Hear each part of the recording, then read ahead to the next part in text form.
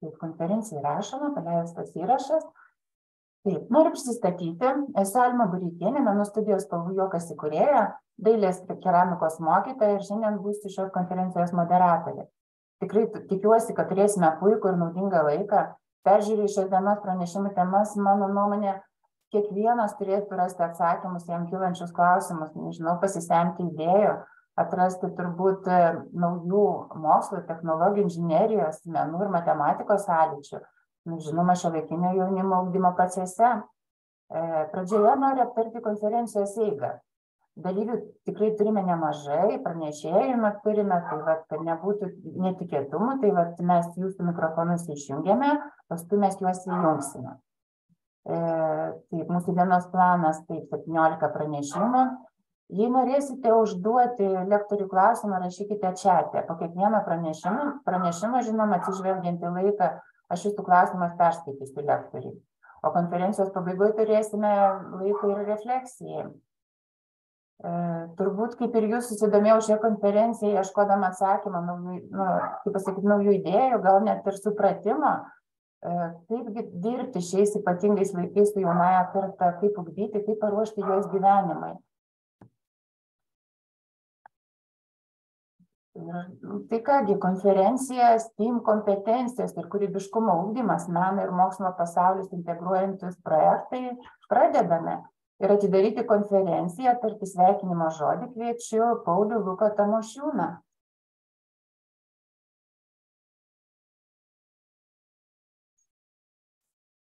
Taip, Lukai, ar girdite mus, ar galite prisijungti?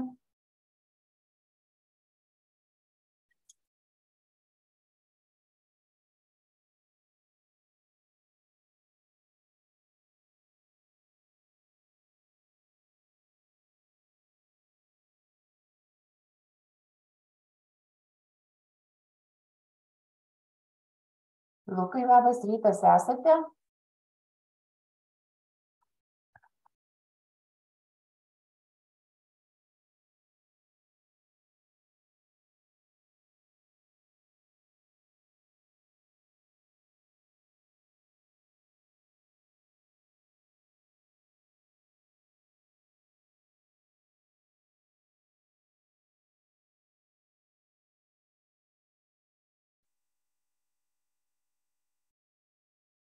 Lukai, labas rytas.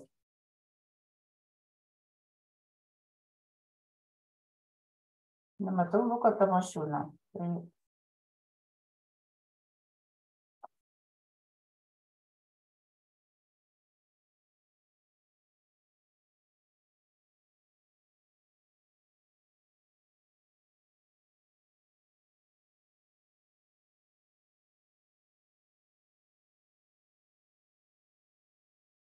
Sakykite, Aistė Burkė, Aistė, pabandykit jūs dabar atsiblokuoti ir, ir, ir pasakyti labas rytas. Aistė, negirdite, negalite atsiblokuoti.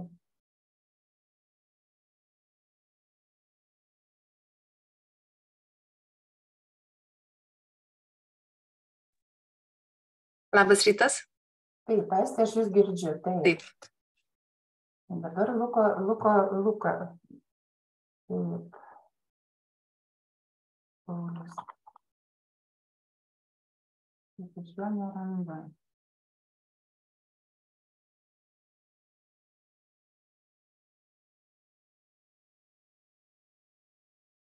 Taip, matyt, Paulius nepasijungęs. Nu, tikiuosi, jisai prie mūsų prisijungs ir mes tikrai su, su, su, su, išgirsime jo, jo pasisakymą. Tai ką geista, tada kviečiu jūs atidaryti šitą konferenciją. Jūsų pranešimo tema, kokią mokyklą įsivaizduoja vaikai ir paaugliai. Tikrai įdomi tema, nes mes turbūt visi norime, aš kaip menininkė tikrai žinau, kad labai norisi gražios, tokios įkvepiančios aplinkos.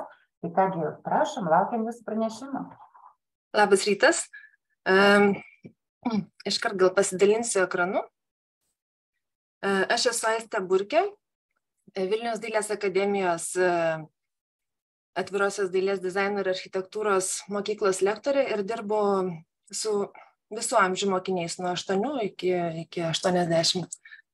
Tai šį projektą man pačiai buvo asmeniškai labai svarbu, na, kaip įvykdyti, nes e, labai svarbu, mano manimo, yra kalbėti apie architektūrą vaikams, nes e, dažniausiai kažkaip jie stinga tų žinių apie pastatų projektavimą, apie vizijas, kažkokias architektūrinės naujoves ir panašiai. Tai nuo sausio mėnesio pradėjome renkti tokią temą ateities mokyklos pastatas ir svajonių mokykla, kokia yra vaiko kiekvieno svajonių mokykla. Ir tuo pačiu apžvelgiau mokslinę, mokslinę literatūrą ir dokumentus ir, ir vykdėm tokią kaip mini apklausą mokinių ir jie turėjo pateikti piešinius savo. Tai pabandysiu, ar čia. Na, oi. E, tik ir minėjau, e, kad vaikų retai kada klausia, e, kokia yra jų svajonių mokykla, kokią jie įsivaizduoja viziją, dažniausiai vis tiek projektuoja architektai, interjerus kuria interjerų dizaineriai, odukologai mokymosi sistemas ir panašiai. Ir labai svarbu yra edukuoti mokinius tokiam amžiuje, nes jie po 10-20 metų ir bus tie kuriejai, kurie ir statys, ir kurs, ir renks, ir, ir, ir dirbs galbūt tose mokyklose. Tai pranešimo pagrindinis objektas yra ateities mokyklos pastato projektas, o tikslas yra sužinoti mokinio įsivaizduojamas ateities mokyklos pastatų vizijas. E, iš tikrųjų, tai mes dirbom maždaug su 50, 50, 50 keliais mokiniais ir čia matysite po to 24 jau atrinktus piešinius. Ir kalbant apie mokslinę literatūrą, tai e, mokslininkai na, iš tiesų tyria ateities mokyklas, vieni, vieni labiau nagrinėja architektūrinių, konstrukcinių, augalinės sistemos aspektais, energetiniu efektyvumu, E, siūlo mokyklas e, projektuoti labiau atviras, e, pritaikytas kraštovaizdžio teritorijai, kad tiesiog, na, jeigu tai labiau gamtoje, kad tiesiog mokykla įplauktų architektūriškai į tą gamtą, ar tai stogas būtų apželdintas ar panašiai. Kiti mokslininkai teigia, kad architektūrinio projektavimo procesas yra sudėtingas ir, ir tikrai pažymi, kad daugia disciplininė komanda yra reikalinga. Kiti siūlo E, e, projektuoti mokyklas su simulaciniais įrengimais, technoparkais ir jau pradėti mokinius e, mokyti robotinio kodavimo, dirbtinio intelekto, kosmoso mokslų. Ir teigia, kad ateityje reiškiniai vadinami mokykla ir švietimu neapsiribos vien tik fizinę aplinką, o jau bus iš karto su skaitmeninė erdvė projektuojami. Ir be abejo veiks robotai ir švietimas taps labiau personalizuotas, pritaikytas jau pagal asmeninius poreikius. E, kiti mokslininkai išskiria, kad naujos technologijos, tokios kaip daiktų internetas, virtualioji realybė, dirbtinis intelektas vaidins vis svarbesnį vaidmenį. Ir 50 metais jau bus norma įėjus į klasę būti biometriškai nuskaitytų, bus e, tada suderinami lankomumo duomenys, pastatai bus statomi su išmaniuoju langų stiklu, kuris reguliuojasi priklausomai nuo, nuo klimato, nuo saulės spindulių, karščio ir panašiai. 3D spausdintuvai jau taps kasdienybė. Ir žinoma, pažangios technologijos, tokios kaip daiktų interneto produktai, leis efektyviau ir patogiau įsisavinti žinias. Ekonominio bendradarbiavimo plėtros organizacijos parengtose aprašuose yra išskiriama, kad ateities mokiniai turės apskritai atsisakyti sampratos, kad ištekliai yra neriboti ir jie turės pradėti vertinti gerovę ir tvarumą jau nuo mažens. Dėl to daugėja mokslininkų rašančių apie žaliųjų pastatų projektavimą, apie tai, kad bus įrengiamas saulės, vėjo, vandens elektrinės, na, tai bus tiesiog nebeišvengiama.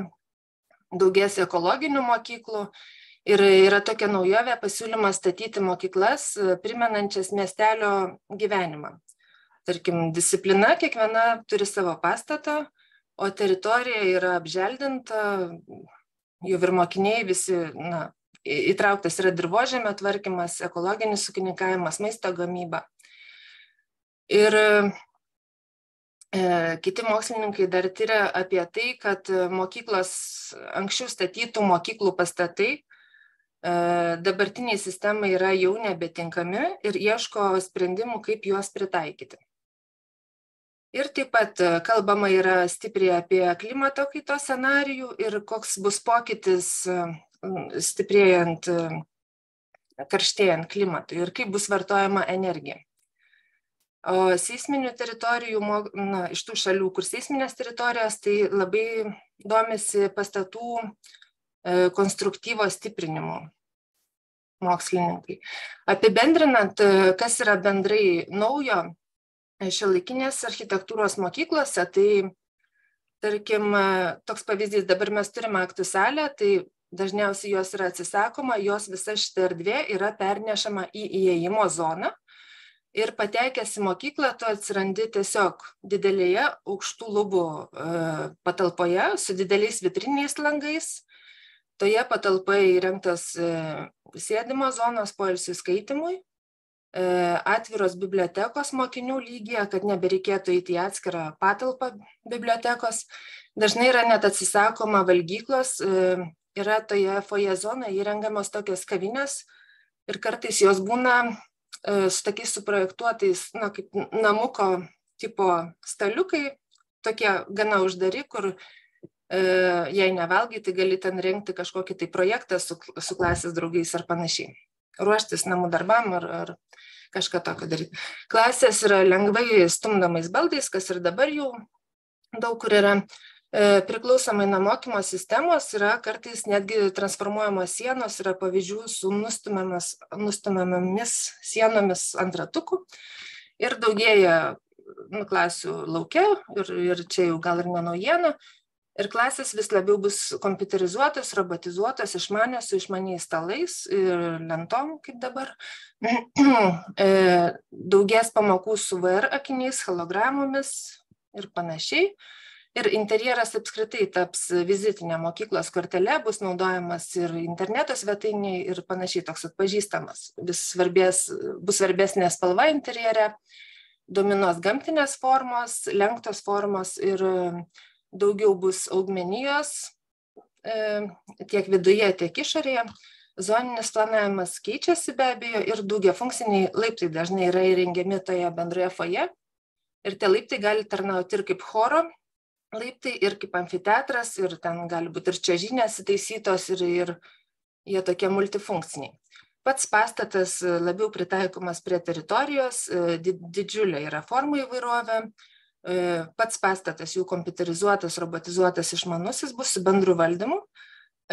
Daugės be abejo pereidinės tiksliau visi prie ekologiškų pastatų su vėjo jėgainėmis, saulės baterijomis ir vandens energija. Ir vis dažniau, bent jau užsienį, yra pastatai pritaikomi ir bendruomenės poreikiam, kuomet po pamokų visa bendruomenė gali naudotis patalpomis savo veikloms vykdyti.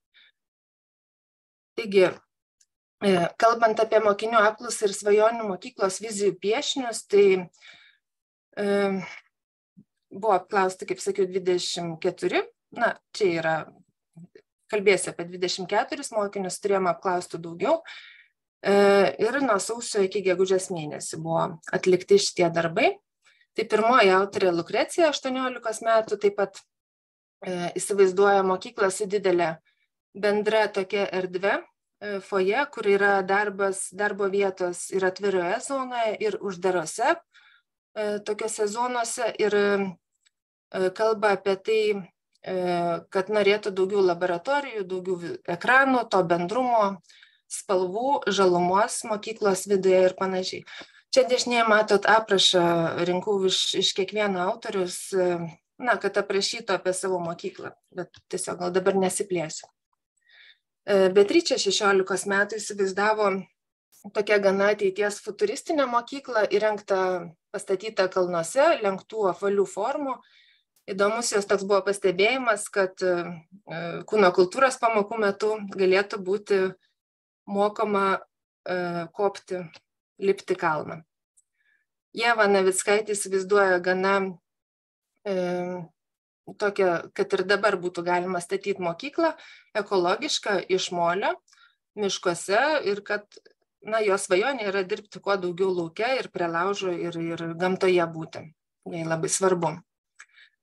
Uljana 14 metė labai norėtų didžiulio kiemo, apželdinto gausia augmenyje, gėlėmis ir poilsio zonomis, kad būtų.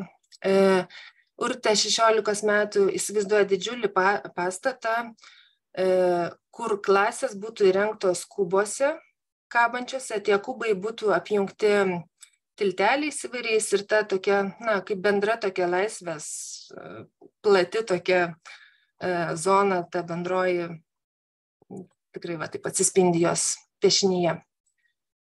Danielė 13 metų įsivaizduoja taip pat labai erdvę tokią uždarą įstiklintų stogų mokyklą su, su medžiais, su pievute, su upeliu, su e, laipėjimo senute, e, klasės yra įsistikliniam vitrinom, kad tikrai dienos šviesos netrūktų ir panašiai. Emilija 11 metų, kiek žinau, yra Vilniaus senamišio mokykloje, kur nėra kiemo, tai jai buvo labai svarbu turėti kiemą žalę, tai ir, ir, ir tapė dėl to kiemo teritoriją. E, Mija 15 metų norėtų taip pat labai erdvios, spalvingos, e, laisvos ir tokios bendromeniškos mokyklos, kur ir piešiniai ant sienų, ir, ir medis auga, ir, ir na, mokinių ir, ir mokytojų santykiai draugiški. E, Marija 13 metų įsivaizdavo mokyklą su daug laboratorijų, kur yra daug atradimų, eksperimentų ir visokių įkvepiančių dalykų. E, Urtė 12 taip pat įsivaizdavo labai spalvingą tokią atvirą mokyklą. E, Barbora 10 labai norėtų didžiulio akvariumo mokyklos viduje ir žaidimų pertraukų metu. E, Evelina 13 norėtų mokytis tarptautinėje mokykloje, kur daug kultūrų ir daug tautų. Mija 12 norėtų mažos, jaukios, spalvingos mokyklos, kur piešiama, grojama ir kas jai svarbu atsivesti savo augintinį į mokyklą. E, Birutė įsivaizdavo, kad, kad na, kaip piešia, norėjo pertikti įspūdį, kad mokyklos viduje būdamas jautiesi kaip laukia, dėl to yra upelis, e, kas visiškai šiaip įmanoma. E, tiltelis, daug spalvų ir klasės yra atskiruose tokiuose na, kalneliuose. E, Patrikas nupiešė mokyklą kosmose, bet tai labiau panašu į virtualios e, realybės architektūros kūrimą. Tai taip pat bus populiarėjanti tokia ateities specialybė. Urtė dešimties pateikė tokį pasiūlymą mokytojams ir mokiniams nusileisti rampą vietoj laiptų kad būtų smagiau ir turėti atvirą biblioteką mokyklos foje. Lėja 15 metė norėtų ir svajotų apie aikštynų sportinius e, mokyklos kieme, tai tenisas, kad būtų ir futbolas čia netilpo piešinį ir krepšinis, kad tiesiog būtų didelis pasirinkimas lauko žaidimų. E, Beta Varnauskaitė 17 metę nutapė gana futuristinę mokyklą, bet labai įdomiai išskiria, kad tai yra kaip medžio simbolis, kultūros istorijos išminties simbolis ir kylant su projektu į viršų yra na, taupomi žemės resursai. Karolina 17 metė stos į interjerą, tai dėl to jos piešinys yra toksai, na, gana interjeriškas, su plačiais lenktais laiptais. E, įdomus jos buvo noras turėti mokyklą juodomis sienomis, e, kad tiesiog nebūtų spalvų, kad tokia ramybė išsilaikytų. Toliau Emilė įsivaizdavo, kad pandemija užtruko ir, ir apaugo augalais viskas. O Aida 16 metę pasiūlė labai įdomią tokią idėją naudoti senus traukinių vagonus įrengiant neįprastas klases juose. Ugnė įdomiai pateikė tokią viziją, kad e, klasės arba susibūrimų vietos būtų stikliniuose cilindruose, kurie stumdomi yra stumdomomis sienomis. Fausta 17 metų įsivaizdavo lenktų formų, tokią atvirą, baltą, tokią šviesią mokyklą. Ir paskutinė autorė Kamilė 17 metų įsivaizduoja mokyklą su didžiulė atvirų kiemo, atvira biblioteka ir augmenyje. Ir klasėmis e, su stiklinėmis vitrinomis dėl šviesos.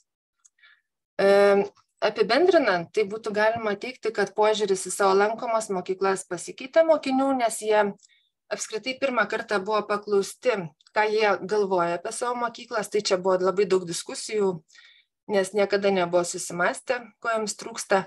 Ir anketose išskyrė, kad jiems iš tiesų trūksta didelių bendrų erdvių ir minkštasolių. Tiesiog pertraukų metu dauguma neturi kur prisėsti. Spalvų interjerė, mokykloje, mokykloje augalijos, viduje ir išorėje, E, patalpų mokyklos darbuotojam, poilsių ir ramybės zonų, mokiniam natūralios dienos šviesos, e, šiaip nemažai kam truko, e, pastato modernumo, originalumo, planinės struktūros aiškumo, plačių laiptų ir koridorių, tiesiog, kad nereiktų brautis didesnės sporto salės, didesnių klasės patalpų, ir kai kurie norė, norėtų atsivesti savo augintinius arba mokykloje, kad būtų augintiniai, ar tai bent jau akvariumas ar, ar kažkas panašaus. Tai e, ši užduotis e, tai gana stipriai praplėtė visų akiratį ir mokiniai labai aktyviai dalyvavo, kiti norėjo net po, po du variantus nupiešti ir šiaip pastebėjau pati, kad jautėsi gana svarbus, nes taip buvo jų stipriai klausimą, ko jie norėtų, ką jie svajotų, turėjo apsispręsti apie priemonės, kaip pateiks, ar vaizduos interjerą, ar vaizduos išorę, ar iš paukščio skrydžios, ar iš žmogaus akių lygio, kokios spalvos ir panašiai technikos. E, ir ką galiu dar pasakyti, kad dalis ateitį sieja su meno ir projektavimo specialybėmis. E, todėl tokio tipo užduotis na, yra svarbi ir jiems patiems, ir visuomeniai, nes kaip ir minėjau, jie ir yra busimi e, kuriejai. Ir apibendrinant e, tiek mokslinę literatūrą ir tiek dokumentus, tiek mokinių atliktus darbus, tai bendra dominuojanti tendencija yra sukurti mokyklą, kurioje tiesiog gera ir patogu būti. Mokslinė literatūra. Ir noriu padėkoti rengėjim už pakvietimą pristatyti ir, ir visiems uždėmesi. Ačiū labai. Aistė, dar turiu vieną klausimą. E, žiūriu vat, į piešinius ir negaliu patikėti, čia jau kaip paruošti jau projektuotojai, kaip paruošti interjero dizaineriai, nes nerealiai gražiai atrodo. O sakykit, Aiste, ar yra galimybė pas jūs mokytojam, vat, kurios, kurios susidomėjo vat, to kūrybiškumu, vat, būtent interjero dizaino vat, klausimais, atvykti pas jūs į institutą? Kaip pasakyt vat su jumis gal asmeniškai galima tartis kad pasižiūrėti kaip dirbama kaip kaip sudominti vaikus kad pavyzdžiui pas jus stotų į dailės akademiją ir būtų šitie interjero ir ir nežinau eksterjero pastatų dizaineriai. Ar yra tokia galimybė? E, taip žinoma yra. Susitarus tai viskas yra galima atvažiuoti ir su ekskursijom ir ir galima aprodyti ir akademiją ir, ir jeigu būtent architektūros katedra domina, pati galiu pravesti ekskursiją architektūros katedrui, Na ir šiaip akademija organizuoja atvirų durų dienas porą kartų metuose. Bet ir pas mus, aišku, galime į atvirą mokyklą visada kreiptis, rašyti ir jeigu, jeigu yra poreikis, tai tikrai priimsim ir pakviesim. Ačiū, Aiste. Labai malonu, labai ačiū už tokį išsamų pristatymą. Ačiū Jums labai už, už galimybę pristatyti, nes gana svarbu, man atrodo. Taip, dėkui. Mhm, Visą gerą. Visą gerą. Taip, tai dirbant su šiuolaikiniais vaikais turbūt būtina kalbėti jų kalba mokiniams mokiniams besidomintys kompiuteriais informacinėmis technologijomis įvairiomis kompiuterinėmis programomis norisi dirbti ir mokytis kitaip 3D vizualizacijos meno kūriniuose tai kviečiu jungtis Sigitą Kaminskienę, dailės mokytoją ekspertę Vilniaus žvėryno gimnaziją. Sveiki. Tai noriu šiandien dienai pasidalinti su jumis mūsų Vilnius žemynos gimnazijos e, pasiektais rezultatais ir parodyti tą naudą iš tikrųjų, ką mes turime. Ar matote pagrindinę skaidrę jau?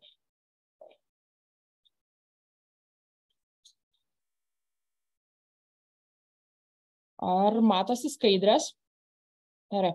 Tai tada tiesiu toliau tą pristatymą, tai 3D e, vizualizacijos meno kūriniuose ir turbūt mūsų neatsiejama dalis. Atsiprašau, dar jūs paspaukite, kad rodytų nu, pilną ekraną skaidrį, nes matome šone dar jūsų skaidrės.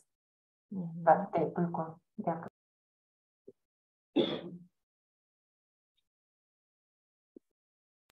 Dar, šoniuke matom jūsų visas skaidrės. Keista kažkaip. O dabar? Ne, o, o du kartus paspaudus ant pagrindinio ekrano neatsidarytų?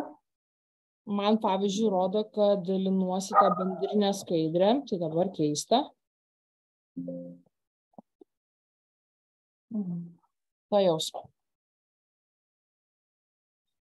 Jūs man galit padėti, Hebra.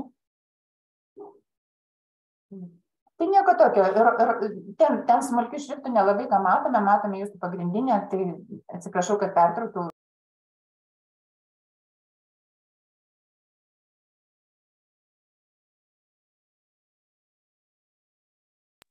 Sigita, nebegirdim jūsų garso.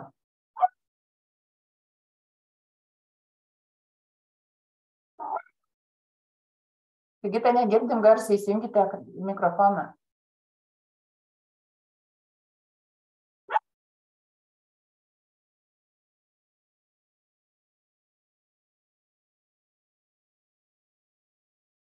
Bandykit. Tai dabar jau leidžia gerai, bandau dalintis dar kartelį ir tikiuosi pradės rodyti. Jeigu nesikeis skaidrės, tai tada sakykit.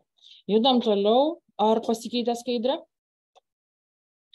Kas man gali pažiūrėti? Greitai kas nors. Tik noriu. Greičiau, nu.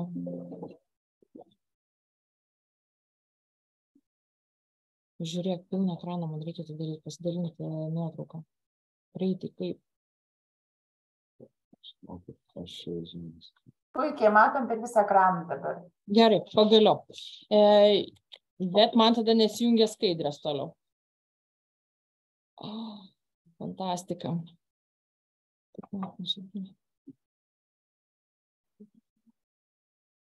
Siaubas kažkoks. Tai gerai, to jau bandau daryti kitaip ir pasidalinti. Jūs atsidarykite savo kompiuterį ir paskui atsidarykite kompiuterį ir tada šėrinkite, atsidarę share. E... Pajaus, nes čia nu, kažkaip tai labai keistai.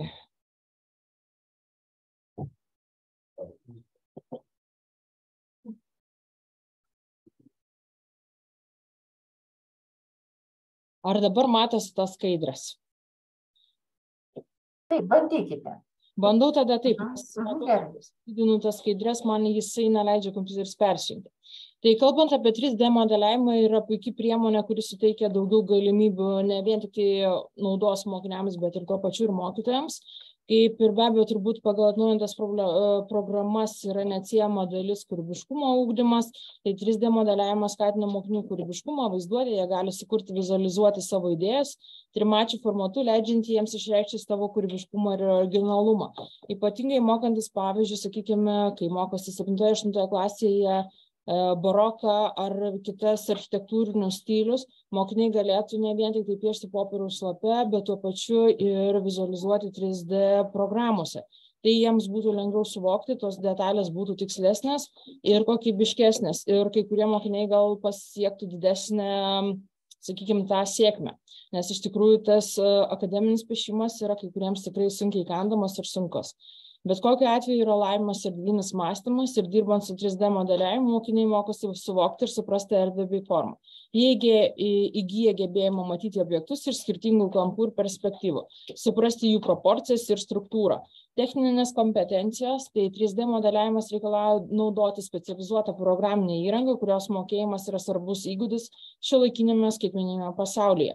Mokiniai išmoksta naudotis įvairiomis programomis ir įrankiais, kurie gali būti naudingi įvairiose sritise, pavyzdžiui, inžinerijoje, dizaine, animacijoje, mene ir kitur. Tai probleminio mąstymo ir sprendimo prieimimo įgūdžiai. 3D modeliavimo procesas skatina mokinius mąstyti kritiškai ir analitiškai, jie turi identifikuoti problemas, rasti sprendimus ir gyveninti juos per modeliavimo procesus.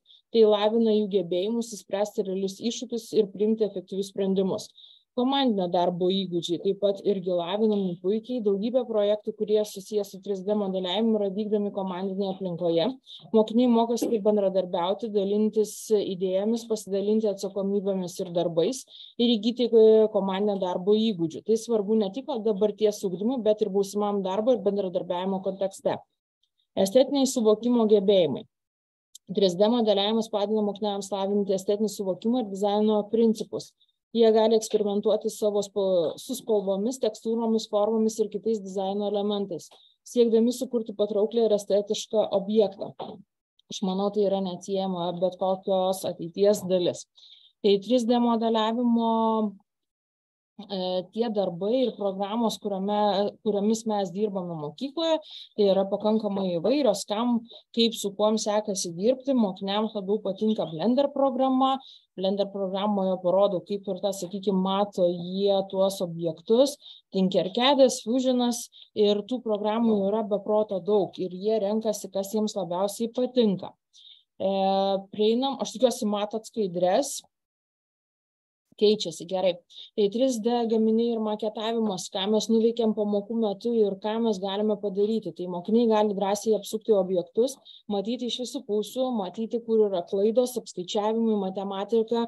Ir vėlgi čia atsiranda tarpdisciplininė integracija tiek informatika tiek matematika tiek menai kad tas daiktas atrodytų vizualiai tai tų indelių sakykim čia yra du indeliai tokie kurie yra padaryti gėlių sukulentams.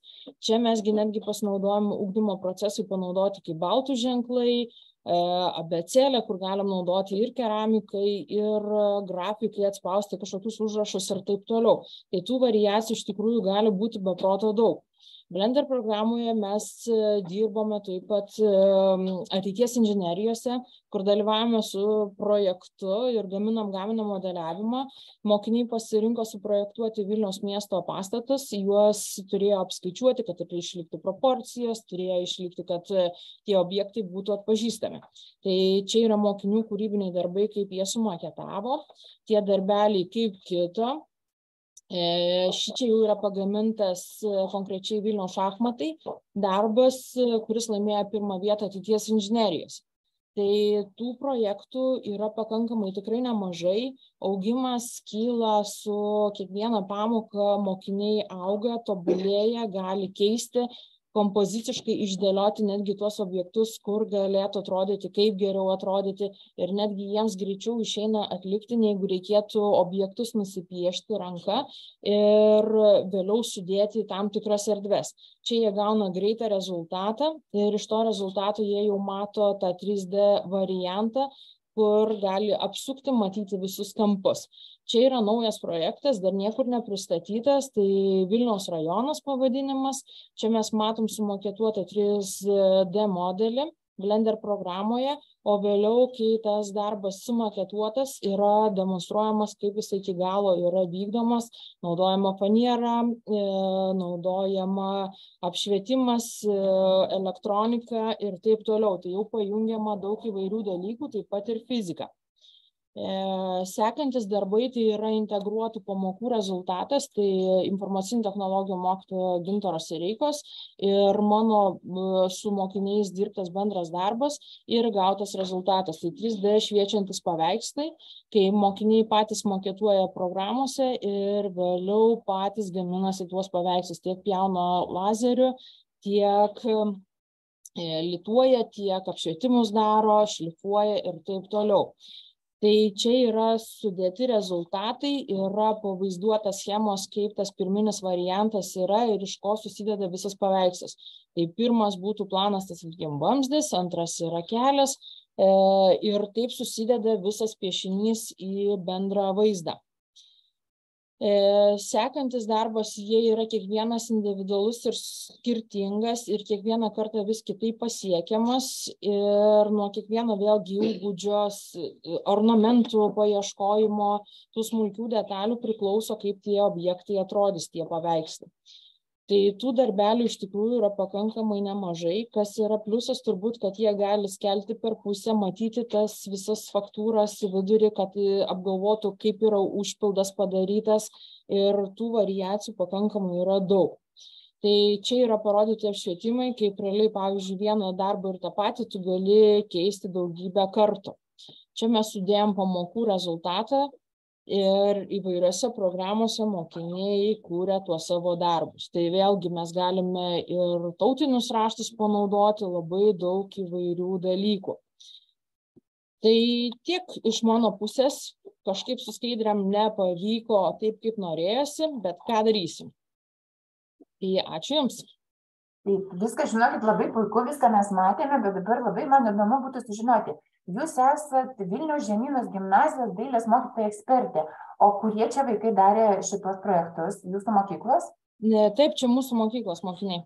Ir jūs turit bazę turit trys d printerius? Taip mes turim todėl kad nemažai vilniaus mokyklų turi įrengtas fab labo kabinetus ir mes taip pat turime jį ir mes jį įveikliname turime trys d spausdintuvą turime lazerį turim ploterį tai turim ką paveikti.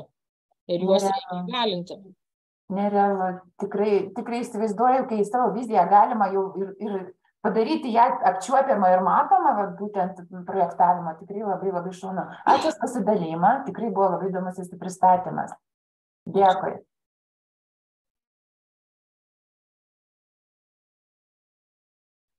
mokslo ir meno draugystė. Kviečiu daivą šipulskienę dailės mokytoją metodininkę ir iloną prokofjevienę technologijų mokytoją metodininkę radviliškio vinco kudirkos progimnaziją jos pristatys mokly mokyklos įsijungimą ir dalyvavimas dalyvavimą steam veiklose pasidalins sėkmingos pedagoginės praktikos pavyzdžiais ugdant kūrybiškumo pagrindus bendradarbiavimo bendrąsias kompetencijas pateiks projektų integruotų pamokų neformaliojo ugdymo veiklų pavyzdžių taip kviečiame ir laukiame jūsų pristatymo Labas rytas. Labas rytas. Ar matosi mūsų skaidrė? Taip, puikiai matosi. Aha. Taigi, mes esam iš Radviliškio Vinco Kudirkos progymnazijos. Aš dailės mokytoja, mano kolegė yra technologijų mokytoja ir mes pabandysim pristatyti tą savo žemišką veiklą. Mes dabar prieš tai matėm nu, tokį pristatymą, kur ir dabar dar įsižioję sėdime ir tikrai džiaugiamės e, tais vyresniais vaikais, tai mes turime mažesnius ir mūsų darbai šiek tiek tokie žemiškesni bus. Bet bandysim pristatyti tai, ką mes praktiškai veikiam. Abi praktikės, abi dirbam ir abi praktiškai, e, žodžiu, tą veiklą ir pristatinėsime.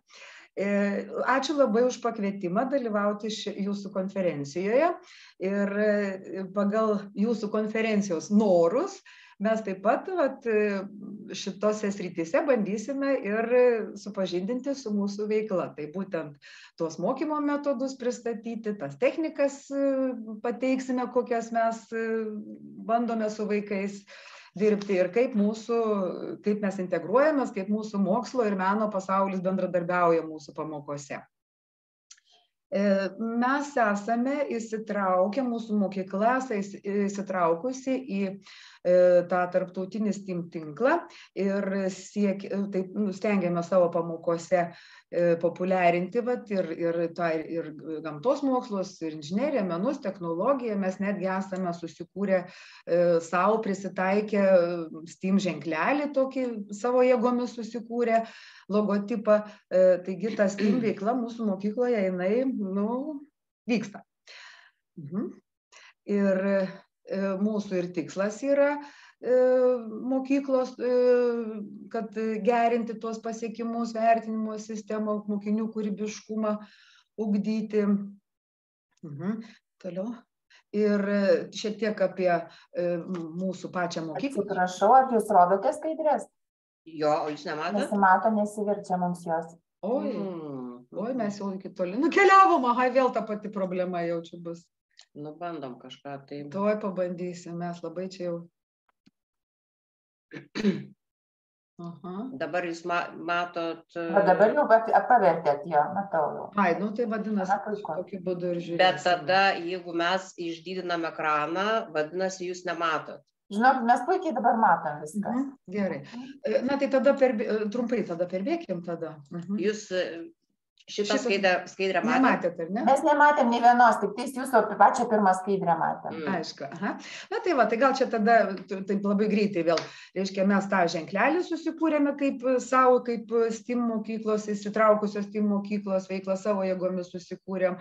E, toliau mūsų strategijose, mūsų tiksluose yra būtent tas kūrybiškumas ir, ir, ir veikla visa ir e, šiek tiek apie mūsų mokyklos sakykim strategines tokias kryptis tai labai džiaug mes mūsų mokykla yra ta se tokia nu seno tipo keturių aukštų mokykla ir mes dabar po truputį kylame renovuojamės visokias tas erdves kuriame kur įtraukiam mokinius į veiklas įvairiausias į ir poilsio zonos ir koridoriai remontuojami ir ir tokiam kampeliai daromi turim šiltnamį turime lauko klasės kubai tokia nu modernias sakykime erdves turime ir labai džiaugiamės turim naują technologijų namelį. Va čia kaip ir pirmame pranešime kalbėjo kad tiesiog mokyklos kiemelis kuriamas ne klasė bet jau mes turim atskirą visiškai šalia mokyklos patalpą kur technologai mūsų išsikėlė dirbti. Nu tokios erdvės kurios yra šiaip ir modernesnės ir kartu pritraukiančios darbui ir mūsų va tame pranešime dabar konkrečiai tai mes tokias tris sritis daugiau bandysim paliesti. Tai projektus kurie su steam veiklomis susiję integruotas pamokas keletą pateiksime ir neformaliojo ugdymo keletą užsiėmimų. Ir va apie projektus šiek tiek tai vat kadangi įsitraukę esame į tą steam tinklą buvo steam ugdymo tobulinimo toks steam iššūkis projektas ir mes turė dalyvavom įsijungėm į jį ir dalyvavome ir mum ten reikėjo mokyklom pateikti kažkokį tai projektą kurį paskui kitos mokyklos turėjo atlikti. Tai mūsų projektas buvo vyšnaitė ant torto ir čia matom nuotraukoje tą galutinį rezultatą o ta pati veikla buvo tai vėlgi apjungta ir matematika kur braižėm skritulius ir ir išklotinę cilindro dailė įjungta kur darėme to torto sakykim papuošimą bet plastelino pagalba buvo įjungtos technologijos kur kalbėjo apie tortų papuošimus ir medžiagas priemones ir visa kita ir paskui dar dekoravo buvo įjungti gamtos mokslai kur kalbėjo apie sintetinius dažus natūralius dažus dažus ir ir vat visa tai sujungėm į vieną bendrą tokį projekt nu veiklą. Ir toliau tęsiant šitą projektą priėmėme kitų mokyklų pateiktą iššūkį ir kūrėme planetariumą. Čia nebeatsimenu kokios mokyklos buvo pateiktas tas iššūkis ir bet mes jį pasirinkom ir vat rezultatas kurį mes sukūrėme.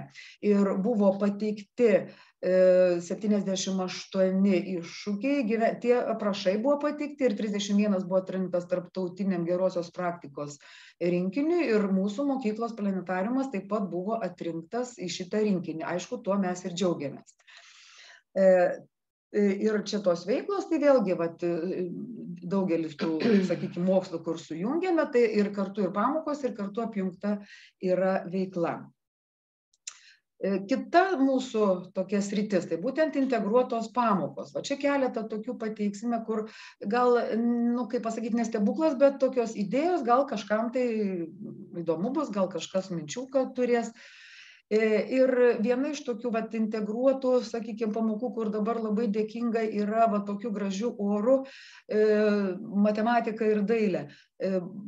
Pabandėm išeiti į kiemą tiesiog iš mokyklos iš klasės išeiti į kiemą. Mūsų kiemas yra vat išklotas plytelėm tokiom ir vaikai susiskirstė grupelėmis piešė ant tų plytelių grynai panaudodami jų formas ir po to skaičiavo apskaičiavo plotą. Tai vėlgi sujungėme lyg tai tokia žaidybinė pamoka gavosi bet jinai kartu lavina ir tuos dailinius įgūdžius ir matematinius ir kartu tą tokią bendrystę bendradarbiavimą bendrą kūrimą turime irgi tos sakykim tas steam veiklų tai kaip pasėkoje turime trys d pieštukus ir ne tiktai vaikus įtraukiame bet turėjome čia per atostogas pavasario svečių iš kuršėnų stasio anglickio mokyklos.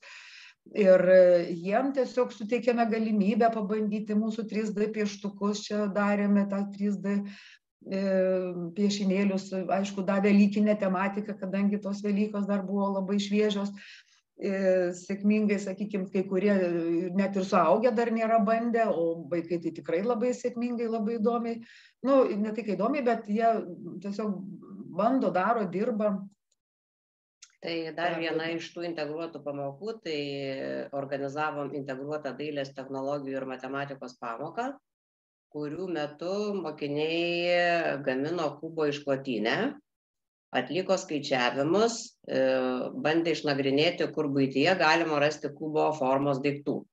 Na, o dailės ir technologijų pamokose atliko kūrybinės užduotis. Tai e, dailės pamokoje piešė optikos ornamentus, o technologijų pamokoje kūrė schemas simografijos techniką ir suvinėjo ant šitų kubų tai rezultatas e, gavosi toks ir mokinių darbai buvo eksponuojami mokyklos bibliotekoje.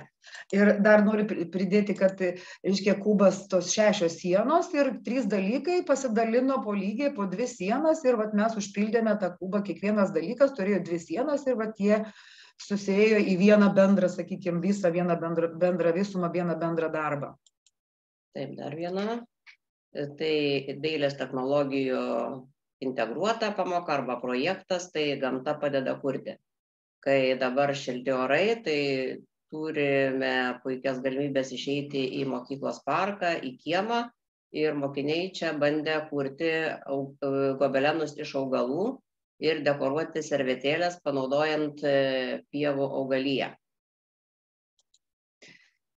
E, iš lauko grįžtame į klasę vėlgi vėlgi sėkmingai su matematika mes pamokoje bandėme apta žodžiu įveiklinti simetriją.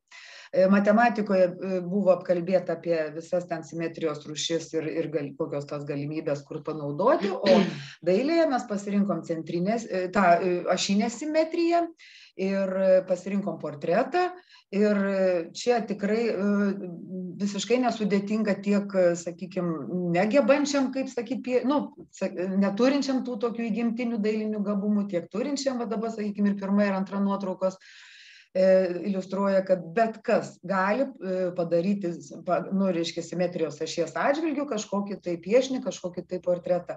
Ir netgi parodą mes turim tokią valdykloje parodų, er, sieną didelę, e, visus mokinių kūrinius bandėm irgi pagal, pagal tas, reiškia, simetrijos taisyklę išdėlioti. Atsiprašau. Ir ta simetrija tiesiog patinai įvaizdinta buvo, vėl ta matematika ir dailė sėkmingai draugavo viename darbe. Taip, tai dar viena integruota matematikos technologijų pamoka, tai visa tiesa apie cukrų. Prieš tai kolegė paminėjo, kad dirbam puikioj mokykloj, kur tikrai labai didelis dėmesys skiriamas įvairioms erdvėms.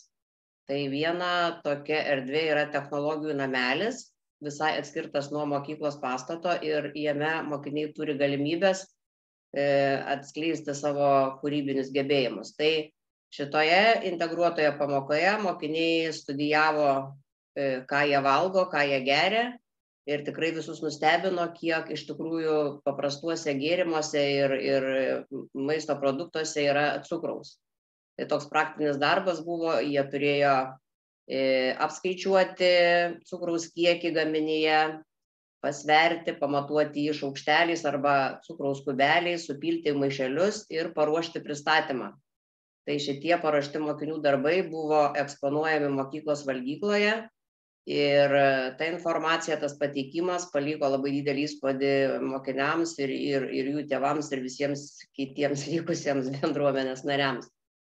Tai antra dalis - tai kūrybinės virtuvės, kurių metu mokiniai augino cukraus kristalus, e, studijavo, ką galima padaryti iš cukraus. Tai vyrė karamelę, gamino ledinukus, karamelinės vazas, piešė šokoladu ir visas tas šokoladinės dekoracijas panaudojo e, šventėms.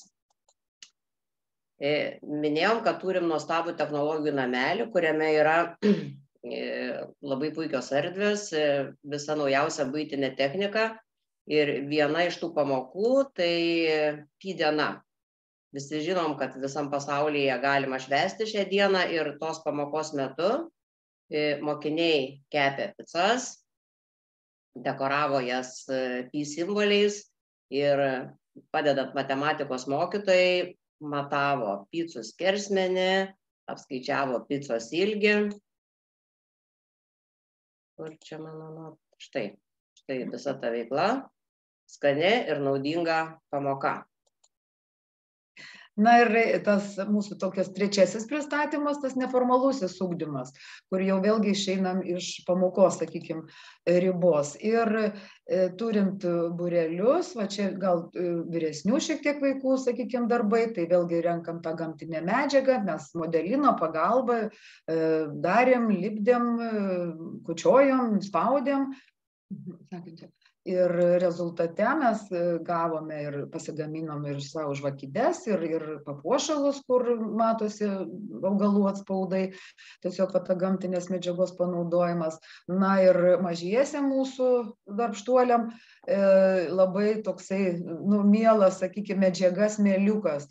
Tai iš palangos tiesiog esu atsivežusi smėlio ir dar paskui dar to spalvoto smėlio tai va čia mes ir piešinius darėm klijavom su tuo smėliuku o tas palangos smėlis labai tarnauja mum vat į dėžę susipylėm ten jie pasineria su rankytėm savo ir ir akmenukai ir kriauklytės ir konkorėžiai ir ir tie iš kinderiukų visokie žaisliukai tai jie ten tokius tiesiog kuria pasakojimus. E, sudėlioja, sudėlioja, su, su padaro, papasakoja, vėl viską išsirenkam, vėl iš naujo dėliojam, tiesiog tas veik, veiksmas vyksta, mm, nu, keičiasi jisai ištisai. Tai va tokia e, įdomi, sakykime, ta pasineria į tą tokią, nu, tikrą, natūralią medžiagą na ir mūsų va toks greitas tas pristatymas labai dėkojam kad klausėtės ir labai dėkojam savo visiem kolegom kurie mum padeda tas integruotas pamokas prisideda prie integruotų pamokų iš tikrųjų tai yra naudingi nu naudinga ir mokiniui įdomiau yra ir ir mum įdomiau Daiva, Ilona, dar sakykit, nerealus, nereali jūsų tokia geroji praktika. Jei trumpai, nuo ko pradėjot? Bet čia turbūt yra dalyvių kurie susidomėjo steam programa nuo ko pradėjo kaip rasti nežinau idėjų kaip suburti mokytojus kai jų grafikai ir pamokų tvarkaraščiai labai labai už nu kaip pasakyt tempia. Pasidalinkit greitai taip. Net nežinau ką pasakyti. Tiesiog kad ta idėja šauna kartais visiškai atsitiktinai kažką pamačius kažkur tai kažką išgirdus paskui bandom derintis tai laisvų pamokų metu tai tai susiderinam kažkokius tai tas e, laikus nu ne nu nežinau tiesiog savaime darbo eigoje viskas gaunasi net nežinau recepto šito šauna mintis o tiesiog e, pasišnekam su tiksliųjų mokslų mokytojais e, su, su kitų dalykų ir išrutulo, išrutuliuojam tą idėją. Šiaip daug idėjų buvo, ta, kai dirbam tuo nuotoliniu būdu, tai ir prasidėjo tų idėjų kūrimas. Tai kaip vaikai reagavo į naują sistemą į naują įsitraukimą vat ir būtent kai jiem reikės daryti ir dirbti ir galvoti ir kurti ir pritaikyti. Kaip vaikai sureagavo labai nori jie nu jie kažkaip tai įprastai nu priima nėra jiem čia kažkoks tai iššūkis. Ir ir šiaip tai vaikai iš tikrųjų kai netgi teko sakykim su kūno kultūra susi su su mokytoju susitikom darom integruotą darom. Ką darom? Nu sugalvojom. Viskas tvarkoj su vaikais irgi sakom kaip čia da nu vaikai sako kaip čia gali susiderinti dailė ir kūno kultūra dar bendram darbe. Nu ir viskas tai padarėm labai nuostabų darbą mes ten nagrinėjom krepšinį e, reiškia ir kūno kultūros mokytojai visus judesius viską jie ten prisiuntė vaikam tos įvardino tuos judesius o mes iš folijos lankstėm tuos judesius padarėm žmogeliukus ir mum va jie įvardino to sakykim krepšinio to nu to judesio tą veiksmą patį kaip ten įvardina kūno kultūros mokytoja. Viskas ir ir gavosi netgi su kūno kultūra integruota pamoka. Jau nekalbant mūsų tie dalykai kur tokie giminingesni galbūt yra. Vaikai turbūt pasakė va dabar supratau kad man patinka dailė tie sportininkai truputį vertina. jo. Ačiū labai, Daiva, labai įdomu už jūsų patirtį, pasidalinimą. Tikrai labai malonu buvo pamatyti, kok, kok, kaip pasakyti, sėkmės istorijas, turbūt taip jau galima įvardinti. Taip, tikriausiai jau. Ačiū Jums. Taip, kviečiu jungtis Eugeniją Eimontaitį ir Jermolavienę, vyr mokytoja, projektų vadovė Kedainių dailės mokykla. Pranešimo ten, tema inovatyvių skaitmeninių technologijų panaudojimas dailės pamokoje. Tai programa apjungia kelias skirtingas meno sritis - kompiuterinė grafika, tekstilė ir keramika. Ši programa orientuoti ir asmenybės kūrimo, kūrybinio mąstymo kaip bendro įsilavinimo pagrindą, ugdymą, skatina bendravimo ir bendradarbiavimo įgūdžius. Taip, klausom, prašom. Ar dar gina kaukienė? Taip jūs dvi. Kauklienė atsiprašau taip klaus klausom jūsų. Ne negirdit ar ne? Taip.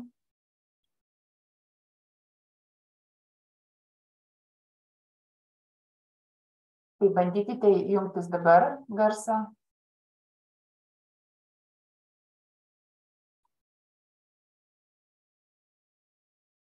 ne negirdime garso pabandykit įjungti.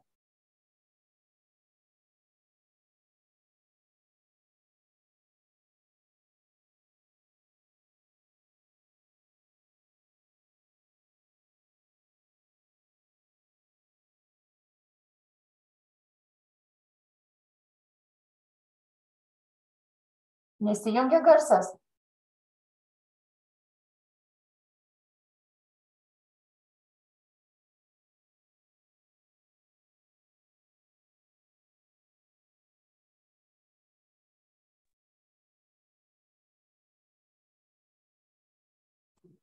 Va. Labą dieną. Labą dieną. labą dieną klausom Va, pagaliau dabar jau girdime. A, iš karto tada dalinamės savo skaidrėmis. Ar matote? Matote, taip? Taip. Tai tada prisistatysiu, mano vardas Eugenija, čia mano kolegė Gina. Gina. Mes esame iš Kėdainių dailės mokyklos. Pirmoji daly pakalbėsiu aš, tada prates Gina. E, mes pristatysime inovatyvių skaitmeninių technologijų panaudojimą dailės pamokose. E, aš dėstau e, grafinį dizainą, mes kompiuterinėmis programomis darome įvairiausias užduotis ir vėliau vaikai tas atliktas užduotis panaudoja kitose pamokose. Tai šiandien mes pristatysime panaudojimą tekstilėje, bet tą galime daryti ir keramikoje, kompozicijoje ir taip toliau. Apie pačią programą. Ji apjungia kelias skirtingas meno sritis, kaip jau ir sakiau, kompiuterinę grafiką, tekstilę, keramiką, kompiuterinės grafikos metu sukurti sumaketuoti darbai yra perkeliami ant audinių, nes mums įprasta, kad kompiuterinę grafiką atlikti darbai būna atspausdinami printeriu tiesiog ant popieriaus, bet mes norime parodyti vaikams ir aišku jums, kad tą galima panaudoti ir ant kitokių medžiagų, tai audinių ar kažkokių keramikos gaminių. Koks tikslas? Tikslas yra aktyvinti kūrybinę, pažintinę veiklą, supažindinti su skirtingomis dailės technikomis, skaitmeninių technologijų panaudojimo galimybėmis mene, pritaikymų praktikoje, įveikiant kasdienybės iššūkius. Paprastai e, suaugusiems mums atrodo, kad vaikams yra labai paprasta dirbti kompiuteriu, bet iš tiesų taip nėra. Jie daug laiko praleidžia kompiuteriu, bet tai retas, kuris ten kūrė kažkokią, e, atlieka kokią kūrybinę užduotį. Tai va, tai mūsų pamokos metu atliekami tie kūrybiniai darbai, jiems tikrai yra nauja, jiems tai yra įdomu, smalsu ir mūsų tokia va užduotis ir tikslas juos būtent sudominti e, tuo. Aišku, skatinti improvizuoti, interpretuoti, eksperimentuoti, dalintis idėjomis, e, suteikti tam tikros srities žinių, gebėjimų ir nuostatų visumą. Metodai. Tai kaip ir minėjau, mes e, pradžioje darome kompiuterinę grafiką, e, pamokas skirstėme etapo, etapais, kurių metu vaikai atliko skirtingas užduotis. E, keramikos ir tekstilės metu buvo pokalbis, diskusija, aiškinimas, pavyzdžių rodimas, demonstravimas, stebėjimas ir aišku jau paskui praktinis darbas. Ir visos tos programos užbaigimui buvo refleksija, buvo diskusija, pokalbis su mokiniais, apie pačią programą, jų išvalgos, kas jiems pasisekė, kas nepasisekė, ko tikisi kitose programuose. Taip pat buvo atliktų darbų paroda, kas yra labai svarbu, kad vaikai galėtų pamatyti savo darbus šalia kitų darbų, įvertinti save savo akimis, kaip jiems atrodo jų darbai šalia kitų darbų. Tai va, tai patys vaikai save matė, matė lankytojai, matė kiti mokytojai, tai vad atliktų darbų paroda, tai vad ir buvo toksai kaip į, į, įvertinimas ir įsivertinimas. O dabar tada aš pakalbėsiu apie pačią pirmą dalį, apie kompiuterinės grafikos dalį. Mes mokykloje turime Corel Draw programos visą paketą, yra profesionali programa, kur labai džiaugiamės, kad turim galimybę ją naudoti pamokų metu. Paprastai vaikai gali laisvai rinktis temas, bet mes žinom, kad laisvai duota tema yra per daug sunki. Todėl suteikiant kažkokio tai konkretumo, tema buvo gamta. Tai gali būti ir augalai, ir gyvūnai, ir, ir paukščiai, ir vabzdžiai. Tai pakankamai plati tema iš įvairių, pirmojoje daly, iš įvairių augalų nuotraukų vaikai kūrė ornamentus, darė ornamentus. Tai čia vat, ir matot, kaip Korelio programoje keitėsi originali nuotrauka, naudojant įvairiausius filtrus, buvo sukurti tam tikri augalų, gėlių ornamentai ornamentai žinom, kad labai dažnai yra naudojami tekstiliai, aišku, juos galima ir keramikoje naudoti, tai vad e, iš įvairiausių augalų sukurti tam tikri ornamentai. Netikėti rezultatai tikrai labai e, nudžiugina ir mus, nustebina ir vaikus, tai, tai va tokių net kartais sunkiai įsivaizduojamų dalykų galima padaryti e, tiesiog kompiuterinėj programoj maketuojant nuotraukas. Tai nėra rezultatas to, ką man sukurs kompiuteris. Ne, tai nėra tiesa. Kompiuteris yra tik įrankis, lygiai toks pats įrankis kaip pieštukas, ar ne? Mes turim, turėdami pieštuką ir lapą, turime įdėti savo darbo. Tai lygiai taip pat yra ir kompiuterinėmis programomis. Tu pats kuri. Tik tai kompiuteris tau tiesiog yra kaip priemonė. Tai va, tai čia buvo augalinis toksai ornamentų kūrimas. Antra mūsų programos dalis tai buvo vektorinių paveikslėlių maketavimas. Kadangi Korelis yra vektorinė programa, tai vat vaikai piešia įvairiausių linijų pagalba, piešia tokius vektorinius vėlgi gamtos motyvais, piešia vabzdžius patys tiesiom lenktom linijom, ar ne, užpildant paskui vidų spalva arba paliekant juodai baltą. Taip pat noriu paminėti, kad galima ir internete FreePic programėlėje nemokamai prasisiųsti vektorinius paveikslėlius, bet mes šiuo atveju norėjome, kad vaikai pieštų patys. Tai va, tai čia šitos, šitie vat, įvairūs vabaliukai, kaip sakau, tokie linijiniai, grafiški arba va, tokie spalviniai, e, jie gali paskui papildyti e, kažkokias kitas nuotraukas arba gali būti kaip vienas elementas, vėliau naudojant tekstilėje ar, ar keramikoje ar kitur.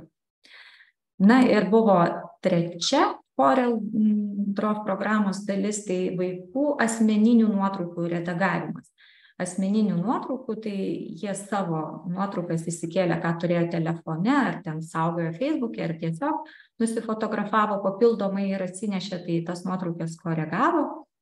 E, e, aišku, ne, nenutolo nuo temos gamta, ar ne, kažkokie gamto, gamtos motyvai ir vėliau matysite, kad visas šias nuotraukas, viską, ką jie padarė, vėliau jie panaudojo kitoje dalyje, tai yra tekstilės pamokose. Tai va, tai mano tiek, dabar prates mokytoja Gina. Ačiū. Tai aš norėčiau papasakoti toliau, ką mes veikiame su tais jūsų kurtais paveikslėliais. Visų pirma, pristatysiu, ką trumpai, ką galima padaryti grafikos, atsiprašau, keramikos pamokų metu. Tai pamokai reikalingos priemonės yra jau jūsų vaikų sukurtas paveikslėlis, fotodekolinis popierius, keramikai skirti rašikliai, dažai ir, žinoma, keramikinis indas plytelė gali būti naudojama. Tai kas, kas yra tas dekolis? Šaltiniuose galima rasti įvairių jų pavadinimų - dekalas, fotodekolinis, dekolinis, dekolė. Tai, tai yra paviršiaus puošybos priemonė, techniškai tai yra lipdukas popierinis pagrindas su piešiniu. Dekolis yra mm, tas pieši, piešinėlis vaikų sukurtas yra atspausdinamas ant to popieriaus dekolinio ir iškerpamas yra ir vėliau klyjuojamas vandeniu ant keramikinio indo ar tai keramikos plytelės. Turi vanduo būti gerai paskirstomas, kad lipdukas gerai pri, priliptų, kad nesusidarytų oro puslelių, nes vėliau tas indas yra degamas iki 700 laipsnių temperatūroje ir kad neatšoktų, žodžiu, kad būtų gautųsi vientisas paveikslėlis. Čia galite matyti pirmoje nuotraukoje vaikų kurtas darbus ant plytelių keramikinių Tai čia vat, neryškiai matosi klyjuotas dekolis, o vėliau pripiešta, primarginta foninis vaizdas, papildomos detalės jau su keramikai skirtom priemonėm, rašikliais, dažais. Čia matote nuotrauką yra užklijuota. Apie dar vieną priemonę kurią galima panaudoti tekstilės pamokų metu. Tai norėčiau pristatyti transfer popierių marabų tekstilės dekoravimo rinkinį ir plačiau papasakoti apie jų panaudojimo galimybes. Tai visų pirma pristatau lazeriniui spausdintuvui skirtą transfer popierių. Jis skirtas šviesios medžiagos marginimui, tai yra vaizdo pernešimo plėvelė, popierius. Lazeriniu spausdintuvu atspausdintas vaikų sukurtas, sumaketuotas paveikslėlis perkeliamas ant audinio. Piešinėlis yra iškerpamas, šiek tiek paliekama balto krašto, nekerpama prie pat paveikslėlių kontūrų kad gražiai pris, vėliau būtų tiesiog prisiklijuotų gražiai. Tai čia matote sukurtus paveikslėlius, juos galima, kaip kolegė minėjo, iš tos programėlės parsisiųsti ir naudoti. Paveikslėlis yra priklijuojamas lygintuvu, karštų lygintuvu iki 150 laipsnių temperatūros Čia matote maišelį medvilninę, tai tekstilinis dažais išmargintas piešinys ir atsiranda tokie vabalėliai. Dar viena priemonė tai marabų tekstilės transfer rinkinys skirtas lazeriniam spausdintuvui. Piešinėlis turi būti sukurtas veidrodiniu būdu, nes jisai apverčiamas, kai yra dedamas ant audinio, paveikslėlis yra apverčiamas. Piešinėlis turi būti atspausintas ant paprasto lapo ir šitų priemonių pagalba perkeliamas ant audinio. Tai visų pirma patepama vien pirmus, na tokio pirmus sluoksnio, pirmos priemonės, jos yra ten skirtingos viena pirmoji, paskui užfiksavimo yra antroji, viskas rinkinė aiškiai parodyta. Mentelė viskas paskirstoma, reikia gerai, kad išdžiūtų palaukti, galima lygintuvu prikaitinti, fenu galima prikaitinti ir jau paskui vėliau užfiksuoti paskutinę priemonę. Panaudojimo galimybės irgi visokio yra labai įvairios galima tekstiliniais dažais išmarginti. Šiuo šioje nuotraukoje matote mokinė siuvinėja spalvotais siūlais. Tai tiek toks mūsų pristatymas. Ačiū jums labai už Sakykit, prašau, vėl kyla klausimų. E, nuostabios priemonės, ar yra Lietuvoje galimybė jas įsigyti?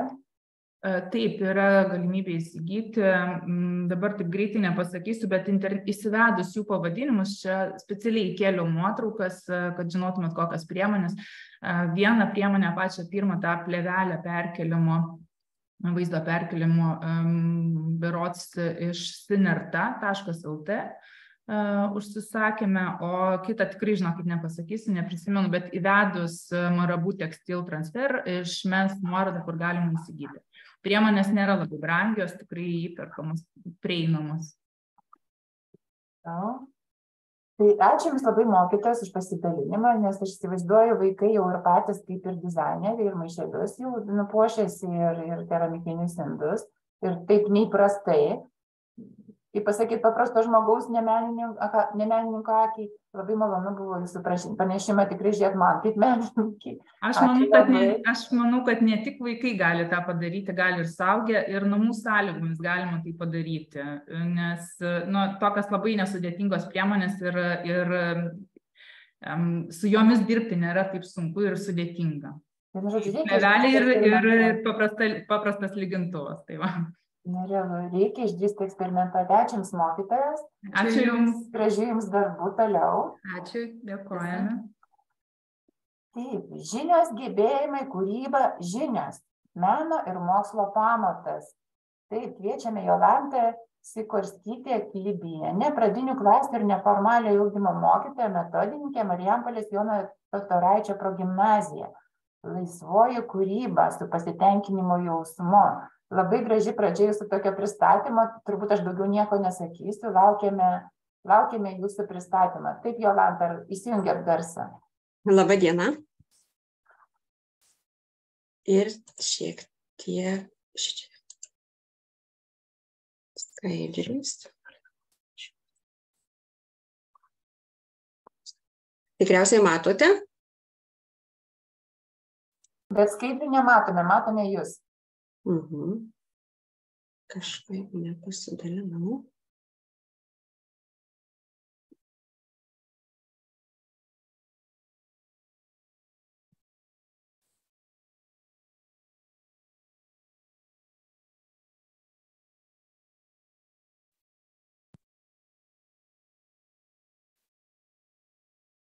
O dabar?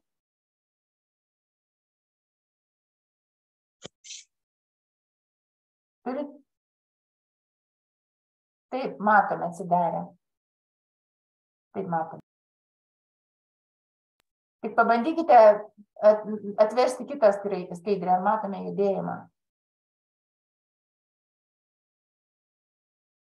Nesiverčia dar.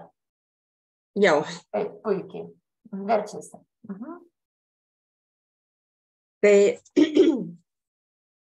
mane tikriausiai pažįstate kaip šiukšlių dizainerė, kuri pradedant nuo savo namų virtuvės, padėkliukų gaminimų ir baigiant darbo vietos, tai yra mokyklos klasės, e, klasė reikalingais daiktais, e, kuria visa, viską iš e, žur, senų žurnalų ir moko mokinius neišmesti į šiukšliadėžę atliekos, prieš tai nepagalvojus, ar ji dar negali kartais pasitarnauti kūrybai ar kokio nors naujo daikto pagaminimu kai tik randu tinkamą momentą kad žmonės klauso mano kalbėjimo taip kaip dabar tai visuomet kviečiu ir raginu liaukimės būti besaikiais pirkėjais ir nebėkime į parduotuvę vos tik prireikus kokio nors da, naujo daikto. Tiesiog pasigaminkime. Juk kiekvienuose namuose atrastume nereikalingų žurnalų, tetrapakų, tualetinio ar ankšluostinio popieriaus ritinėlių, plastiko butelių, siūlų likučių. Ir štai iš visų šių atliekų gimsta nauji dalykai. Gal jums reikia tiesiog kažkokios naujos dovanų dėžutės? Prašom. Gal prireikia augintiniui katai draskyklės? Galima ir ją pasigaminti. O gal tiesiog to, e, prireikė tualetinio popieriaus stovų? Prašom. Reikia lėkštės ar dubenėlių? ir jį galima pasigaminti. O gal jums prireikė naujos rankinės? Ir rankinę taip pat galite pasigaminti. Na, o gal namuose nutiko taip, kad reikia didelio daikto, stalo ir jau atrodo, kad, na, jau į baldų parduotuvę tikrai teks važiuoti. Taigi neteks. Štai ir jis. Gal reikia šiukšliadėžės? Prašom. Na ir kaip mokytojui, galbūt klasėje reikia naujų stendų. Taigi jų yra įvairių.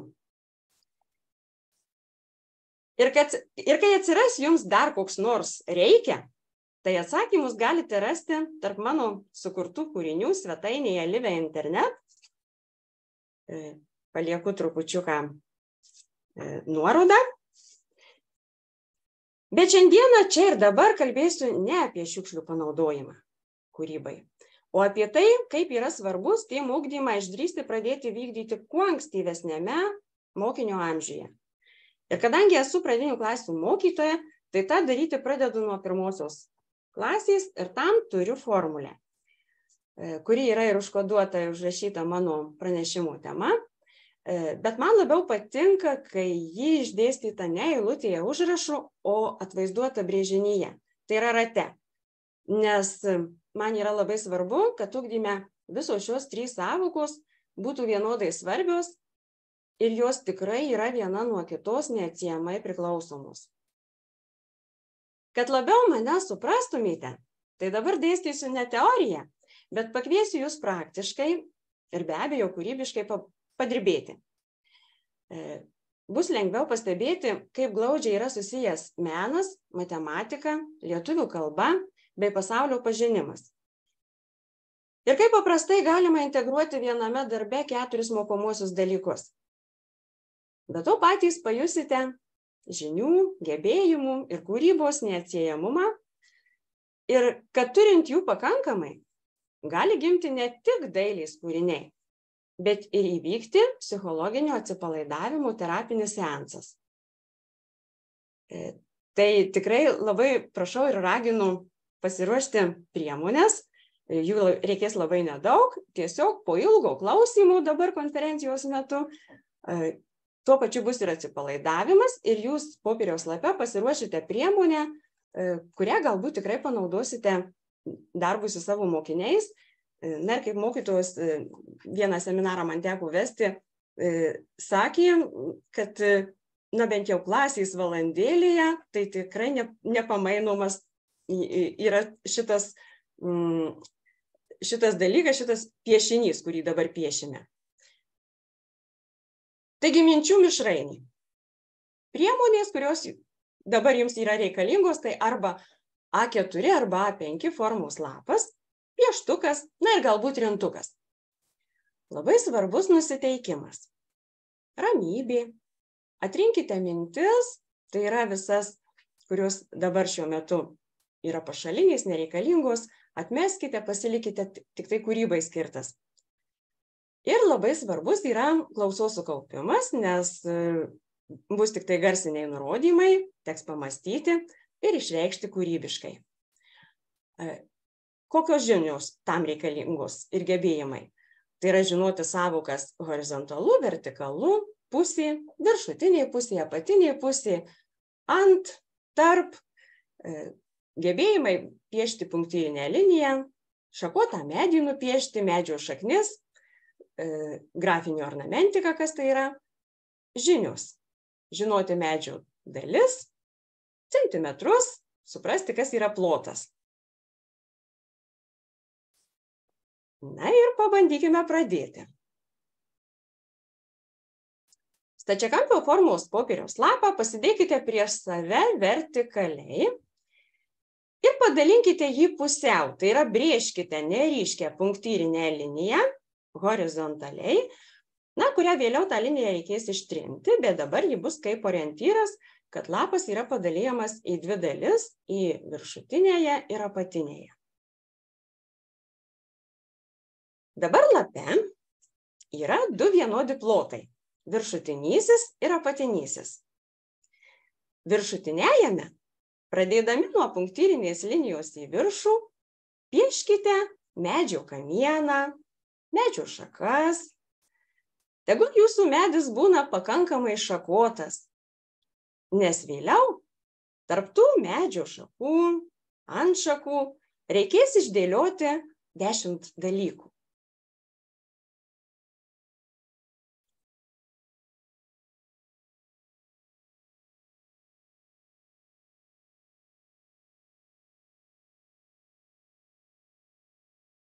apatiniame plote pieškite daiktą, kuris šiuo metu arba šiuo gyvenimo momentu jūsų, jūs tiesiog labai erzina. Tas daiktas jums nepatinka ir jūs jo tiesiog norite atsikratyti.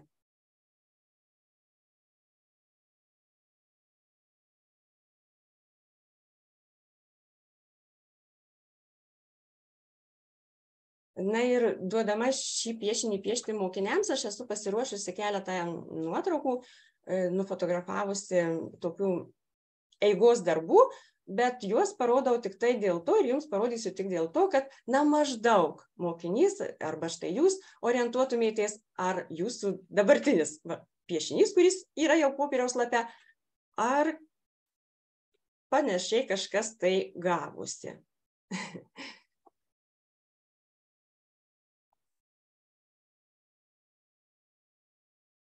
Na, o dabar, kadangi apatinėje piešinio dalyje esantis daiktas kažkodėl tai yra nemielas, jau norima atsikratyti, tai paslėpkite jį medžio šaknimis. Tai yra pieškite medžio šaknis ir to daikto jau šiek tiek ta, bus nebematyti. Tiesiog jį uždengs medžio šaknis. Tegul jos apraizgo daiktą ir šiek tiek paslėpia.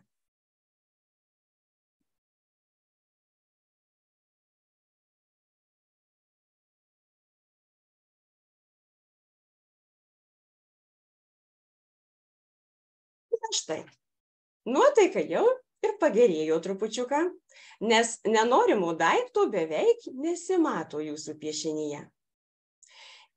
Ir jūsų nuotaika dar labiau pagerės, nes ant medžio šakų auks labai gražus, bet ne žiedai ar vaisiai, o labai labai gražus daikčiukas, kuris atsikartos dešimt kartų. Ir tas daikčiukas turi būti iš jūsų kažkokios tai perskaitytos knygos. Kažkas labai gražaus, kas jums yra išlikę. Ta daiktą pieškite medyje ir jį vienodai atkartokite dešimt kartų ant šakų, tarp šakų. Tegul auga ir tas grožis jūs džiugina.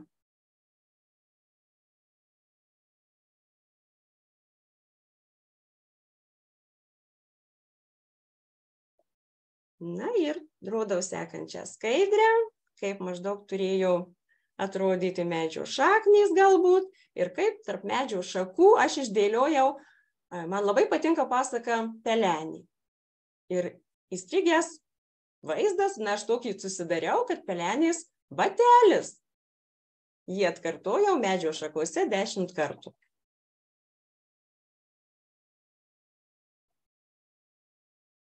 Taigi viename piešinyje sugulė negeros ir gražios mintys.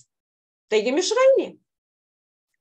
O mišrainę reikia sudėti į lėkštę. Apveskite liniją aplink visą medį taip, kokią lėkštės formą jūs įsivaizduojate. Ir taip jūsų lėkštės viduje atsidurs medis su visa jūsų minčių mišrainė o už lėkštės ribų dar liks tuščio balto fono.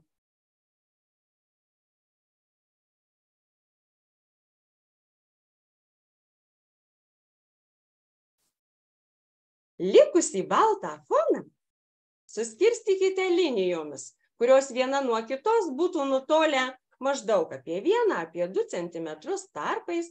Tai yra, gausite juostas kurias turėsite užpildyti grafiškai, tai yra ornamentais. Na ir rodau sekančią skaidrę, kaip buvo apvesta kažkokia tai lėkštės forma ir dabar už lėkštės ribų fonas skirstomas juostomis.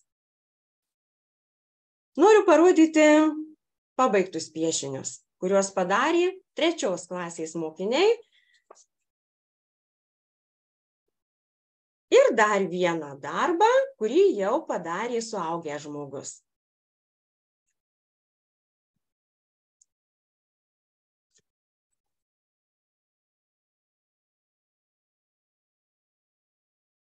Nežinau, kiek jums patiko šis savo minčių pakutenimo seansas, bet kaip sako patarlė, geriau vieną kartą išbandyti, nei šimtą kartų išgirsti. Taip suteiksiu jums dar vieną pavyzdį integruotų matematikos ir technologijų pamokų, taikant probleminį mokymą. Kai mokinys priverčiamas mąstyti, taikyti jau turimas žinias, naudotis turimais gebėjimais nes jis privalo atlikti užduotį. Pamokos pradžioje tiesiog pateikiama problema ir priemonės, bei mokiniai suskirstomi grupėmis po tris užduočiai atlikti. Taigi problema. Mokiniui reikia atlikti aplikaciją baltame A4 formos lape pagal šį matomą pavyzdį, gavus tik tris priemonės A5 formos spalvotą popieriaus lapą, žirklės ir klyjus. Mokiniai atlieka užduotį suskirstyti į po tris į grupelės, jiems visai nepaaiškinant, kodėl būtent po tris, tą jie turi patys susivokti.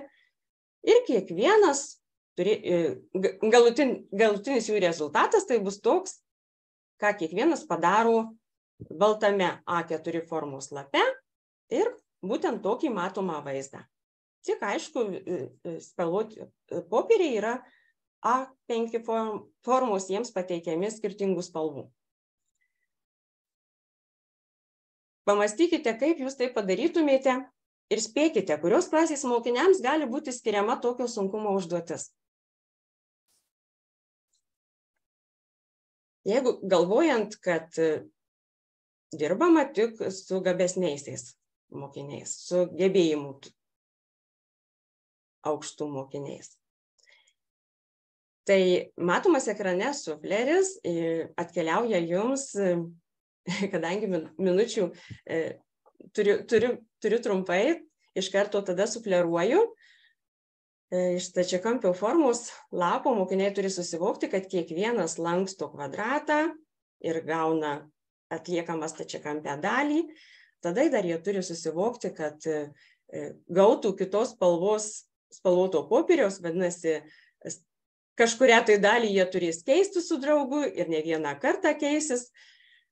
Taip, grupelėje, būdami po tris, jie tarėsi, vienas kitam pažiūrė savo mintis, prieina bendrą sprendimą ir šį darbą, šis darbas buvo skirtas pirmos klasės mokiniams mokslo metų gale, gabiesiems mokiniams. Taigi aš nepritariu pedagogams manantiems, kad yra svarbu ugdymą padaryti mokiniams lengvą. Tai yra, nurankiojant nuo mokslo tako akmenėlius, pateikiant mokiniams kuo daugiau suflerių, prikabinant klasėje kuo daugiau nurodomųjų plakatų. O ką tuomet daryti tokioje klasėje esantiems gabiesiems mokiniams? Juos tai erzina, jie tyliai pyksta, o dar vėliau tampa apatiškais ir tiesiog nieko neveikimas tampa jų dažnu reiškiniu jų gyvenime. Tad kurkime gabiems mokiniams problemas, duokime jų smegenims darbo, galvodami apie tai, kad žmonėje šauniausius atradimus yra sukūrusi todėl, kad kilo problemos gyvenime. Arba todėl, kad pasilengvintų savo gyvenimą. Noriu parodyti skaidrę, kur aš taip pat kai pedagogė buvau priversta nuotolinio darbo metu kurti vaizdo įrašus, kad galėčiau aiškiau paaiškinti mokiniams per ekraną, ko aš iš jų noriu, ko aš reikalauju, kokia užduotis. Ir galbūt šie vaizdo įrašai, kuriuos aš esu įkėlusi YouTube platformoje, pravers ir jums.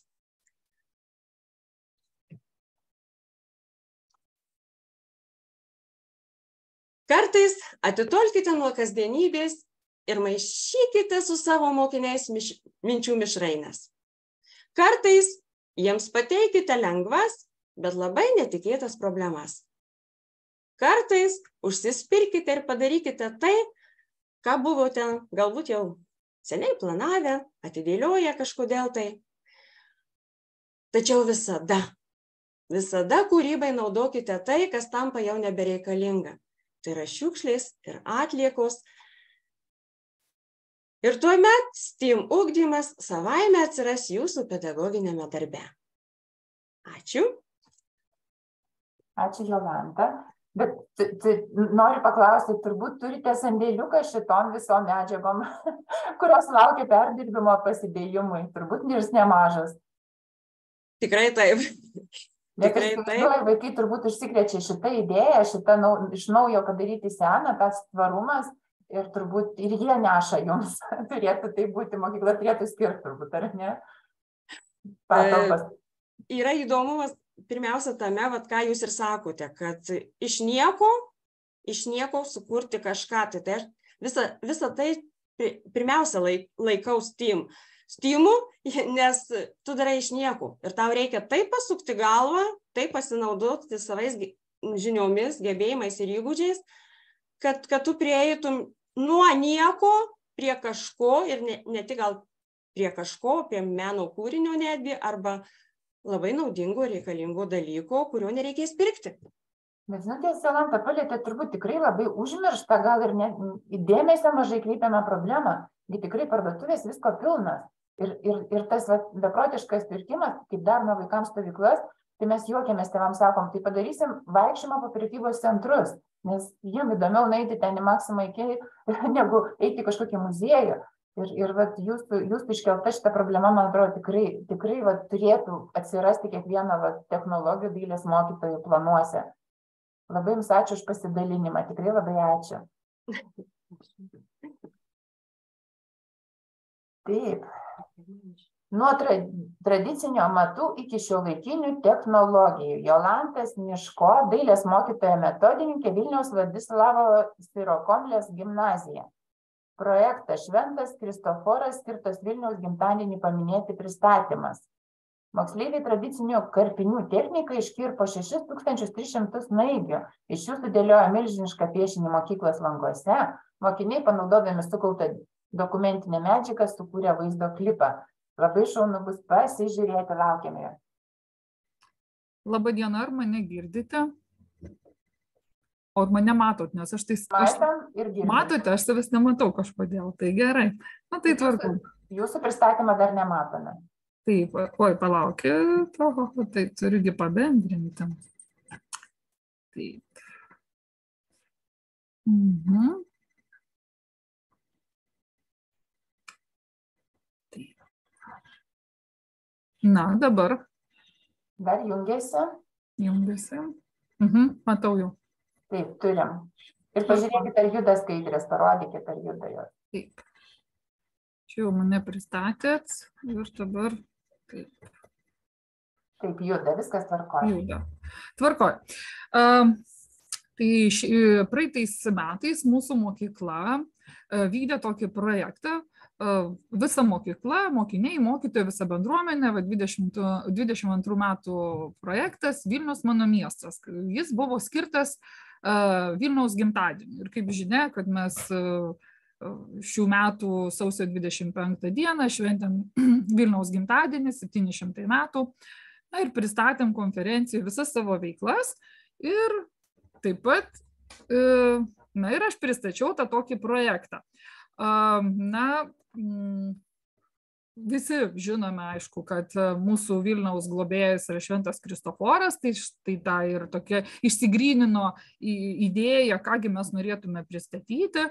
Tai mokiniai ieškojo ir informacijos, e, kas yra tas Šventas Kristoforas, kur, galima, yra, kur galime mes jį rasti uh, Vilniuje, kad tai yra ir Vilniaus herbė jisai pavaizduotas ir, oi, aš taip, Laukit, peršokau. Mhm. Na ir po to Vilniuje ieškojom būtent to Švento Kristoforo pėdsako. Tai pavyzdžiui, vat, švento, šventų apaštalų Petro ir Povilo bažnyčioje yra skulptūra, Vilniaus rotušė, rankina yra labai graži, tokia, nu, tiesiog miniatūrinė. Toliau Antano Kmėliausko skulptūra šalia Švento Mikolojos bažnyčios, Kisėlio skulptūra ant Seimo viešbučio fasado. Taip kad globėjo atvaizdų Vilniuje tikrai radom. Na ir iš to viso išsirtuliojo mums tokia idėja papuošti mūsų mokyklos langus būtent Švento Kristoforo atvaizdu ir pasiruošti, pasipuošti jau tai šventį. Tai vad mūsų taip atrodė mokykla, jau, jau čia finalas, taip atrodė mokykla. Sunku apriepti visą tą vaizdą, visą, visą mokyklos pastatą, tai čia aš tiesiog iškaidravau ir galima pamatyti, per keturis aukštus eina figūra. Vat vienas angelas tai yra vienas kabinetas. Tai mastelis yra tikrai didelis, štai čia yra Kristoforo ir Kristaus veidai, tai irgi vienas kabinetas, tai tiesiog parodyti mastelį, kaip, kaip yra. Na ir tas pirmas etapas tai yra nuo eskizo. Ką čia sugalvosim, kaip čia taip atrodys, langai, papiešėm, toliau pristatėm vaikams, kas yra būtent tie tradiciniai, kažka, kažkam pristačiau, kažkas prisiminė, kas yra tie tradiciniai karpiniai. Ir iš kur jie atsirado, iš kur atėjo. Taip. Na ir trečias jau etapas - darbo pats procesas, nuo kurio metu vaikai matavo, lankstė popierių, karpė tą popierių, dirbo grupėse, dirbo individualiai, traukė šeimos narius, džiaugiasi tuo procesu. Ir, na, mums technologijų ir dailės mokytojų, mokytojams atrodo, kas čia yra iškirpti tą snaigę tokią. Nu, taigi lengvų lengviausia, bet įsivaizduokit, kad mm, vaikams sulankstyti popierių ir iš jo iškirpti snaigę tikrai yra iššūkis kad nesubirėtų, nes būna sulanksto, iškerpa, ne ta pusė, ne ta pusė sulanksto, iškerpa, suvyra viskas, ta snaigė nesilaiko. Kaip mokytojai čia visiems pavyksta, o man niekaip nepavyksta. Na, po to reikėjo, kadangi mes už tvarumą, tai reikėjo panaudoti visą tą popieriaus lapą, kad iš vieno to lapo išeitų trys snaigės. Nu, toks jau tokia sąlyga buvo. Ir dar iš to tokio vat, galiuko, tai dar mažytės snaigės galima iškirpti. Tai irgi buvo toks kaip viena iš užduočių iškirpti pačią mažiausią snaigę, tai 6 mm mažiausia kurie pavyko būtent iš to popieriaus, vat, kur spausdintuvams, nes jeigu imti um, plonesnį popierių, tai dar mažesnę galima, bet mes vat, iš tokio jau kirpom. Na, įtraukė vis, visa bendruomenė, mokytoja kirpo, kirpo ir pradinukai kirpo ir nulinukai.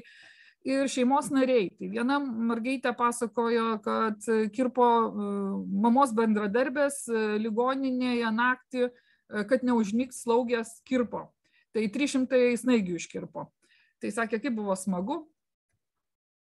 Tai, na ir ketvirtas etapas, e, pats tas darbo procesas, kuriuo metu jau mokiniai matavo langus, nes e, kad pereiti, piešinys pereitų iš vieno kabineto į kitą, e, kad sutaptų, tai reikėjo išmatuoti kiekvienam vienam kabinete tas langas, koks aukštis, kitam pereina, klyjavo, skaičiavo snaiges, fotografavo langus, iš lauko pusės bėgo, vėl taisė klaikdas, čia, vat, matot, siunčia man mokytoja, va, žiūrėkit, čia nesutampa, na, ir, ir vėl iš naujo, vėl matuoja langus, vėl skaičiuoja, vėl klyjuoja. Tai, taip, na ir čia mūsų komanda klyjavo jau vyresni mokiniai, kirpo, sakau, nuo nulinuko. Na ir vat, penktas mūsų mokyklos holė buvo eksponuotos gražiausios, jau tos snaigės, gražiausi karpiniai, kadangi jie kirpo pamokų metu prie mano akių, tai žinokit, tikrai nenaudojo interneto, gal pačioj pradžioj kažkiek pasižiūrėjo pavyzdžių, bet po to tiesiog kirpo, nu, kaip daina, Vat pradėjo kirpti, kažkas jau jiems išėjo. Tai vat ir tokia kaip meditacija, nes sakė mokyto, kaip gerai, 11, 12, sako, atėjom, net pailsėjom. Na va. Ir ta, per pirmąją dalį, tai projekto per dvi savaitės mokiniai iškirpo 6300 snaigių ir papuošė 192 langus. Nes po to bėgo per klasės valandėlės, visi savo kabinetuose skaičiavo, skaičiavo tuos, tas snaigės.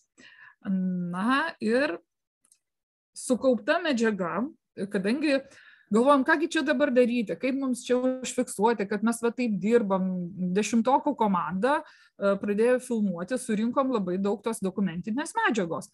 Ką dabar su ja daryti? Kažkaip e, nu tikrai jau daug ir kilo idėja gal čia kažkaip tai mes taip gražiai kažkokį filmuką tada atsisėdom pradėjom rašyti scenarijų ieškot vėl informacijos vaikai komunikavo kas čia kokios grupės dirbti dirbs kas, kas labiau nusimano tose technologijose, kaip montuoti, e, kaip filmuoti. E, vėliau iššūkis buvo sukurti pavadinimą, vėl toj grupiai bendravom, koks čia tinka pavadinimas, kaip, kaip kuriami pavadinimai. Na ir be galo džiaugiasi vėl to procesu. Tada įgarsino fil, tą jau sukurtą filmuką Mūsų mokykloje yra toks žymus kolektyvas vaikų šokių ir dainų Vilenka ir įgarsino daina, nu, toks muzikinis takelis, ta daina yra autoriai Aleksandras Neško ir Aleksandras Kalinov. Labai graži daina. Vat matom, kaip, kaip mokiniai džiaugiasi, kaip filmavimo procesas Na ir mm, konferencijos metu mes pristatėm sukurtą filmuką,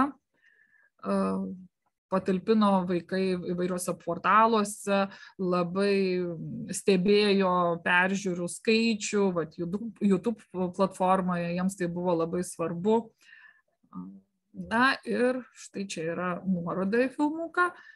Ir dabar norėčiau paleisti, kad ir jūs pasidžiaugtumėt tuo mūsų galutiniu produktu, kas, kas iš to mums pavyko. Tik dabar kažkaip čia reikia.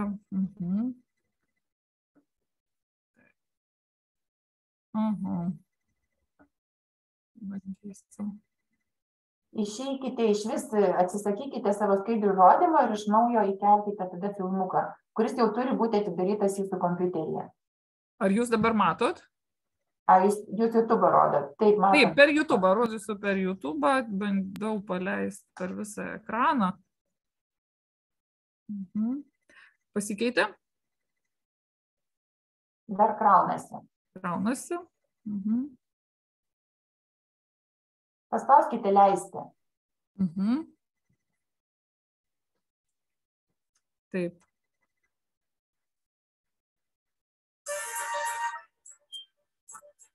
Lyg tai jau juda. Taip, kažko. Stringa biškutė. Mhm.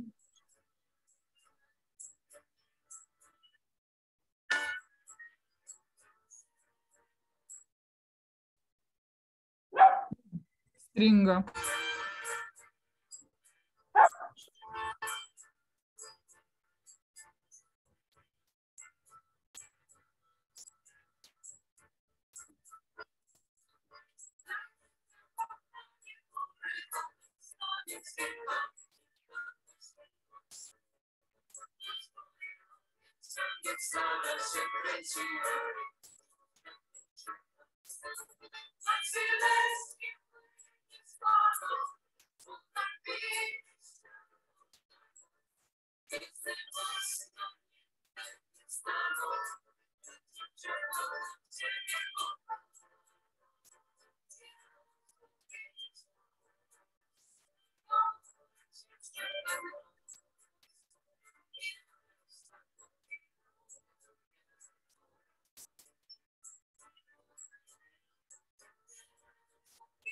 labai stringa. Jūs galit nukopijuoti nuorodą ir įmesti į bendrą čatą ir mes tada pasižiūrėsime atskirai. Nes dabar tokiais gabaliukais, kaip matom, taip šokinėja. Jūs nuorodą į savo filmuko įmeskit visiems į čatą. Aha, gerai. Jūsų projektas įspūdingas, tikrai pasižiūrės, man atrodo, visi, kam tikrai įdomu. Gerai, tada aš įmesiu jums nuorodą, galima pasižiūrėti, nes ten vaikai naudoja tos ir dronus, kas, kas yra įspūdinga, kad um, ta komanda, kuri filmavo, tai tiesiog buvo nu, tiek įsijautė į procesą ir man tai patiko, kad vaikinukai jie tiesiog ieškojo, žiūrėkit, kur, kur su tais dronais galima, kur yra leidimas, kur nereikia, kokiu aukščiu gali skrysti. Uh, man tai yra nu, toks naujas dalykas, bet iš šono stebint, kaip jie dirbo, už, užsidegę tiesiog to procesu, kaip jie montavo ir siunčia mokytoją, žiūrėkit, koks gabaliukas, kaip mums čia gerai pavyko, kaip mums čia, kad muzikinis taktas jiems su kadrais eitų, viskas suvesta tai tiesiog buvau nustebusi nes vis dėlto čia ir dešimtokai čia nėra profesionalūs operatoriai ir režisieriai ir scenaristai bet toks vat jiems pavyko visai neblogai tas darbas.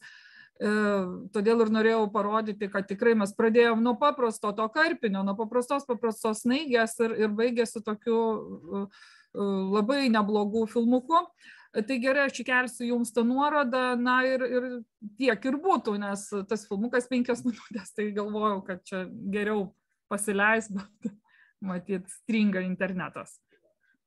Ačiū Jolanta, bet aš pagalvojau tikrai, vat, nuo paprastų dalykų, vat, nežinau, kiekvienam turbūt nuo vaikystės bandyto tos naivių karpimo, ir, ir, ir išauginti tokį projektą ir taip viską sustyguoti, tai turbūt, o dar sakykit, kiek laiko truko visas šitas darbas iki to galutinio rezultato? Dvi savaitės. Dvi savaitės nuo karpimo iki, iki klyjavimo. Nes savaitė... Matematikos ir visų kitų dalykų nebuvo, vien tik dailė. ne, čia tik, čia, tik dailė, jie tiesiog, a, a, net juokavau, žinokit, sakau, kaip kiniečiai dirba, a, a, atbėga tos 11, sako, mokytojas, naigių pritrūko. Sakau, kerpam visi, na ir kerpa. Tai e, dažniausiai vaikinams e, tokios kvadratinės snaigės mokytoja, man kažkodėl kvadratinė, sakau, gerai, bet žiūrėk, čia į lango kampą e, reikia ir tokios kvadratinės. Oi, tai gerai, aš jau galvoju, kad man čia blogai gaunas. Na gerai, jau mergaitės tokios gražesnės, jau čia taip dailiai ten kerpa. Na tai, bet kad įsitraukusi buvo visa bendruomenė, sakau, ir močiutės, ir, ir mamos maišais neša, per savaitgalį prikerpa. Viena sako, mokytoja, toks, tokia užduotis 300 e, snaigių turiu iškirpti. Sakau, na gerai, kerpam. Na tai gavo padėkas ten jau, kur daugiausiai iškirpo. O suskaičiavot visas? Taip, mes visas suskaičiavom, buvo 6300 snaigių. Tai šitas ir buvo skaičius, ar ne? Taip, šitas ir buvo skaičius, tai buvo vat, klasės valandėlės metu, paprašiau visų auklėtojų, sakau, skaičiuokit, tokia užduotis, vat, suskaičiuoti visas, tai atbėgęs vėl skaičiavo, rašė ten į savo uh, jau klasę, kur, kur turi į langelį padariau tokį lentelę, tai įsirašė, tada paskaičiavom jau tą bendrą skaičių. Tai, nu. Pasakykit dar toksai finansinį klausimą šitam grandioziniam projektui popierių. Kiekvienas prisidėjo, ar čia skiria lėšas mokykla? Na, netikėtai mes gavom dovanų iš, iš, iš kitos valstybės. Prieš naujuosius metus gavom kanceliarinės priemonės ir kaip tik gavom daug popieriaus. Tai, bet to popieriaus, man atrodo, kad mm, penkios pakuotės. Ne tiek ir daug. Ai, tai ne tai daug. Na, nu tie, kurie namuose kirpo, tai jau, jau ten savo naudojo, bet mokyklos popieriaus buvo penkios pakuotės.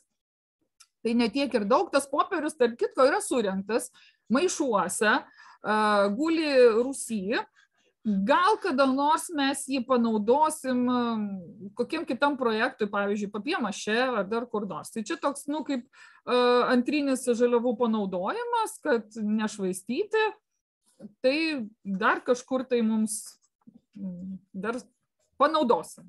Arba pagaminsim gal kokį popierių, gal kokią kaligrafiją, nežinau, kokie čia mintys kils, bet vat, surinkom gražiai, tvarkingai viskas Tai sėkmės tikrai stebinti, stebinti Vilnių, stebinti savo projektais.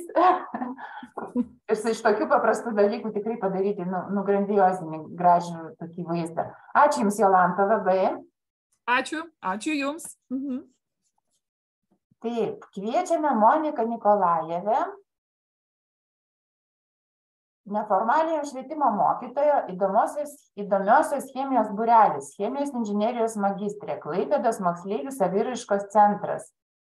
E, Monika savo pranešimą, pranešimą pristatymą parašė ir labai noriu paskaityti šias eilutes, man pasirodė labai miela. E, paklausus, ar norėtum mokytis chemiją, dauguma vaikų atsako, oi tikrai ne. O tas atsakymas į klausimą, kodėl, dažnai būna, juk tai neįdomu. Bet juk chemija yra viskas aplink mus, argi ne mes įdomus. Tikros sudėtingos organinės chemijos tikrai, nepa, tikrai prireiks mažumai, bet kaip norėtųsi, kad kiekvienam baigusią mokyklą liktų nors chemijos pagrindai, bent iš ko susideda vanduo ir oras. Toks tikslus mokslas kaip chemija tikrai gali būti patrauklus, įdomus, spalvingas ir žaismingas. Pranešimo tema - pažinimo kompetencijos ugdymas chemijos, chemijoje naudojant spalvinius ir meninius eksperimentus. Prašom. Prašom, Monika, junkitės.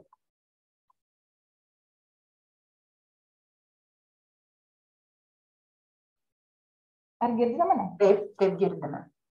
Bandysiu pasidalinti skaidrėmis.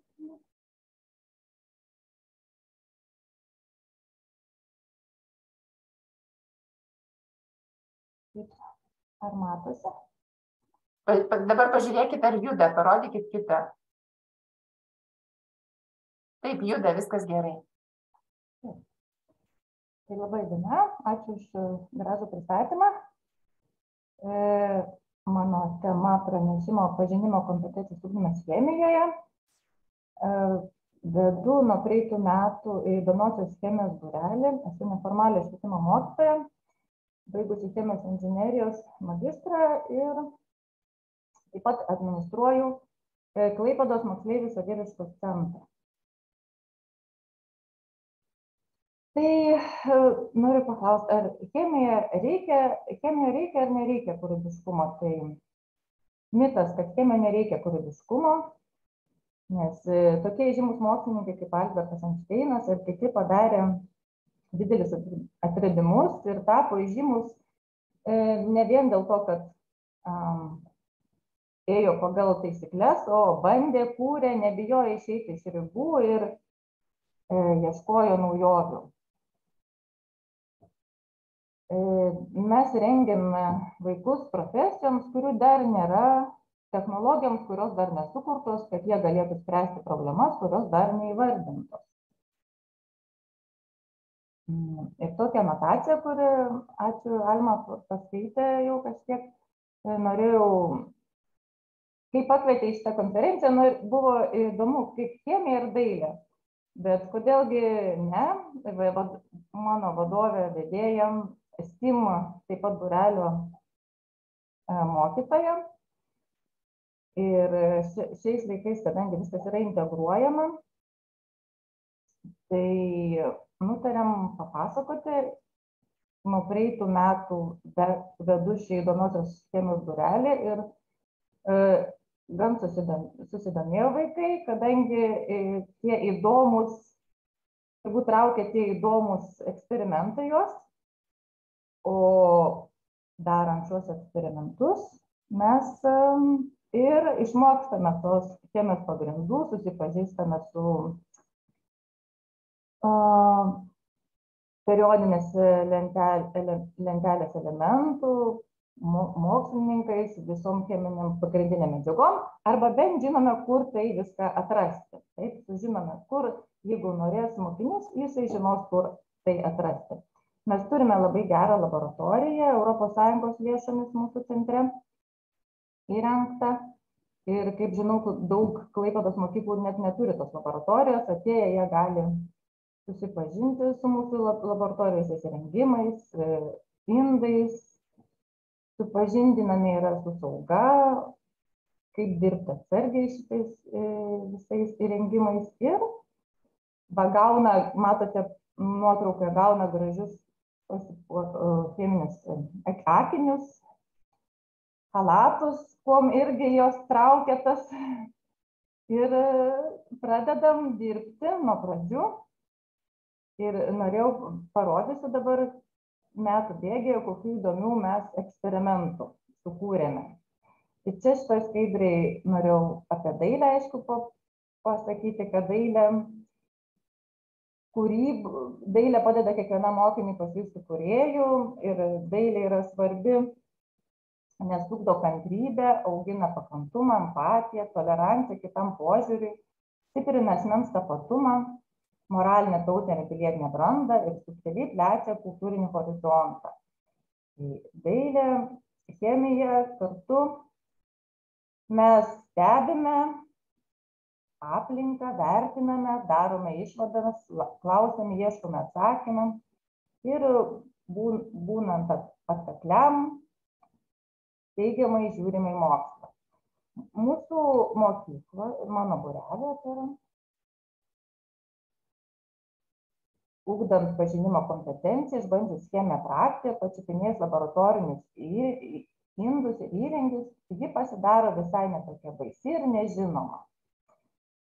Taigi mano pamoka susideda pirmiausia iš teorijos skaidrių spausdintos medžiagos E, pamokos pradžioje mokiniai spėjami, kad užsiemimo pabaigoje žaisite kapų testą, kad jie atidžiai klausytųsi teorijos ir e, įsimintų tą visą informaciją. Ir antra dalis yra iš įdomio eksperimento, kurio jie aišku laukia ir klausosi tos teorijos, kad jį vyktų. Burelė tai yra užklasinė veikla, namų darbų nėra, nes sunku pritraukti vaikus dar po mokyklos į užklasinę veiklą, kuri e, vėl chemija, kodėl chemija. Bet e, va, pritraukiam ir domėsi ir manau, tai yra gera patirtis renkantis ateities profesijai, pamatyti, kaip dirba chemikai, kokiuose laboratorijose tai informacijos perdavimas per spalvingus meninius dėmesį koncentruojančius akį traukiančius taip eksperimentus darbelius žaidimus žymiai daugiau įsimena šiuolaikinių vaikų atmintyje. Mm. ir noriu parodyti pirmą eksperimentą. Cheminė spalvų vaivorykštė.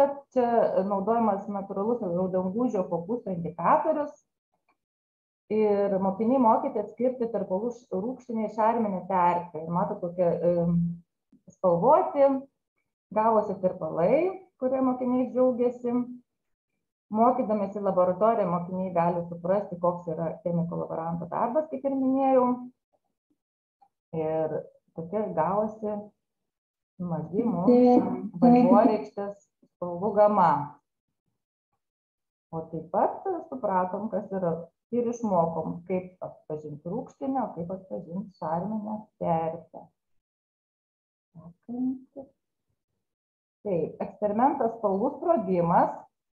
Tai yra viena iš pirmųjų pamokų, kai mokosi chemijos apie atomus ir molekulės. Ir kas tas yra atomai ir molekulės, pagaliau pamatome, kaip jungiasi ir jų jungties, jeigu matysis video, dabar kaip paviršiaus įtemptis sprogdinam riebalų pagalba gražūs tokie eksperimentai įsimenantys vaikų galvose.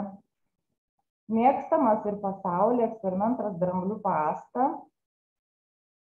Net daromi um, rekordai, kuo didesnius juos bando padaryti tai vaikai labai šitą mėgsta ir sulaukiam susidomėjimo, kai įdėjome į Facebooko puslapį, nes um, prašė edukacijų labai dažnai. Ir labai dažnai dabar darome tai edukacijose, paleisti filmuką, tikiuosi.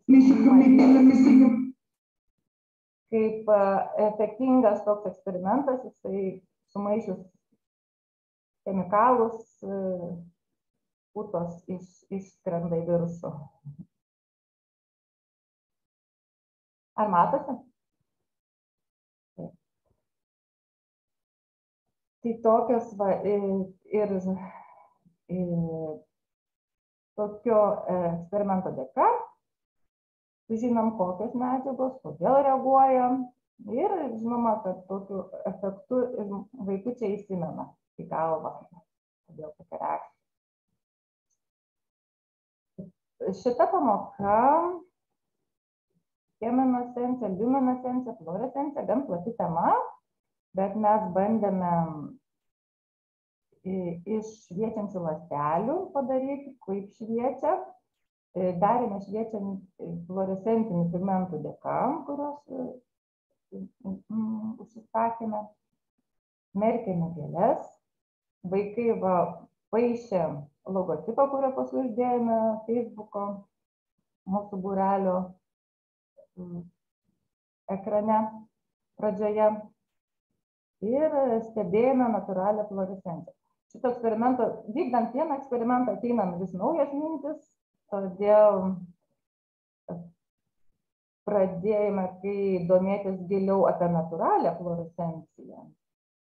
Prisiminėme, kad turime gamtininko būrelį ir ėjome žiūrėti, mes turime banguotojų papūgėlių, ar tikrai jie šviečia pasiėmė neoninę lempą ir tikrai tamsoj išjungus berniukų patinėlių va šitas metelis labai gražiai šviečia, turbūt ir vilioja ir naktį patalės kurių krūtinėlės. Taip pat natūrali B vitamino švitėjimas neoninė šviesoje vaikus labai sudomino. Fluorescencija darėmės dar ir čia dar skaidrėse neįdėjau liuminescenciją, kai kriminalistai tyria kraują irgi. Tai vaikučiam irgi buvo tai įdomu, kaip ir su kriminalisto, viskim, truputėlį profesiją pasigilinom. Ir artėjom šventėm mūsų naujasiam metam kilo tokia idėja laukiant švenčių, kad kodėlgi nepadarius mums spalvotų konkorėžių išmirkius druskose. Tai vadinama chemikų liepsnos testu, kadangi yra skirtingų elementų, kurie dega skirtingą spalvą. Tai gavosi labai puikus, pabandysiu paleisti video kuris labai kažkodėl iš visų video labiausiai susidomėjo TikTok programėlėje, nežinau, kodėl susirinko daugiausiai peržiūrų, dėl tas gražus, tas šviesos įvairių, įvairių liepsnų.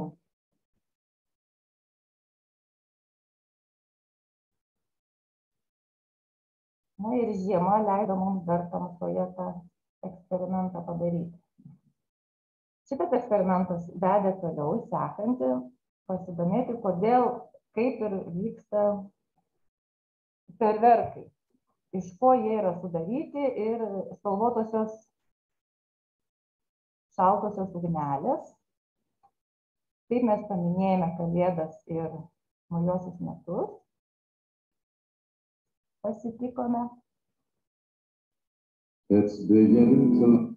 Ir pavyzdžiui, man buvo irgi naujiena, kad šaltosios ugnelės būna irgi spalvotos. Taip, tai jų pridėta įvairių cheminių elementų, kaip baris, baris, kalcis ir jie ir turi spalvas. Taip, toliau auginame kristalus,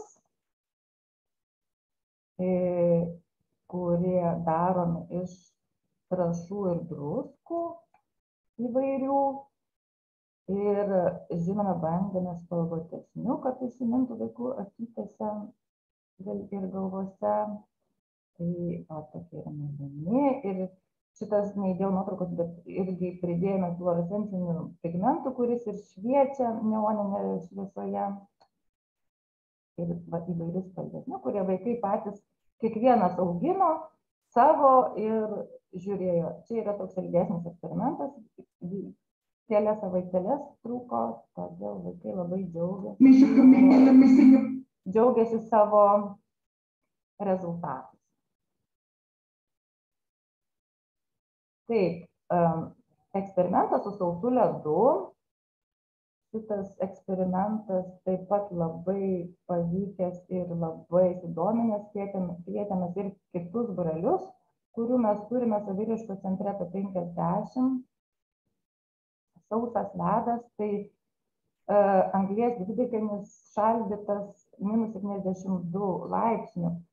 Bet jo gauti dabar lietuvoje yra gan sunkoka kadangi sustabdyta jo gamyba gamyba ir tik vieną kartą per savaitę mes jo gaunam iš įmonės.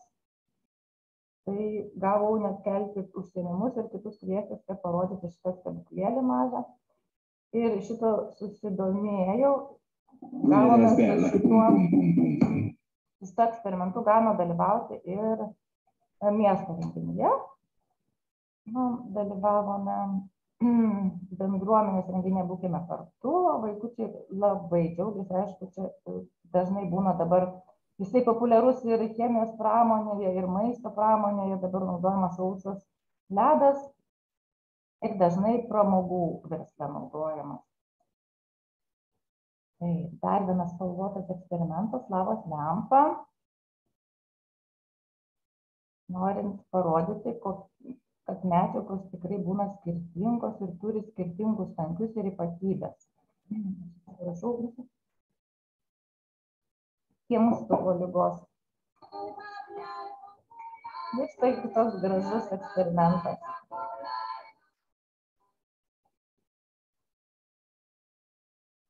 Šitas eksperimentas veda toliau sekantį.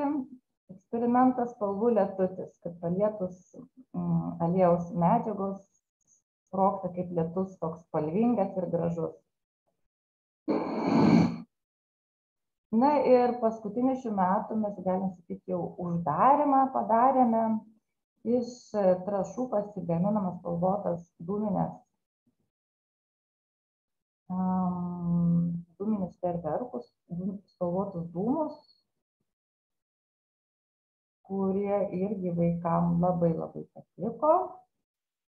Ir štai jeigu išeis paleisiu filmuką mūsų viso lauke. Žinoma pasikvietėme ir kitus būrelius nes tikrai vaizdas buvo gražus ir smagus o atšilus orams buvo dar labiau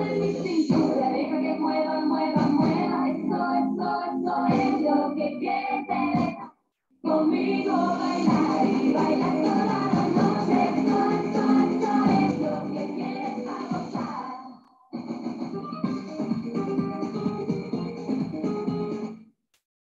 Nežinau, kiek matėsi, bet.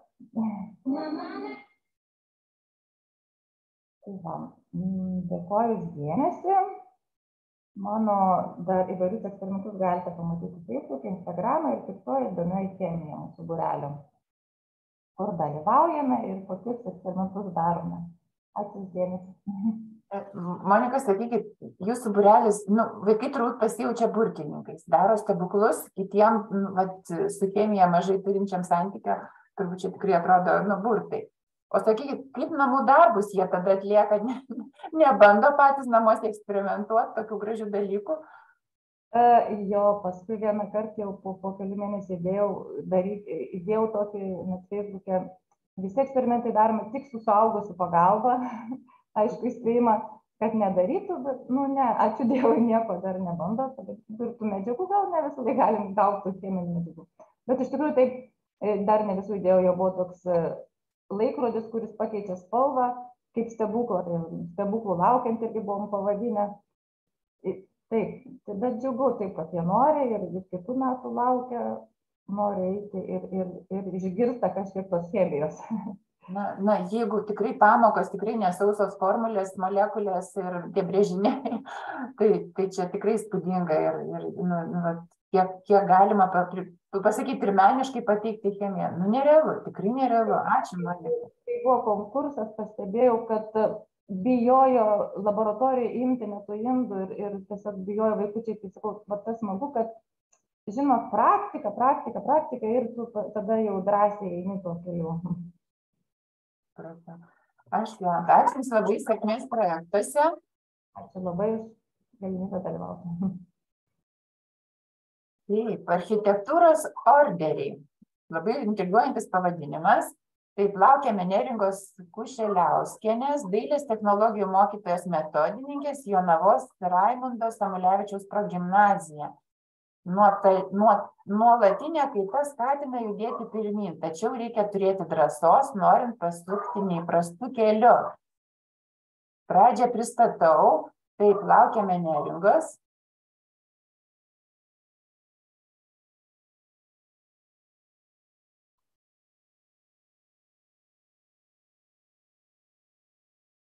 Neringa prisijungiat, jungiatės?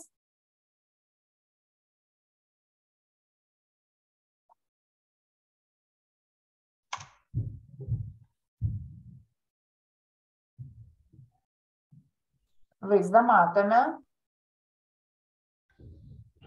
Garsas matau pasisijungia. Sveiki, sveiki, girdite mane? Taip, girdime. Gerai, laba diena visiems ir bandau tada pabendrinti.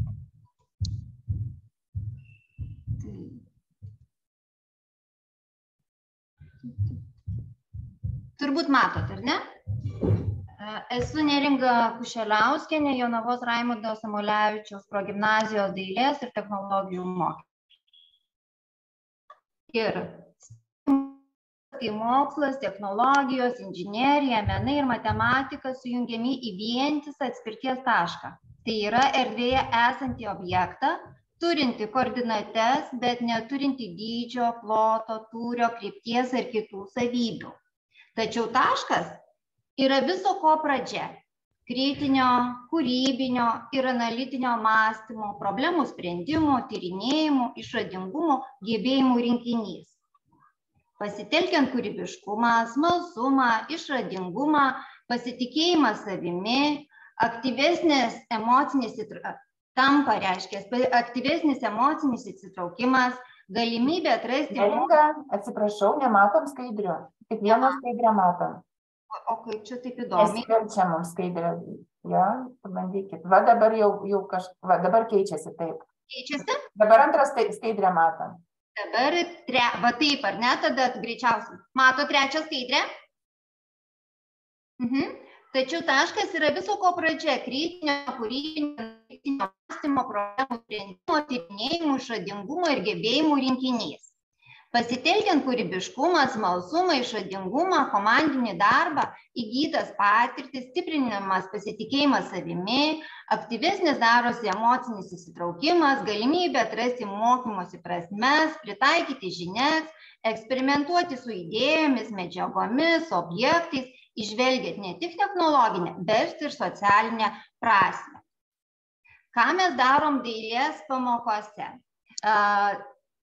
Tai yra septintos klasės tema architektūriniai orderiai ir ką mes su jais darom. Pirmiausia, istorijos pamokose reiškia šitas dalykas tarsi yra integruotas, ne tarsi, o iš tikrųjų yra integruotas į keturis dalykus - į dailę, istoriją, matematiką ir technologiją.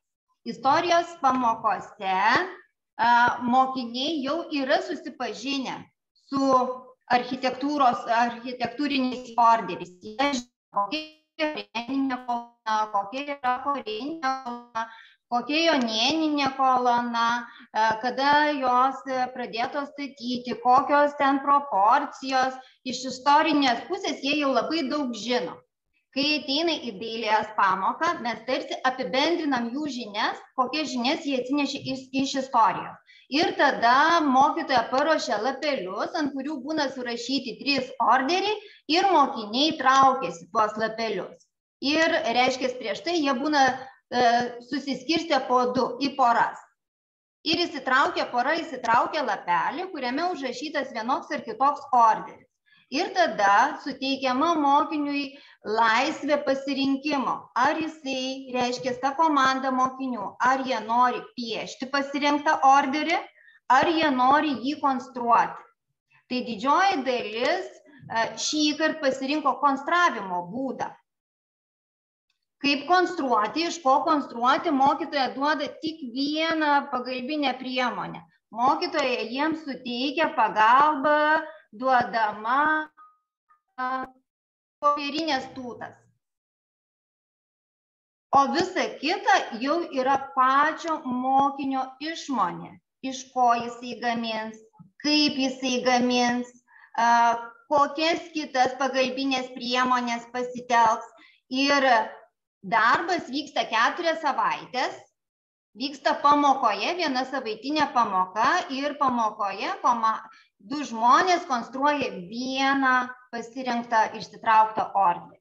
Tai va, jeigu matot skaidrę, tai šitas pasirinktas reiškia popierinę tūtą, jie pasirinko gofruotą kartoną, gofruotą kartoną to lygiai, lygiai padengė savo tūtą, tada jau dengė akriliniais dažais, apačiai ir viršus panaudojo putplasti, lipnės juostos rytinėlio atliekas ir štai gavosi štai tokia kolona. Kita mokinių grupė išsprendė problemą dar kitaip.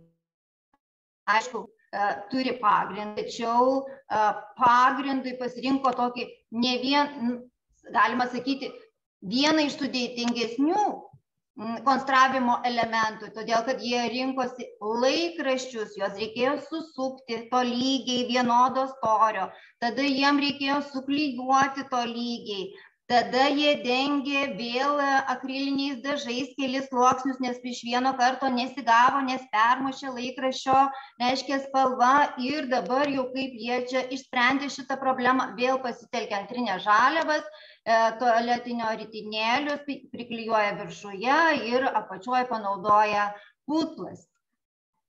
Kitas sprendimo būdas, kai apklijuojama, reiškia popierinė tūta apklijuojama mediniais šiaudeliais. Darbas labai ilgas, jie klyjavo šiaudelius su lipalu, tai vienas klyjuoja, kitas laiko, dėjo gumeles, po pamokos uždeda gumeles, kad gumelės pritvirtintų tiesiog šitos medinius pagaliukus. Vėliau akriliniai dažai, apačia putplastis, bet šį kartą sprendimą jie rado, kad putplasti būtų tvarkingiau, jie dengė gipsinių tvarščių ir jau detalės, kadangi jie išsitraukė korintinį orderį, tai jau detalės lipdė iš modelino ir vėliau klyjavo karštais klyjais sekantis pasirinkimas, sprendimo būdas naudojo ne putplasti apačiai, o panaudojo kartoninės dėžutės. Ir jau patį pagrindą jie klyjavo plastikiniais šiaudeliais. Apklyjavo plastikiniais šiaudeliais, tada dėjo gipso tvarsti ir vėliau jau gipsinį tvarstį vėl dažė akriliniais dažais ir aišku detalės klyjavo iš modelino susiformavę. Ir štai kokios mums kolonos gavosi, įvairiausių, įvairiausių, kiekviena kolona skirtingai daryta, skirtingi bandymai, eksperimentavimai, nes būdų, kaip padaryti koloną, jiem reikėjo patiems ieškoti ir spręsti problemas, kaip nes dažniausiai pirmiausia, bu, pirmas variantas nepasiteisino ir tada reikėjo ieškoti antro varianto, pasitelkiant matematiką, nes reikėjo skaičiuoti pakopų ir plotį, ir aukštį. Mm, ir dažniausiai kolonos, kaip jau kolona pasistatydavo, jinai krypdavo į šoną, reiškia, per netiksliai paskaičiuota, tai visos matematinės žinios, visi skaičiavimai irgi tarsi integravosi į šitą pamoką. Tai dailė, istorija, matematika ir aišku technologijos prisidėjo. Ir ką mes darom su šitom kolonom, nes kolonų pas mus yra keturios klasės, septintos po 30 mokinių, tai įsivaizduojat, kolonų gavosi begalė daug. Tai pačias pačias, pačiausias kolonas, jos pačios yra eksponuojamos mokyklos bibliotekos galerija, kitos kolonos patalpintos kabinete, ant palangių, ant spintos ir ką mes vėliau darysim, nes tai nėra pirmas projektas, dažni tokie projektai su įvairiausiam panaudojant stymą ir antrinės žaliavas. Tai mes vėliau e, šituos darbelius atiduodam pradinių klasėm, pradinių klasių mokytojam ir jie jau e, kuria savo projektus. Stato miestus, e, daro įvairiausius, įvairiausius, įvairiausius žaidimus ir taip toliau. Ir apibendrinant galiu pasakyti, ir visa tai vyksta pasikartojančia tai čia dabar padaryti, pasikartojančiame procese, kurio pagrindiniai elementai prasidedantis nuo atspirties taško yra tyrinėjimas, išradingumas, problemų sprendimas, pasitikėjimas ir sėkmės potyris. Tai didžiausias turbūt uh, sėkmės potyris kartų bandymų, nugriuvimų, paslydimų, pavyksta ir džiaugiasi ne tik patys gamintojai e, šito produkto, bet ir klasės draugai, aišku, ir mokytojai ir visa mokyklos bendruomenė. Tai taip trumpai. Ačiū, neringa. Bet žiūrėkit, dabar tos klausimas jūsų be, be, besiklausant. Vat nuvažiuoji į Romą, visur kolonos, jos įspūdingos ir atrodo tikrai laiko tokius pastatus. Mūsų šio laikiniam dizaine kolonų nėra. Sakykite, vaikai dabar meistraudami šitas kolonas, ar jiem patiko ta vat, būtent, nežinau, gotikinė ta architektūra, tos kolonos, kaip jie įsivaizduoja, pavyzdžiui, mūsų gyvenime, jos bus mes juos susijęm, žinot, su, kuo, su, ši, su kasdieniniu gyvenimu, kasdieninio gyvenimo patirtimi. Aišku, klausimai būna, ką man to reikia, kodėl aš moku, aš moku žinau iš istorijos pamokų. Ir tada, reiškia, sakom, taigi jūs vaikai labai daug kur keliaujat jūs keliaujat po Lietuvą, jūs keliaujat po pasaulį su tėvais. Ir kaip smagu, kai jūs, pavyzdžiui, sakykime, Jonavoje, jūs neinat į Švento Jokūbo bažnyčią ir savo tėčiui ir mamai ir gali pasakyti, mama, čia yra e, dorinė kolona. O iš kur tu, tik aš vis, aš pats ją dariau, aš žinau, kaip ją daryti. Ar nuvažiuojat kažkur į Italiją ir jūs jau galite savo tėvam pasakyti, va čia šitokia kolona, ar ne? Tai jūs jaučiasi koks? Stipresnis, išprusęs, pasitikintis savim ir, ir nors truputį turintis tą žinių bagažą.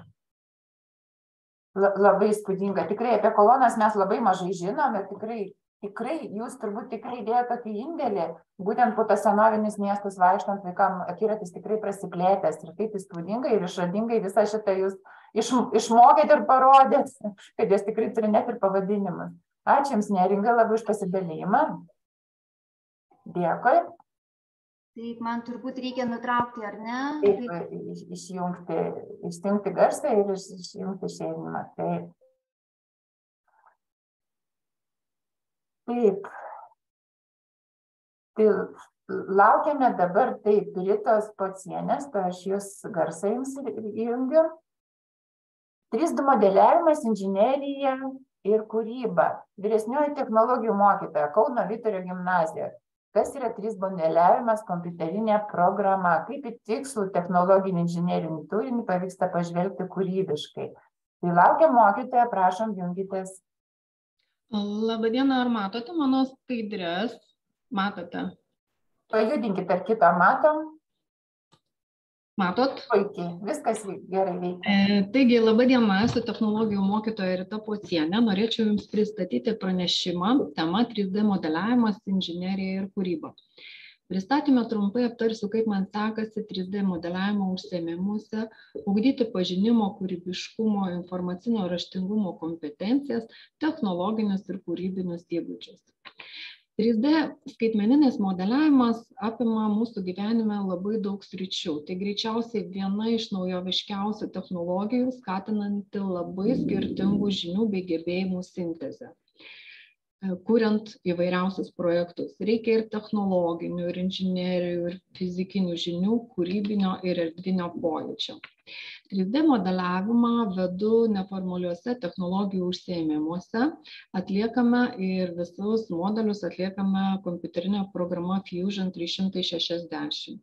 Šioje programoje mokiniai kūrė erdvinius 3D modelius ir vėliau juos apdorojame ir atspausdiname. Na ir vėliau naudojame arba kažkokiuose kitose projektuose, arba vaikai kažko ir būtie pritaiko. Štai pavyzdžiui, mokiniai kūrė E, vazonėlį ir jame vėliau pasodinome gėlės. Ugdydama mokinus pastebėjau, kad daug dalykų bei kompetencijų galima apjungti, kuriant net visai paprastus 3D objektus. Pirmiausia, tai yra matematikos ir geometrijos žinios, erdvinių formų ir objektų įsisavinimas, loginiai ryšiai, ergonomika, kompiuterinis raštingumas modeliuojant skaitmeninius objektus reikia ne tik tikslių duomenų bet ir inžinerinio kūrybiškumo.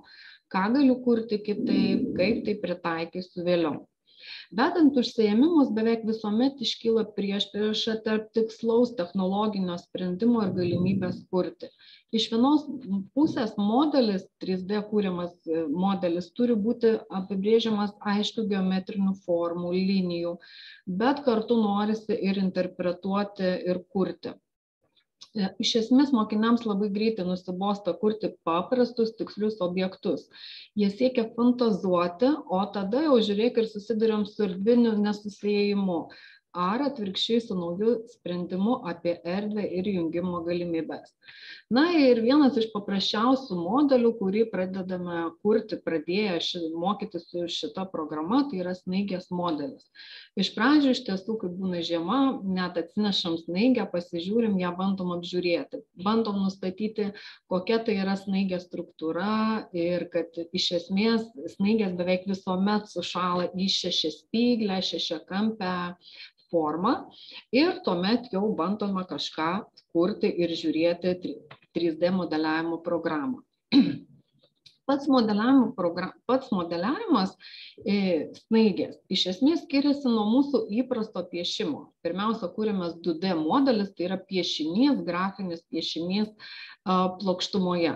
Ir pradedame kurti, paimdami tik vieną dvyliktąją snaigės. Tai yra 30 laipsnių ribose, apskritimo ribose priešia mokiniai piešinį. Ir tokiu būdu tame grafinėme vaizdavime mokiniai išmoksta, panaudoja tuos paprasčiausius grafinius dalykus, naudoja linijas, įvairias apskritimus, lenktas linijas kūrė. Na ir čia užima daugiausia, daugiausia darbo būtent tas, tas kūrybinis objektas ir kitas dalykas mokinys iš esmės net neįsivaizduoja kokia bus ta jos kai tos ta snaigė sukurta nes viso vaizdo dar iš esmės mokinys nemato o paskui paėmus paprasčiausiai veidrodinį atspindį jau sukuriamas šešiasdešimt laipsnių piešinys šešiasdešimt laipsnių ribose. Tai yra vienas tas spindulys. Na ir jau pradeda ryškėti pati snaigės pats snaigės objektas tai yra snaigė, visa pilna snaigė, kuri apima apskritimą. Ir šio darbo metu mokiniai kaip tik susipažįsta su simetrija, reikia ir matematinių žinių, pradeda žiūrėti, kur tai yra centrinis taškas ir kaip apie centrinį tašką apvažiuoja visos detalės ir sukuria bendrą vaizdą. Na ir panaudojus jau tą 3D programos įrankis sukūriamas tas 3D efektas. Aišku, snaigė yra plona, nes jinai apskritai yra tokia plonytis objektas, tai gana mažas, e, gaunasi mažas ir pakilimas. Na ir čia mokinių darbai, ne visi, bet tokie kažkokie išrinkti pradiniai. Tai e, ir įdomiausia mokiniam iš tiesų būna pamatyti tą jau snaigę savo objektą E, ekrane ir po to jau atspausdintą vaizdą. Tada jie gali palyginti, pažiūrėti ir būtent tada kyla daugiau tokių E, atsakymų, kaip galėjau daryti, klausimų, kodėl taip gavosi, e, kaip susijungia viena ir kita linija. Na ir vienas iš pabaigos jau mūsų darbo, ką mes aptariam pabaigoje, tai yra visuomet galvojam ir apgalvojam, kaip kūrybiškai galima panaudoti tuos atspausdintus dalykus. Tai ir kažkokie papuošimai atvirutėm, pirmiausia snaigė, tai aišku papuošimas prieš kalėdas medeliui, su mokiniais darėme darome, kūrėme iš tiesų dabar tokį termometrą e, su visais e, metų vai, e, orų vaizdais, tai vad pritaikėm snaigės ant debesėlio, kad snaigė gali būti ir skirtukas snaigai, ir kažkoks padėkliukas po podeliu. Tai mano toks trumpas pristatymas ir linkiu, kad 3D modeliavimas būtų, na, neišsemiama technologijų ugdymo erdvė ir kitiem darbam plati, plati plačios galimybės. Ačiū, Rita. Dabar dar žiūrėkit toks klausimas. Dabar tokios asmeninės informacijos noriu. Matau, jūs esate technologijų mokytoja. Taip. Tikrai dabar technologijos ne maisto, kaip maisto gaminimas, bet ten medžio dražimas, sagų sivimas turbūt jau yra kažkur antram plane. Kaip jūs atradote programavimo, nu, tą modeliavimo programą? Kaip atėjo šitas įrankis į jūsų profesinę veiklą?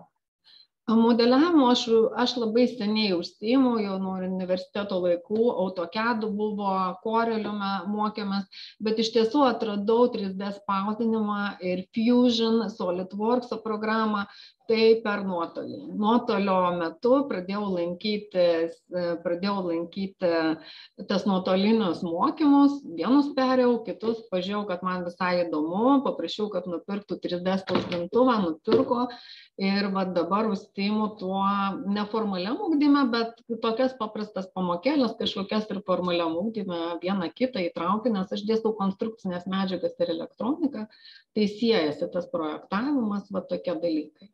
Supratau. Ačiū. Tik, tikrai, tikrai, tikrai šaunu, bet šaunu kaip mokytojų kvalifikacijos tokios, kad mokiniam yra ką parodyti ir pasakyti, nes kitą kartą gal tikrai mokiniai ir daugiau už mokytoją gali žinot. Ačiū Jums labai. Dėkui. Taip, integruota pamoka scenai, būriu būriu avytė. Rita Vaitė Kauskienė, pradinio ugdymo mokytoja, metodininkė metodininkė edukacijos magistrė, edukologijos magistrė Rokiškio Juozo Tubelio progimnazija. Taip, Rita, matau, garsas yra. Mane girdit, taip? Ir matom ir girdim, tik laukiam dabar skaidrę. Gerai, bandysim. Apie Vilną matau bus. taip, teisingai. Tiesiog noriu su jumis pasidalinti mm, tokia jau pagyvenusią medžiagą, tačiau ji iki šiol man teikia drąsos, jinai iki šiol man e, teikia pasitikėjimą atradimus, kuriais aš dabar jūs, su jumis pasidalinsiu nurodytais metais, e, naudoti ir šiandien, kuriant įvairiausias neformalaus švietimo programas ir įvairiausias veiklas su mokiniais, siejant gyven, mokymasi su gyvenimu. Taigi dabar bandysiu apie tai iš eilės. Jau iš pavadinimo jūs tikriausiai supratote, kad, mhm, kad eis kalba apie liaudės kultūros panaudojimą ūkdymo procese. Atsiprašau, skaidrės nesikeičia. Gal pabandykite. Dar nekeičiu. Dar parodykit, ar keičiasi, parodykit į antrą naikit keičiasi, ar ne? Ne, nematom, kad pasikeitė. Pasikeičia jums, kodėl? Gerai. Aha. Kas čia negerai? Gal jūs pasidalinote ekranu, ten, va, dabar, ne, čia dabar pilną vaizdą matom, va, puiku. Viskas. Keičiasi, ar ne?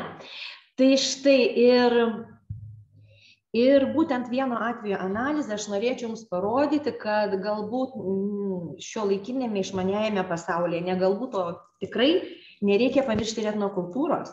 Nes aš kaip vertinu e, tai etnokultūra yra žemdirbiškojo gyvenimo būdo stymas. Ir kurį galima panaudoti šiuolaikiniame ugdyme ir jis išpildo įvairiapusiškus to ugdymo reikalavimus. Nuo ko viskas prasidėjo? Kadangi man patinka etnokultūra, tai keturių laidų bėgyje mes su klasės bendruomenė vis pastatydavom po vieną 15-20 minučių trukmės integruotą pamoką scenai, nes scena turi savus reikalavimus ir ta patirtis labai praverčia gyvenimui. Ir tose programose apjungiamos atskiruose ugdymo dalykuose integruota, apjungia integruotą etnokultūrinio ugdymo medžiagą. Ir jeigu trūkdavo, aš aišku, pasipildydavau e, turinį e, iš kitų šaltinių. Taigi, kūrėme apie duoną, kūrėme apie lino kelią ir štai 14-15 naudojom net 16 metais su klase sukūrėme pamoką būrių avytę. Jos pagrindinė ašis yra elementariai atskleidžiamas Vilnos gaminių technologinis kelias, ir perteiktas įvairia meninė raiška. Tame tarpe žinoma ir dailės bei technologijų taikymas. Su ta programa mes dalyvavome ir Respublikinėje įvairia, ne tik mokykloje, ne tik tėvelėms, ne tik tai klasės draugams, e, rodydami, transformavome įvairiausiai ir tikrai mokiniai gavo daug kompetencijų. Ir būtent kodėl apie šitą programą? Todėl, kad josios metu žinot, protas gal iš paskos vaikšto. Tai tik josios metu atsidarė toks regėjimas, tarsi e, joninių žiedą radus, kada pamatai giliau ir pirmiausia tą gilumą ir šio laikiškumą išvelgiau e, pagal Hovardo Gardnerio e, daugelįpio intelekto teoriją, kuris sako, kad intelektas yra sudėtinis ir būtent etnokultūrinė e, bet kokia forma e, lavina visus šiuos intelektus. E, jeigu trumpai, kadangi nerodysiu filmuko, trumpas siužetas yra toks.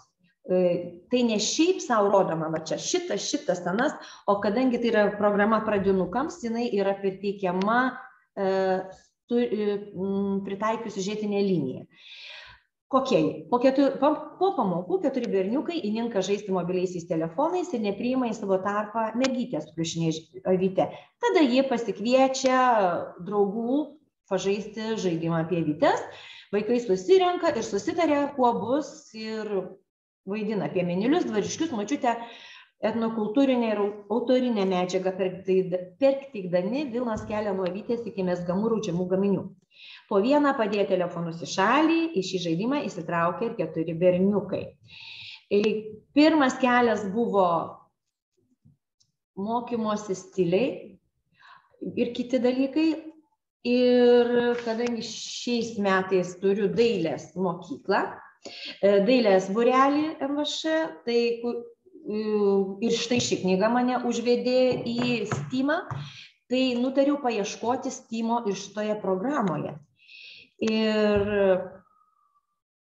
jeigu pradedame, kad Steamas tai yra mokslai ir šiuo atveju konkrečiai gamtos mokslas, tai pasižiūrėkite, kokių dalykų mes realiai naudojame šitoje programoje naudojame ir kirptą plautą karštą vilną ir siūlų kamuolį rodome ir produktus. Apie avies gyvenimą pakalbame nes tai yra pradžių pradžia ir visame tame suaugusieji įžvelgia kad vilnos kelias asocijuojasi su žmogaus gyvenimu. Išmaniosios technologijos. Kadangi metai pakankamai seni mūsų mokykla visų technologinių turtų dar neturėjo tai mes panaudojome nors e, mobiliuosius telefonus. Keturi berniukai tiesiog labai kritiškai pažiūrėjo į mūsų sumanimą ir pasakė, jie nenori dalyvauti etnokultūroje, kas čia ta etnokultūra, kažkokia atgyvena, jie nori būti modernus ir aš jiems leidau. Žinote, o vėliau, kadangi vaikai tikrai dalyvavo ir režisūriškai po vieną, po vieną įtraukėme į veiklas ir jie užbaigė finale kartu su visais sėkmingai. Aš manyčiau, kad šio laikinis tymas nepraeina be raštingumo dėmens, nes e, nieko negali daryti be instrukcijų. Taip, ir teksto skaitimas e, įgalina suvokti, štai matote, įvairiais etapais ir įgyvendinti, atlikti šioje programoje išvardintas veiklas, kolegių pasakojimuose konkrečius veiklu, veiksmus. Ir visą tai įgalina komunikuoti ir tai sutampa su kalbiniu intelektu. Ir pasižiūrėkite programoje, etnokultūrinėje programoje, lygiai taip pat kaip ir tuose e, išmaniuosiuose projektuose, galima naudoti etnokultūrinę e, tautosaką įvairiausia ir jinai iš tikrųjų yra labai labai, matote, plataus spektro. Ir sakmė, ir pasakaitė, pasaka be galo apie avelių skaičiavimą, patarlės ir priežodžiai nuo vienos avies dviejų kailių nelupa, ar ne? Išmintis gyvenimiška, myslės, negalvokite, kad tai vaikų žaidimas, tai yra mm, asociatyvaus mąstymo mokykla. Ir myslių galima rasti ir apie snaigę, ir apie šulinį, ir apie kokią tik norite technologinę, architektūrinę temą. Ir pokalbiai, garsų pamėgdžiojimai, na, eilėraščiai, įvadas ir dialogai, kuriais mes sujungiame atskirus epizodus ir tęsiame Vilnos kelio veiksmų grandinę. Jeigu mes pasižiūrėtume į tą kalbinį ugdymą kaip stimo raštingumo sudedamąją, tai mes iš tikrųjų matome ir kompetencijas, nes tas padeda vystyti bendravimą, komunikavimą ir tarp asmeninį intelektą. Pažiūrėkite, reikia išsiaiškinti, reikia ginčytis, ar norim, ar nenorim, kas čia bus, ar tikrai įdomu, ar čia mes neko, ar iš nepasijuoks iš mūsų. Taigi ir pats sunkiausias dalykas iš visų šitų, kurį ir dar kitoje skaidrėje kartuoju, tai programos medžiagos perteikimas žiūrovui. Bendrauti, judėti, vaidinti ir visą laiką neužmiršti, kad mes visą tai rodom žiūrovui ir rodom jam dėmesį. Kur dabar surasti tokioje programoje inžinierinį dėmenį? Na, galima sakyti, kad iš atskirų numerių sudėlioti nuoseklę programą, tai yra toks meninis inžinierinis dėmuo. Tačiau jeigu kalbant apie etnokultūrą, apie technologijas, aš iš tikrųjų esu ir jaunųjų ūkininkų burelio vadovė ir, kaip sakiau, NVŠ su juostomis, su šokiais kūrusi programas ir gyvendinusi, tai galiu pasakyti, kad tikrai atitinka ir šio laikinį gyvenimą, juo labiau, kad bent jau populiariojoje literatūroje skaičiau, kad tokios termino kaip um, primityvi bendruomenė, kultūra netgi nebėra. Nes ta kultūra, kuri galbūt savo pradinėse stadijose, jinai galbūt be mokslinių išvedžiojimų, uh, įrodymų, jinai savo laikmečiui yra pati tobuliausia. Ir labai dažnai tuos ankstyvuosius technologinius procesus, psichologinius procesus, socialinius įtvirtina šiuolaikiniai moksliniai tyrinėjimai. Ir konkrečiai štai įranga. Šitą nuotrauką iliustruoja vieno 12-mečio berniuko, kurio vardas yra Algirdas, nežinau pavardės, nes jis, radau įrašą Facebook'e mūsų Birutės Darkienės, kuri rašo, kad berniukas apsilankęs mūsų rajono salų dvare, tautodailininkų asociacijos įveiklintame audimo staklių kambaryje grįžęs namo, štai iš lego kaladėlių sudėliojo staklės ir kurios, kaip matote, yra funkcionalios. Taigi kiekvieną įrangą galima perkelti ir į šiuolaikinius. Galime palyginti šio laik, praėjusius metodus, technologijas su šiuolaikinėmis, kokios es, esminės dalys išliko, kokios tebėra. Ir manyčiau, kad tai yra pakankamai svarbu, nes pasakysiu kodėl. Ir jeigu mes kalbame apie inžineriją, erdvinis intelektas, erdvinis sumanimas ir matymas, kaip ir kolegė šiandieną minėjo, yra labai reikalingas. Ir pradinukai pradeda nuo savo kūno erdvėje, scenos erdvėje, surežisuoto arba laisvo pagal programą ir judėjimai ten visokiausi ir saugaus. Taip, tokiu būdu mm, per, ateityje jau turės tą perkelti į savo um, abstraktų lygį. Taip, Ir va čia matote, iš tų keturių berniukų jau beliko tik vienas ir jam tam pačiam technologijos jau nebe tokios svarbios. Labai nuoširdžiai stebi, kas vyksta toliau. Taip, vėlgi šitokiame renginyje kaip inžinierinis elementas yra medžiaga. Inžinierius turi suprasti, ar ne, su kokia medžiaga dirba. Pavyzdžiui, kuriant šiaudų sodą, turi suprasti šiaudo trapumą. Turi suprasti, kad atskiri reketukai suverti į sodą, jie išsiklypo, išsiklypo nėra gražu, o tą kosminę energiją surenka tvarka. Taip, ir reikalingi dar šiaudeliai, kurie sutvirtina e, gražiamis tiesėmis. Taigi inžinieriniai e, vėlgi būdai. Tai čia kūniškasis intelektas, vaikų organizmas statinis, judantis, sustingęs, drebantis, tikslingai judantis, ar ne, ir ypač šok. Atsiprašau, ir ypač šokant e, labai sunkiai e, yra sukoordinuojamas.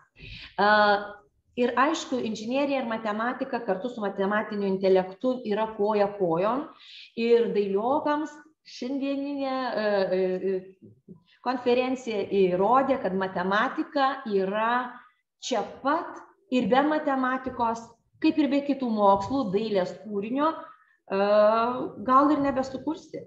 Turint omeny ir nuoseklės, ir linijinės, ir spindulinės mm, ornamentinės kompozicijas, ar ne? Gerai, štai čia pagaliau prieiname prie menų. Scena iš mėgančiosios gražuolės ir jau mėgančioji gražuolė užmygo, o mokinė e, paima iš jos verpstuką ir vilną. Matote, ši mergytė už mane geriau išmoko verpti verpstuku. Apie tai netrukus. Taigi, vėlgi, jeigu yra meninis projektas, be vidinio asmeniškojo intelekto niekrus. Nes e, visas veiklas kiekvienas kuriejas perleidžia per save. Ir dar labai svarbu, kad šitie dalykai, tokie gražūs dalykai, kuriais pasidalino šios dienos kolegės, veikia emocijas. O emocijos yra viena iš sąlygų padedančių įsiminti. Ar ne? Taigi pasižiūrėkime, kiek daug veiklų vaikai turi įveiklinti, atlikti per 15-20 minučių demonstruodami žiūrovui, o žinoma, iki tol irgi besidarbuodami iš pėties. Taigi muzikinis intelektas vėlgi kaip atskira protinių gebėjimų rūšis ir vėlgi ir tiek etnokultūroje tiek šiuolaikiniame gyvenime muzikinių kūrinių dainuojant grojant improvizuojant e, e, sintetinant etnokultūrą su šiuolaikiniu menu yra begalės. Ir jeigu mes nedainuojam mes nemuzikuojam mes galime prie bet kokio meninio ar nemeninio projekto galime pasitelkti įrašus. Tai vėlgi veikia emocijas tai vėlgi nukreipia į tą tokį kūrybinį lygį ir atmintį. Toliau, na čia kaip tik vaidybinė scena, mūsų vilkas nežino, kaip prarijo jis tą aviną, kuris jam šoko į gerklę ar ne. Vaidyba. Na, vaidybos nebeišryškinu, tiesiog jeigu pasižiūrėsite į tokį elementą kaip vaidyba, tai pamatysite, kad jinai savyje vėlgi talpina ne vieną intelektą, ir erdvinį, ir kūniškąjį, ir meninį, ir matematinį, ir tarp asmeninį ir asmeniškąjį. Ir jie iš tikrųjų vėlgi suteikia labai daug gyvenimiškos patirties, nes tikriausiai jūs pažįstate daug labai talentingų, kompetentingų mokytojų, kurie savo patirties negali pristatyti, nes yra užblokuoti, bent jau mūsų karta, ar ne? Atima rankas kojas, atima žadą ir savo pasiekimais pasidalinti negali. Negali stoti prieš auditoriją, kritikos ir visa kita. Na ir štai pagaliau atkeliavome prie technologinių. Štai čia matote aukštaitiškas pintas juostas, nes mes esame rokiškis, mūsų aukštaitijos kampe, būtent e, tos juostos vyrauja. Ir čia yra mamyčių austos juostos. Konkrečiai ši. Taigi, dailė ir technologija šitoje programoje nuo pradžių iki pabaigos susieta su Vilnos technologiniu keliu. Lygiai taip pat reikėjo eiti į sceną ir pasirodyti atitinkamą aprangą. Nežinau, ar daug mokyklų gali pasigirti tautinių rūbų komplektais. tačiau mes šito neturim ir per kelias programas turint omeny kada turėjom tik marškinėlius ir sijonėlius mes po truputėlį tobulėjame dabar jau mes jau beveik ir visai neblogai susikūrėme savo rūbus ir juos kuriame tvariai dėvėtų rūbų parduotuvės vėrinėliai ir žinoma komplektacija, mamyčių darbas. Aiškinomės juostų spalvinę gamą per klaidas, per praktikas, per kuriozinės situacijas. Na kągi, teko juostų reikėjo, kur jų gauti. Tai mokiau mamas pinti juostas ir žinoma mergaitė verkti verkstuku. Devynios mamos sėkmingai nupinė po vieną juostą savo vaikui. Viena mama negalinčiams nupinė devynės, viena pagal kudirkienės knygą nuvijo. Muziejuje teko aiškintis Vilnos, Vilnos verpimo verpstukų technologiją, gavau dovanų verpstuko komplektą, kuris taip pat gali būti dailės pamokų technologinis užsiemimas. Irgi mokiniai, kas nutiko, ar mane girdit? A, gerai. Ir mokiniai, norėdami perteikti žiūrovui, jie turėjo patys susipažinti ir išmanyti visą procesą. Ir mokymas kito tai yra šio laikinis ugdymo metodas. Vėlgi, visa tai tampa mokinio asmeninė patirtimi. Kas labai svarbu ir į ką labai kviečiu, naudojantis etnokultūrinius turtus, tai būtent ratelius šokius panaudoti dėl ko? Dėl to, kad be visų veiklų dar dalyvauja ne tik protas, bet ir kūnas ir emocijos. Šio laikiniams vaikams šito trūksta labai. Daugumai ir aišku, kam, kas tuo nesiskundžia. Na ir vėlgi, visa tai užtikrina etnokultūrijos panaudojimas. Ir dar kas svarbu, žinot, kokia paskutinė patirtis? Panevežė bendrijos tautodailininkų susirinkime. Pabandykite atspėti, kokio amžiaus tautodailininkai mačiau tame susirinkime. Kokio amžiaus tautodailininkai, koks amžius vyrauja? Labai brandus ir brandus. Kur jaunimas? Kas turi užtikrinti? Kas turi juos išmokyti?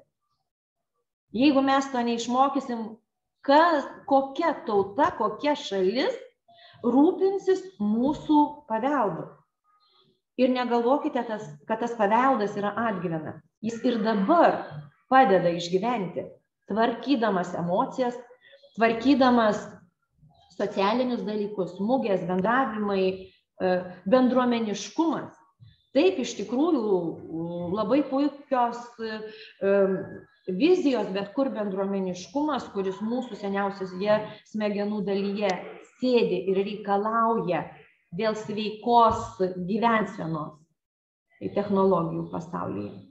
Tikrai kviečiu apie tai pagalvoti ir stengiausi savo pasirodymu, savo patirtimi su jumis jums tai atskleisti kiek galima aiškiau. Ačiū visiems už dėmesį ir už galimybę tuo pasidalinti. Ačiū, Rita. Nerealus pristatymas. Tikrai etnokultūra pas mus nustumta truputį. Mes mus šiuolaikinis menas, šiuolaikinis menas stebinti, o tos mūsų pamatinius dalykus mes gal tikrai truputį primiršom ir jūs taip gražiai integravote į mokymo procesą. Labai buvo smagu ir šaunu klausytis. Dar noriu paprašyti, jūs minėjot filmuką, tikrai įdomu jūsų rezultatas, jūsų šito kūrybinio darbo rezultatas. Pasidalinkite, meskite į mūsų čatą, tikrai bus įdomu pasižiūrėti, tikiuosi, kad... Tiesiog bijau... Uh, Kažkokią nuorodą, jeigu YouTube. Aš neturiu YouTube'e įkėlusi, aš turiu dabar atsidariusi, bet jau gal pietų laikas. Greičiausiai, žinokit, taip, bet gal per refleksiją, paskui pasižiūrėsime, jeigu bus norinčių. Pabandykite, jeigu girdėsis garsas gerai. Gerai, įmeskit nuorodą. Ir daugiau dar noriu paprašyti lektorių. Yra klausimas jūsų pristatymo skaidrių. Jeigu tikrai nu, galite pasidalinti, irgi pabandykite į čia tai įmesti, va, būtent pertraukos metu ar po, po, po mūsų susitikimo, pabandykite pasidalinti savo skaidrėmis, kas norit pasidalinti, nes tikrai matau susidomėjimą, tai, tai, tai va, pertraukos metu. Tai mes ką, pradedam pertrauką. kavos spėsime atsigert tai mūsų susitikimas antra dalis prasidės tryliktą valandą penkiolika minučių mes gan šauniai čia taip neįsitempėme šituo laiku tai laukiu visų vėl grįžtančio tryliktą valandą penkiolika minučių ką skanios kavos ir iki susitikimo po pietų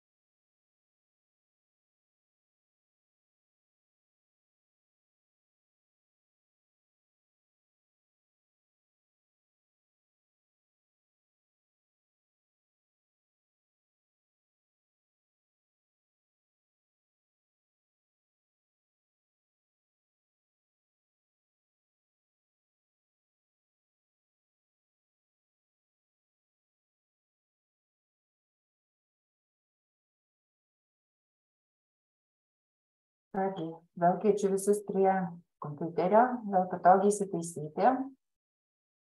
Tad keliaujam toliau.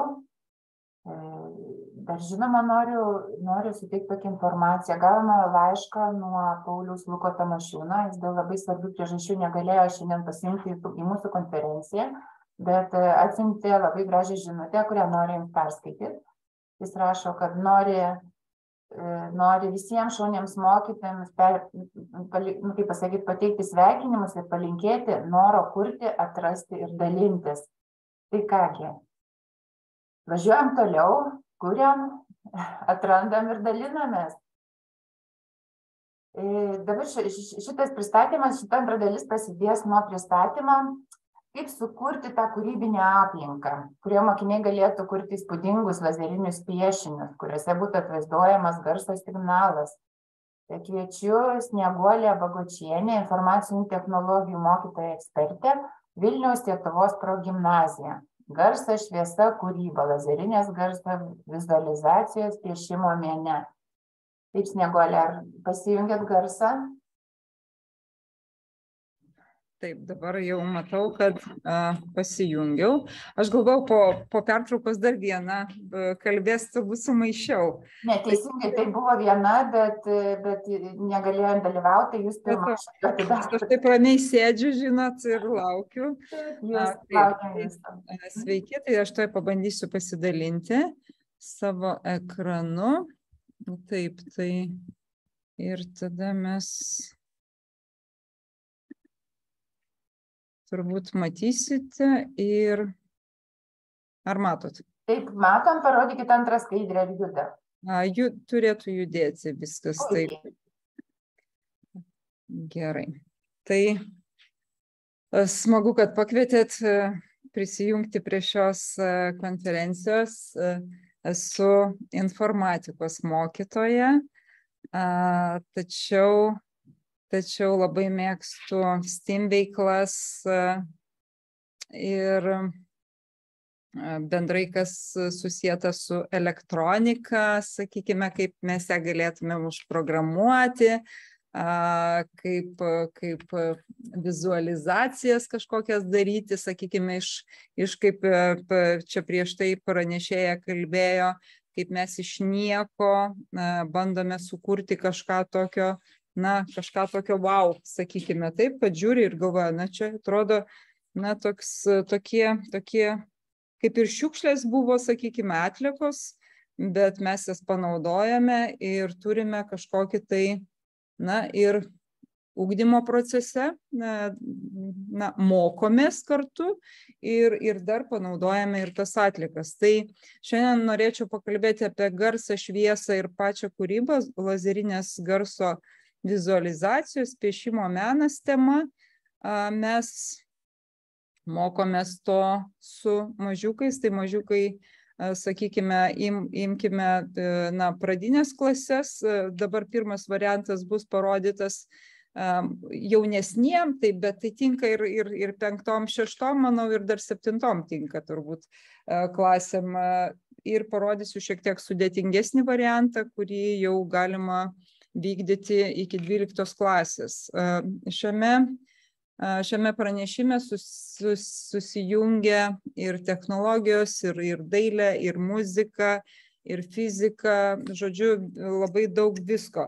Nes aš pati kaip informatikos mokytoja, tačiau turiu savo kabinete FabLab laboratoriją visą ir turiu labai daug technikos, esu E, administratorė šių dirbtuvių, sakykime, visą, visą tą įrangą valdau, e, na ir mokau su ją dirbti. Ir bandau, bandau integruoti netgi ne tik neformaliajame ugdyme, bet ir formaliajame visą, visą tą visą tą techniką. Tai kas ta vizualizacija, čia galėtumėm pakalbėti su vaikais, na, aš rodysiu iš tos pozicijos, kaip, mes, kaip aš kalbu su, su vaikais, sakykime, kas, kas ta garso vizualizacija bendrai galėtų būti. Tai muzika galėtų būti, galėtų būti pats garsas mano, mano sakykime, galėtų būti na, nuo iš kolonėlių kažkokia tai einanti muzika ir panašiai. Tai medijos grotuvo programinės įrangos funkcija sukuria animuotus piešinius ir pagrystus muzikos ar garso kūri, kūrimu. Tai vaizdai paprastai generuojami ir pateikiami realiuoju laiku ir sinchronizuojasi su grojančia muzika arba su kalbančiojo na, veiksmu, e, kai kalba. Labai svarbu paminėti, kad tai yra lazeris ir mes turime visada akcentuoti apie labai svarbią informaciją vaikams, kad lazeris yra pavojingas, kad negalima jo nukreipti į akis, nei į žmogaus, nei į naminių gyvūnėlių. Na, žodžiu, reikia atsargiai dirbti su šitą techniką ir, ir, ir būtina prieš tai pakalbėti, taip, kad kad tai yra na, ir, ir pavojų keliantis prietaisas. Tai fizika, kur čia fizika, tai e, kai kuriama, e, kai muzika groja per garsiakalbį, veidrodžių vibruojant, kartu su baliono arba aš pritaikau, pritaikau tiesiog, žinot, yra užsilikusių nemažai tų pirštinių įvairiausių, taip, na, va, pirštinė tiesiog yra nuo, nuo e, COVID laikų yra tokių, nu, ta prasme, jos nenaudotos, bet, bet yra, mes klasėje esame gavę po visą dėžutę, tai aš tiesiog uh, išnaudoju tas pirštinės. Tai, tai žodžiu, ant paviršiaus ir sienos susidaro tie raštai. Tai kaip tas vyksta, kai e, vokalizuojame, oro molekulės vibruoja. Šios vibruojančios molekulės atsitrenkia į tą guminę baliono membraną. Membrana vibruoja, todėl savo ruoštų virpa veidrodėlis. Veidrodėliui mes galės, galime panaudoti ne tik veidrodėlį, aš čia turiu ir veidrodėlį taip pat, žinot, viską va taip, kas sako, nebereikalinga arba, arba tai, kas Čia irgi buvom gavę iš miesto savivaldybės, turbūt tokius veidrodėlius vaikai gavo, tai kai kurie sudužo, bet valio, sakom, turim panaudojimui, žodžiu, veiklai tų šūkių veidrodžio. Galima naudoti senus kompaktus taip pat, taip ir kad atspindėtų šviesą. Tai žodžiu, visokiausių tokių galima tiesiog veidrodėlį pritvirtinti. Ir a, lazerio šviesa atsispindi ir nuo šio virpančio veidrodžio iš, išsiriškina įvairios formos, raštai, kuriuos mes galime matyti. Tai matote šiek tiek e, paveiksliukė parodyta, ta, kaip, kaip e, lūžis yra ir kaip, kaip vyksta. Taip.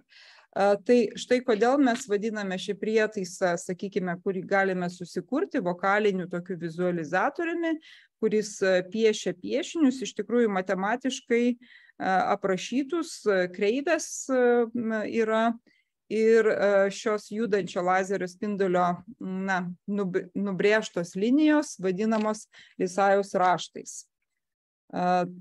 Tai naudosime savo balsą, kad iš, iš, iš, išpieštume, sakykime, lazerių kažkokius tai raštus ir galima kalbėti, galima pūsti, galima, galima matuoti, žiūrėti, kaip, kokie piešiniai gaunasi kalbant tyliau, kalbant garsiau, kai mes prašome vaikų, gal galite tyliau kažkaip kalbėti, žinot, yra labai tokių garsiakalbių, kurie netgi parodyti, kaip reaguoja, kaip reaguoja, pavyzdžiui, kaip lazeris reaguoja ir kaip kaip išsipiešia tie piešiniai. Gal jie gražesni iš tikrųjų pas juos gaunasi, bet realybėj, žinot, kai labai reikia vaikai, tai vėlgi ten atsakom, kad, na, šiek tiek pritildyti, bet šiuo atveju geriau, kai garsiau kalba. Matysis didesnis plotas.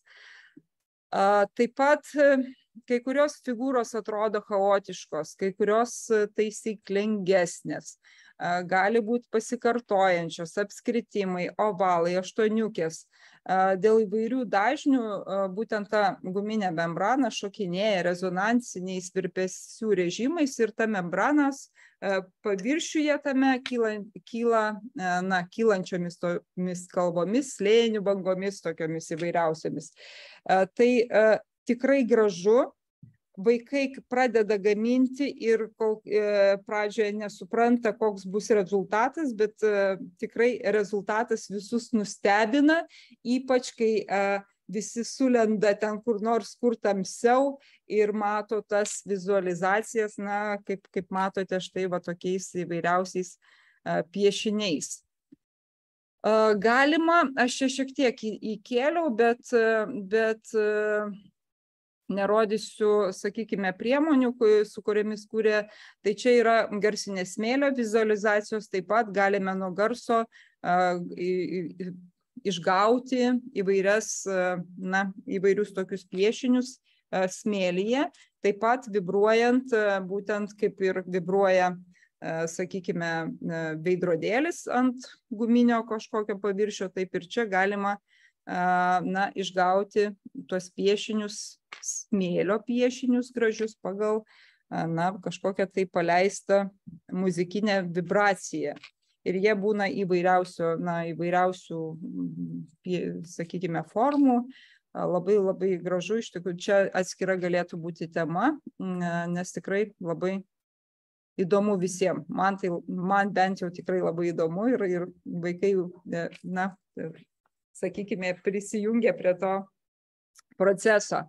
Tai priemonės e, reikalingos pačios paprasčiausios tokiam eksperimentui, e, tai ką rodžiau, mes turime pasigaminti, sakykime, na kažkokį taip, e, ne, sakykime, iš kažko turime pasigaminti tą vizualizacijos prietaisą, tai matot, panaudojam mokykloje čia parduodamus kažkokius tai, kažkokius tai gėrimus, surenka vaikai, atsineša ir mes iš jų konstruojame štai va tokius tiesiog, na, rankinius, sakykime, prietaisėlius. Tai reikia, kaip matote, bet kokio ilgo daikto, sakykime, vaikai ir liniuotės panaudoja, arba aš čia turiu kažkokį tai, kažkokią tai, na, pagaliuką tokį, Toliau reikia žirklių paprastų priemonių, taip gali būti, kaip sakiau, nuo sulčių, nuo limonado, nuo dar kažkokių tai skardinė. Ir reikia mm, pirštinės arba baliono, gumelių, veidrodžio šūkio arba paprasto veidrodėlio ir e, pagrindinis turbūt tas prietaisas, kuris perkasi, nes, na, aš jo neturiu tokio, kad paimčiau iš atliekų ir panaudočiau, tai yra lazerinė rodiklė. Bet įtinka, ji tinka bet kokia, sakykime, jeigu mokytojai turi rodyti lentoje kažkokį tai, na, žinot, lazerinį daiktą, tai jis taip pat tinka. Ir mes jį pritvirtinam ir tada, na, aišku, kad kampu, kampu eitų lazeris į veidrodėlį, čia kalbu ir tada tokiu būdu mes gauname, na, štai aš turiu, e, kaip ir minėjot, galbūt skaidrėmis norės kas nors pasinaudoti, galėsit, galėsit pasigaminti tikrai tokią vizualizaciją. Turiu nuotrauką sudėjus, kaip, kaip tai atrodo. Ir štai vaikučiai gamina ir po to išbando taip išbando ir gauna įvairiausius tuos va tokius piešinius, kaip aš jums rodžiau. Tie piešiniai e, tiesiog, jeigu dabar pažiūrėjus, aš, aš galėčiau parodyti šiek tiek, man atrodo, jeigu tik tais kamerą sureguliuosiu, taip, palaukit. Žiūriu dabar, ar matysis, gal į čia. Taip, Ar matysis, jeigu matysis, tai matysis ir turbūt nesimatys jum. Aš tai matau, bet labai šviesu kabinete. A, tai a, mes kalbame ir tada lazeris eina štai čia ir a, piešiniai gaunasi jau ant to paviršiaus, į kurį aš šviečiu. A, tikrai labai gražus ir dabar, sakykime, toks pats paprasčiausias būdas, taip, iš, na, kurį gali pasigaminti net pradinukai.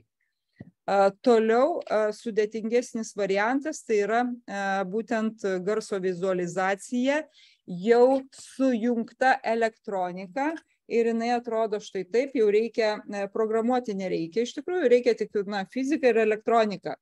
Tai reikia sujungti laidus taip, kaip reikia. Aš turiu parodžiusi čia, mes turėjom ir mokymus įvairiausius, ir po to mokytojus apmokėme. Ir tai yra vėlgi, matot, panaudota kavos, kavos indelis. Mes mokykloje surinkom tuos indėlius iš visų mokytojų. Mokytojai žino, kad reikia tų kavos indelių mums. Tada yra kolonėlė. Kolonėlė. Viskas susijungia, sakykime, vieną laidą aš jungiu į savo telefoną, paleidžiu muziką ir uh, lazerį nukreipiu į stikliuką, į veidrodėlį ir čia gauname įvairiausias tas vizualizacijas. Aš tuoj parodysiu jums, kaip jos atrodo. Tai čia yra jau sudėtingesnis, kaip sakiau, variantas, tai mes galime pritaikyti ir osciloskopą ir išgauti, matote, įvairiausius tos piešinius ir drugelius ir gėlės ir ką tik norit, na, įvairiausius, įvairiausius, sakykime, raštus. Taip pat mums reikia, reikia štai sudėtos yra elektroninės priemonės, kurių reikia. Tai galiu pasakyti, kad štai šita šita garso vizualizacija jums kainuos tik tais tiek, kiek kainuoja laze, lazerinė rodiklė, tai gali būti nuo 6-7 eurų maždaug taip, kažkur tai taip. O šita su visais vat, š, tais prie, tos priemonės, kurios yra parodytos, maždaug šiai dienai kainuoja apie 12-14 eurų. Viena lazerinė tokia kolonėlė su elektronikos priedais su garsiakalbiais. Galbūt jūs turite seną garsiakalbį, kurį galite panaudoti. Tai tada šiek tiek bus pigiau. Ir čia yra ir kaip paruošti kabelį parodyta, ir USB paruošimo, ir kaip sujungti laidus, nelituojant galima taip sujungti, galima sulituoti mes, kai ką lituojame. Tai ir yra priemonės, kurių reikia ir uh, yra dar adresas įkeltas, kur galite pasižiūrėti, kaip na, kiti makeriai vadinami tai pritaiko. Yra programa, kurią galima atsisiųsti ir pagal dažnius, na, žiūrėti, kaip reaguoja į tiek dažnių, kiek, kaip reaguoja į tiek dažnių. Toliau toliau na viskas fizikinė dalis aprašyta ir dar galime susikonstruoti su maker case'u dėžutę. Taip tai lazeriniai na kad mano va tokia lazerinė kolonėlė nebūtų va tokia na sakykim neišvaizdyta aš galiu sukomponuoti sudėti į dėžutę labai gražiai iš tikrųjų dėžutės, kai nudažo dar, čia vieną dėžutę mes bendrai dabar darome, tai dar su viena technika, kur nuotraukas dedame, čia kol kas dabar nematote, bet nusijims tas visas popierius ir turėtų gautis labai gražus raštai dar ant, ant tos dėžutės. Tai viską integruojame, įveikliname turimą techniką ir gauname, gauname štai tokius rezultatus. Aš jums parodysiu dar pabaigai. Ir jeigu bus klausimų, tai prašom, va štai čia tuoj esu jungusi, tai, na pavyzdžiui, tai, matot, čia yra ta, tai šita mes žiūrim, na, sakykime, pagal įvairiausią muziką. Tai kažkaip apie. Žmonės yra. Aš tik nelabai nusimanau. Pat gali būti. Turiu beveik kišenį. Jo, nu tai čia. Galima iš karto. Tiesiog čia aš galvoju, kad gal smagu, kad gali pats savo kolonėlę taip gražiai pagal klasikinę muziką, bet žiūrint kokią vėlgi leisime, labai skirtingai atsivaizduoja tie piešiniai na, ant sienų. Tai turbūt tiek bus iš mano, iš mano pranešimo. Jeigu, jeigu yra klausimai kokie, tai prašom. Snieguolė, jūs, jūs vizualizavot muziką. Ne, nerealu. E, o sakykit, kokio amžiaus vaikai čia visą šitą, vat, tokius projektinius darbus daro? Aš, e, kaip ir sakiau, e, su šiuo projektu tre, trečios, ketvirtos klasės tikrai susitvarko nes tai yra nesudėtinga, na, užima laiko, bet tai nėra sudėtinga. Nėra sudėtinga, na, sakykime, savo, tikrai darom su trečiom, ketvirtom ir, ir pasiseka. Na, visų pirma, reikia visada sakyti vaikams, jeigu tai yra eksperimentas, mes eksperimentuojame, eksperimentas ne visada pavyksta iš pirmo karto, gali ir nepavykti. Taip, kai kada būna lazeriukas per silpnas, tai silpnai matosi, pavyzdžiui, na, silpnai jas išvežia. Bet praktiškai visiems trečiokam, ketvirtokam šitas projektas pavyksta. Penktom, šeštom klasėm taip pat yra ką veikti ir galima tikrai daryti ir, ir, ir, ir manau, kad labai įdomu būtų. Gal ir septintai klasiai, juk fizika prasideda. Taip pat juk čia fizika yra. Tai prašom kai apie garsą kalbame apie apie kažkokias tai temas e, galima integruoti. Kaip ir sakiau šitas variantas yra sudėtingesnis. Čia jau mes pradedam nuo septintų klasių. Tada kada fiziką turime. Tai e, ir iki dvyliktos klasės tikrai iki dvyliktos klasės gali daryti jeigu tiktais neturi noro Ačiū už pasidalinimą. Man atrodo, tikrai jūsų skaidrių norės technologijų mokytojams pakrypti į tokią konstrukcinė, nežinau, pamokų te, temų tokia paruošima, nu iš vis nerealu, tada, sakau, vizualizuoti muziką, tai čia kažkas. kažkas. Labai įdomu ir, ir, ir vaikai, kaip, kaip ir sakiau, vieni garsiau kalba, kiti tyliau kalba, gali žiūrėti, kaip jų tas garsas, kaip, kaip reaguoja lazeris į jų garsą, kai sakau, vieniems sakom, ne, nu, gali tyliau kalbėti, nes man ten ir tai parodyti galime, kad matai, kaip, kaip, kaip skiriasi tavo tas balso garsumas, na, vizualiai. Tai, žodžiu, įdomus, įdomus tikrai variantas, na, man bent įdomiai atrodo, todėl aš kažkaip labai taip įsitraukiau į tą į tokį vat, garso vizualizacija, tuo labiau, kad susiintegruoja su daugeliu dalykų. Ačiū labai snieguolė, ačiū už jūsų pranešimą. Ačiū Jums, kad klausėt. Taip, kviečiu Svetlaną, matau, jinai jau pasiruošusi. Labai diena. Stop. Taip. Tai aš jūs pristatysiu dailės technologijų mokytoja metodininkė, metodininkė Vilniaus rajono Nemėžio Švento Rapalo Kalinausko gimnazija. Vilnius jubiliejui. Prašom, laukiu. Taip. Labą dieną.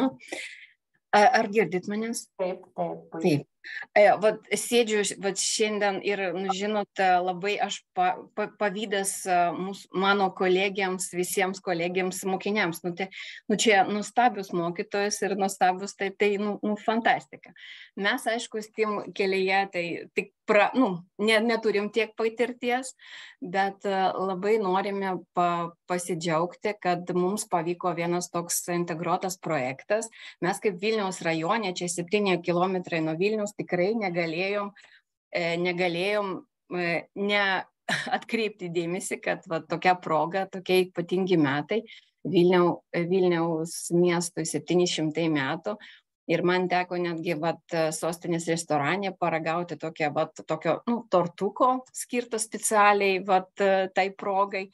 Ir e, kai mūsų vaikai atėjo po atostogų žiemos, tai mes pasiūlėm su kolegiam e, technologijų ir matematikos mokytojais e, tokį projektą, nes norėjom, kad vaikai, aišku, kad mes ugdom, bet dar patobulinom vaikai meninius, kūrybinius gebėjimus, kad nepamiršti lavinti mokinių mąstymą ir matematinius gebėjimus, skatinti bendradarbiavimą. Aišku, jie mėgsta ir moka dirbti komandoje grupė, grupėse.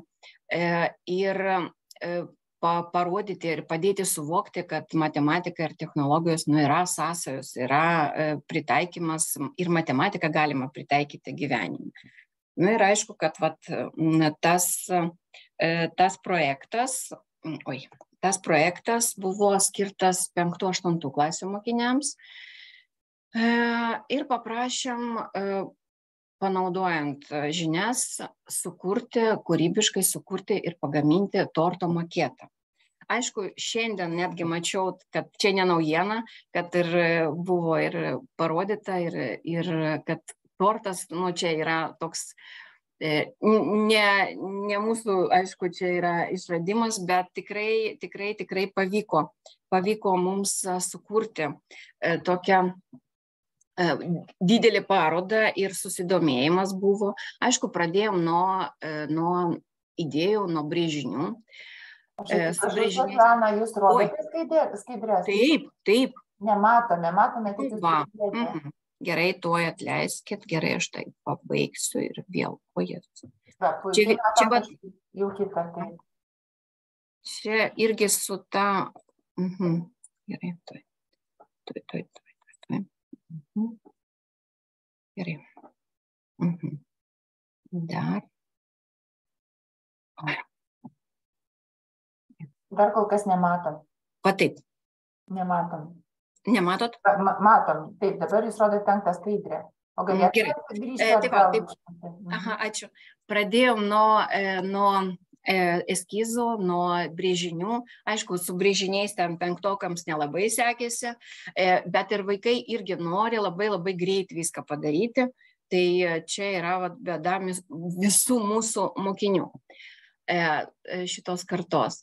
Tai aišku, kad 20, sausio 25 dieną mes turėjom tik dvi savaitės iki 25 dienos, tai vat, vat, pirmas mūsų darbas, pirmas mūsų e, tortas buvo sukurtas ir stovėjo parodoje ir, ir dieną, ir naktį, aišku, kad buvo tas pavadinimas Vilnius 700, nes ta tokia bėgantė, užrašas bėgantis, tai čia su mikrobitų pagalba vaikai sukūrė.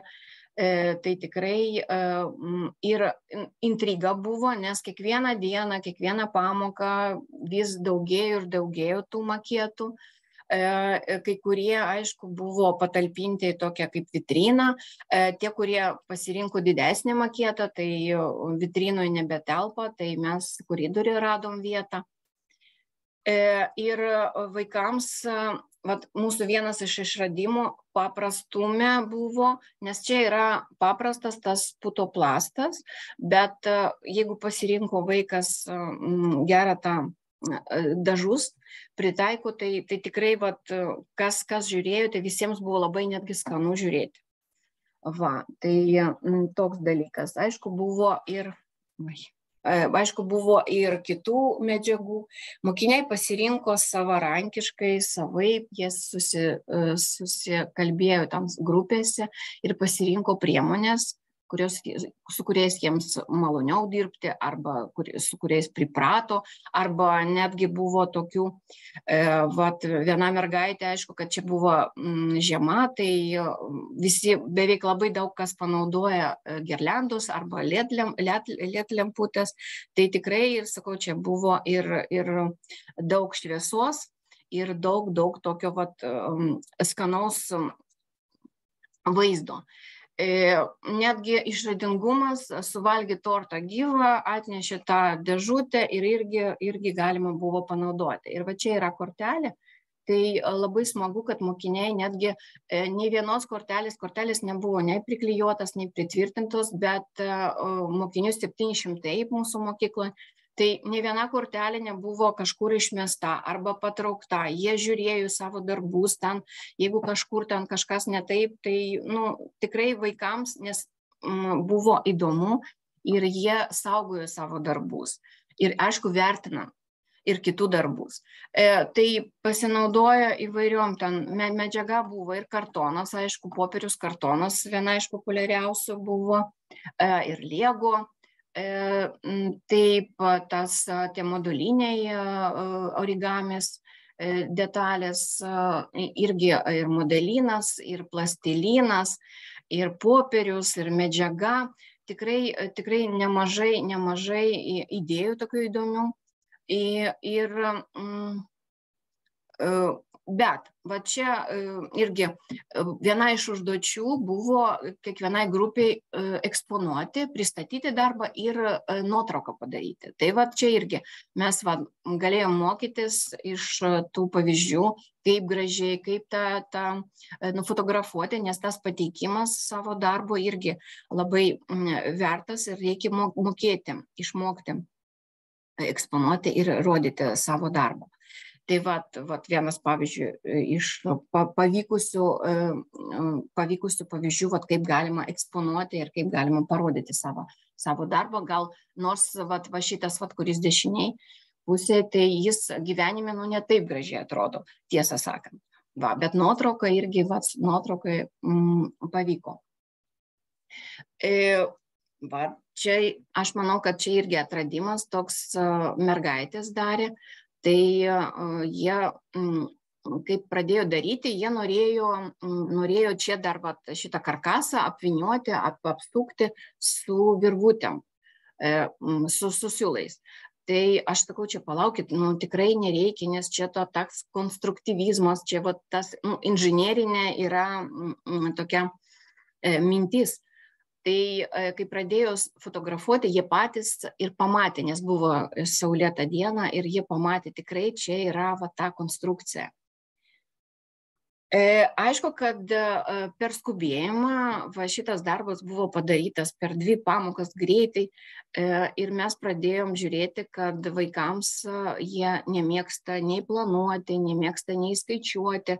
Ir va čia yra geras pavyzdys kad visų visų pradžia turi būti planas turi būti išklotinė turi būti tikslus brėžinys nes tada pasitaiko kad neužtenka nepamatavo ir va tokia klaida.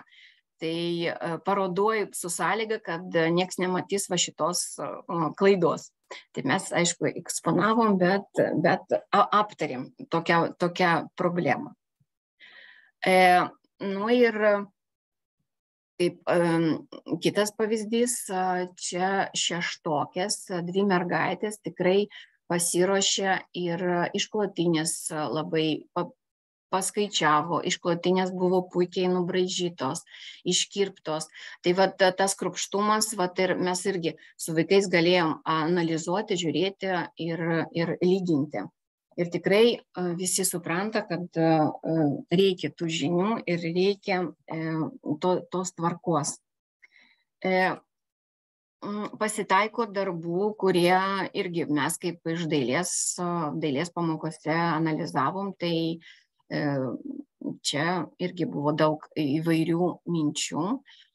Va, tai kai mes kalbėjom apie kyčią, tai vat irgi kiekvienas aišku vaikas turi savo nuomonę bet mes galim ir ir ir lavinti tą skonį meninį e, tikrai labai daug buvo e, darbų nuo, e, nuo pusę, e, čia metras su pusė, metras 446 cm, iki tokio mažo, tokio mažo, iki centimetro.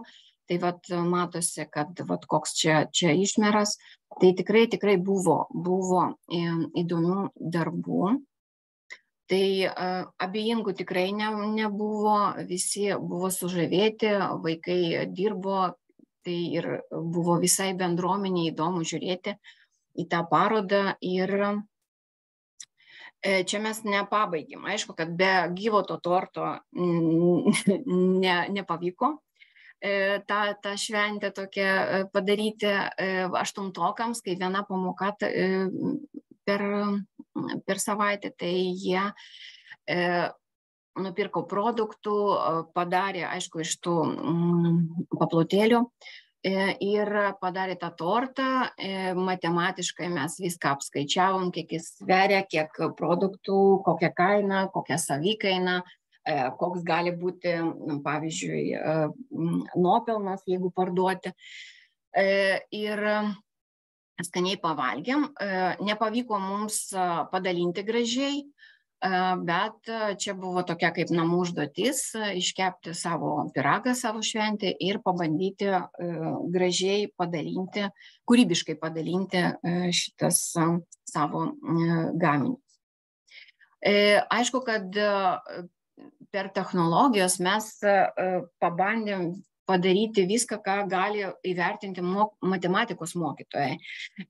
Skaičiavom ploti, ilgi, aukštį, spinduliai ir taip toliau aišku, kad mm, šitus darbus vertino ir aptarinėjo per matematiką, bet dar aš pasiūliau vaikams mm, sukurti tokius uždavinius apie tortus. Ir mm, jie turėjo, turėjo, irgi galėjo grupėmis, galėjo individualiai sukurti matematikos uždaviniui tokią užduotėlę. Tai labai įdomu kad vat buvo man skaityti aš nevertinau to tų matematinių tų gebėjimų ir to atsakymų sprendimų bet man kai dailės ir technologijų mokytojai buvo įdomu kad vat vaikai kūrybiškai netgi daro ir rašo, rašo ir uždavinius. Pavyzdžiui, mergaitė norėjo, norėjo va čia ta, ta tortas, mergaitė norėjo, norėjo pasverti, bet šitas visas tortas netilpo ant svarstyklių. Tai jį tada paskaičiavo, kiek sveria vienas gabaliukas. O viso gabaliukų buvo ten aštuoni, man atrodo, tai kiek visas.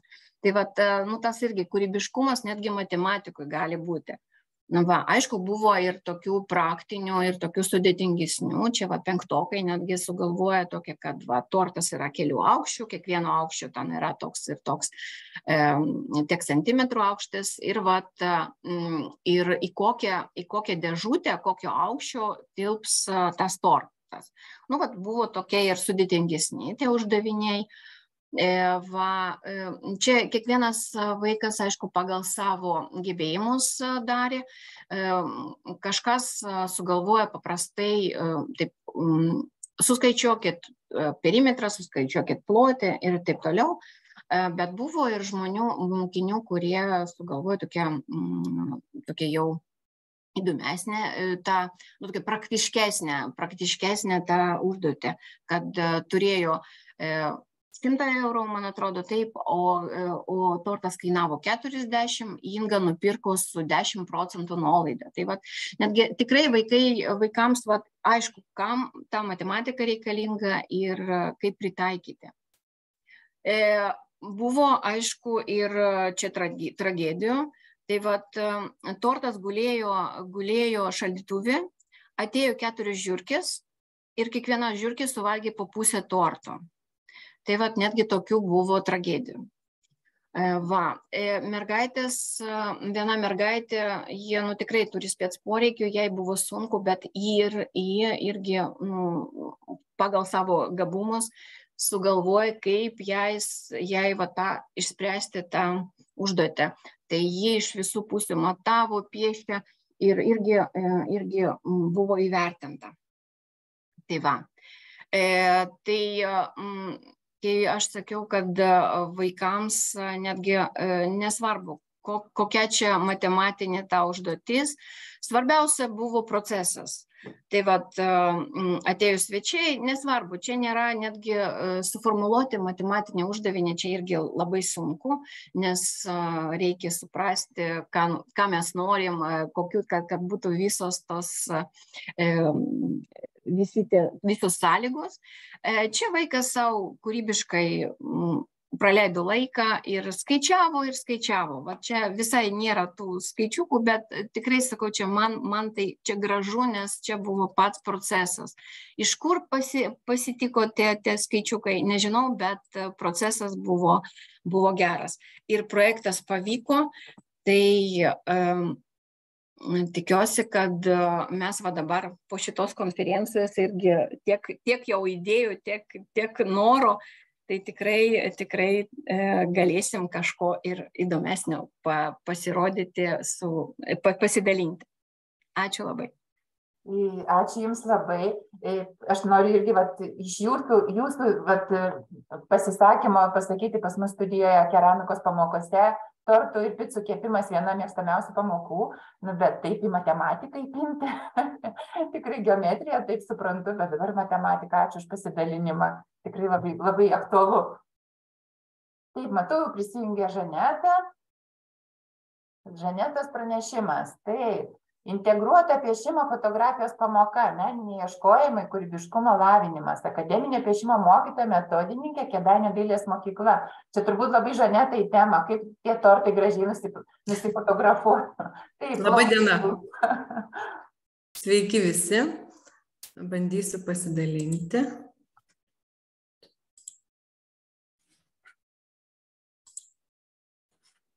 Ar matosi gerai? Dar kraunasi pasitikrinkim gerai, ar antras skaidrė atsidaro. Atsidaro, puiku, klausom. Taip, tai, tai šiandien kalbėsiu apie integruotą piešimo pamoką, meniniai ieškojimai ir kūrybiškumo lavinimas. Antrus metus iš eilės kviečiuosi į savo pamokas, į akademinio piešimo pamokas, ir mokytoja, fotomenininkė, Aistė Kanapetskaitė Čerenkovienė, su kuria pasirinkom tokias, tokią temą atspindžiai. Atspindžių magija fotografija. Pagrindiniai įrankiai tokioj pamokoje būna jau nebe peštukas, netrintukas, o įvairių dydžių veidrodžiai. Dažniausiai prašome ir vaikus susinešti ir ir mes su mokytoja atnešame. Ir fotoaparatas bet šiais laikais tą fotoaparatą dažniausiai atstoja tai telefonas ką vaikai su savimi turi. Tai vat vaikams mokytoja atėjus čia matot veidrodžius praveda tokią trumpą pažintinę pažintinę pamoką ta pamoka yra atspindžiai dėl to kad nu visame kame naudojam viskas kas atsispindi veidrodžiuose ir paskiau tai dar deriname su piešimo pamoka. Tokios pamokos yra labai aktyvios, įtraukiančios mokinius į aktyvų pamokos dalyvavimą. Naujos žinios yra išbandomas gyvai, kad tai, ką jie susipažino, ką mokytojai jiems pademonstruoja, jie eina čia pat ir, ir, ir mėgina. Įneša naujų patyrimų į tradicinę piešimo pamoką, e, stiprino komandinio darbo patirtį, kadangi dirba dažniausiai grupelėmis ne po vieną atliktos užduotys būna vėliau panaudojamos piešimo pamokose, vėliau kitose skaidrėse pamatysite kame. Ir e, dar pliusas tokių pamokų, jos yra aktyvios ir gali vykti skirtingose erdvėse. Tai gali vykti tiek klasėje. Matote vaikai patys e, labai noriai renkasi daiktus kurie kuriuos fotografuos statosi veidrodėlius ir ten gaudo tuose veidrodžiuose atspindžius. Tai tikrai labai aktyvios pamokos tokios įtraukiančios.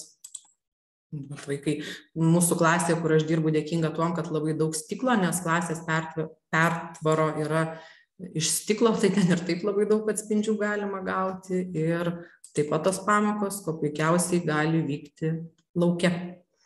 Į lauką išsinešam veidrodžius ir ir ir žodžiu ten ieškom priklausomai nuo to kokią kokią temą darom. Dabar kalbant apie temas tai fotografuojami įvairūs objektai priklausomai nuo pateiktos užduoties mokiniams. Jaunesniems mokiniams dažniausiai būna užduotis fotografuoti veidrodyje gražiai atsispindinčias įvairias jų pačių sustatytas kompozicijas ar pavien, pavieni gali būti daiktai.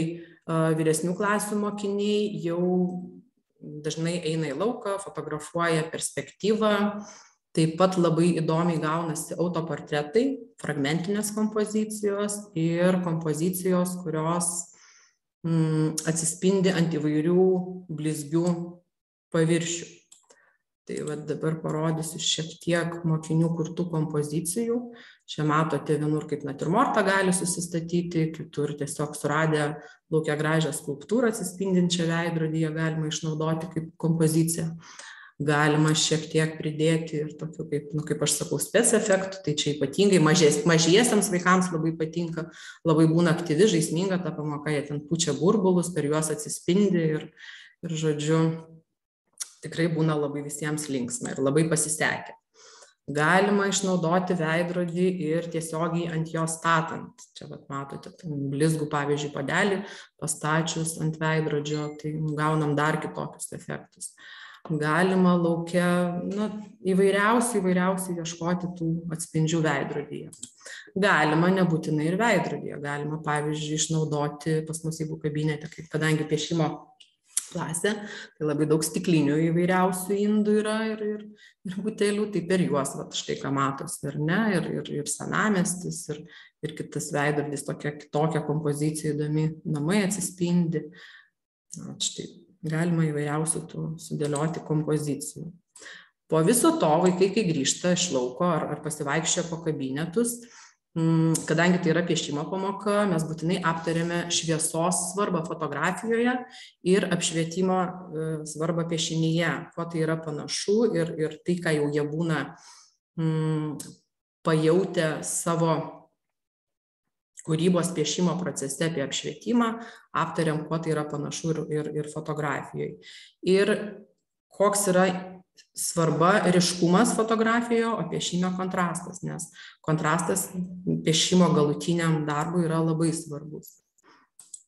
Ir dabar pirma tema. Kalbėjau, kad vyresniem dažniausiai duodu daryti perspektyvą, tai e, einant fotografuoti būtų puiku, kad vaikai jau būtų susipažinę su perspektyvos pagrindiniais dėsniais, o kadangi dėstau piešimą, tai vyresnių klasių vaikai jau žino, kas yra perspektyva.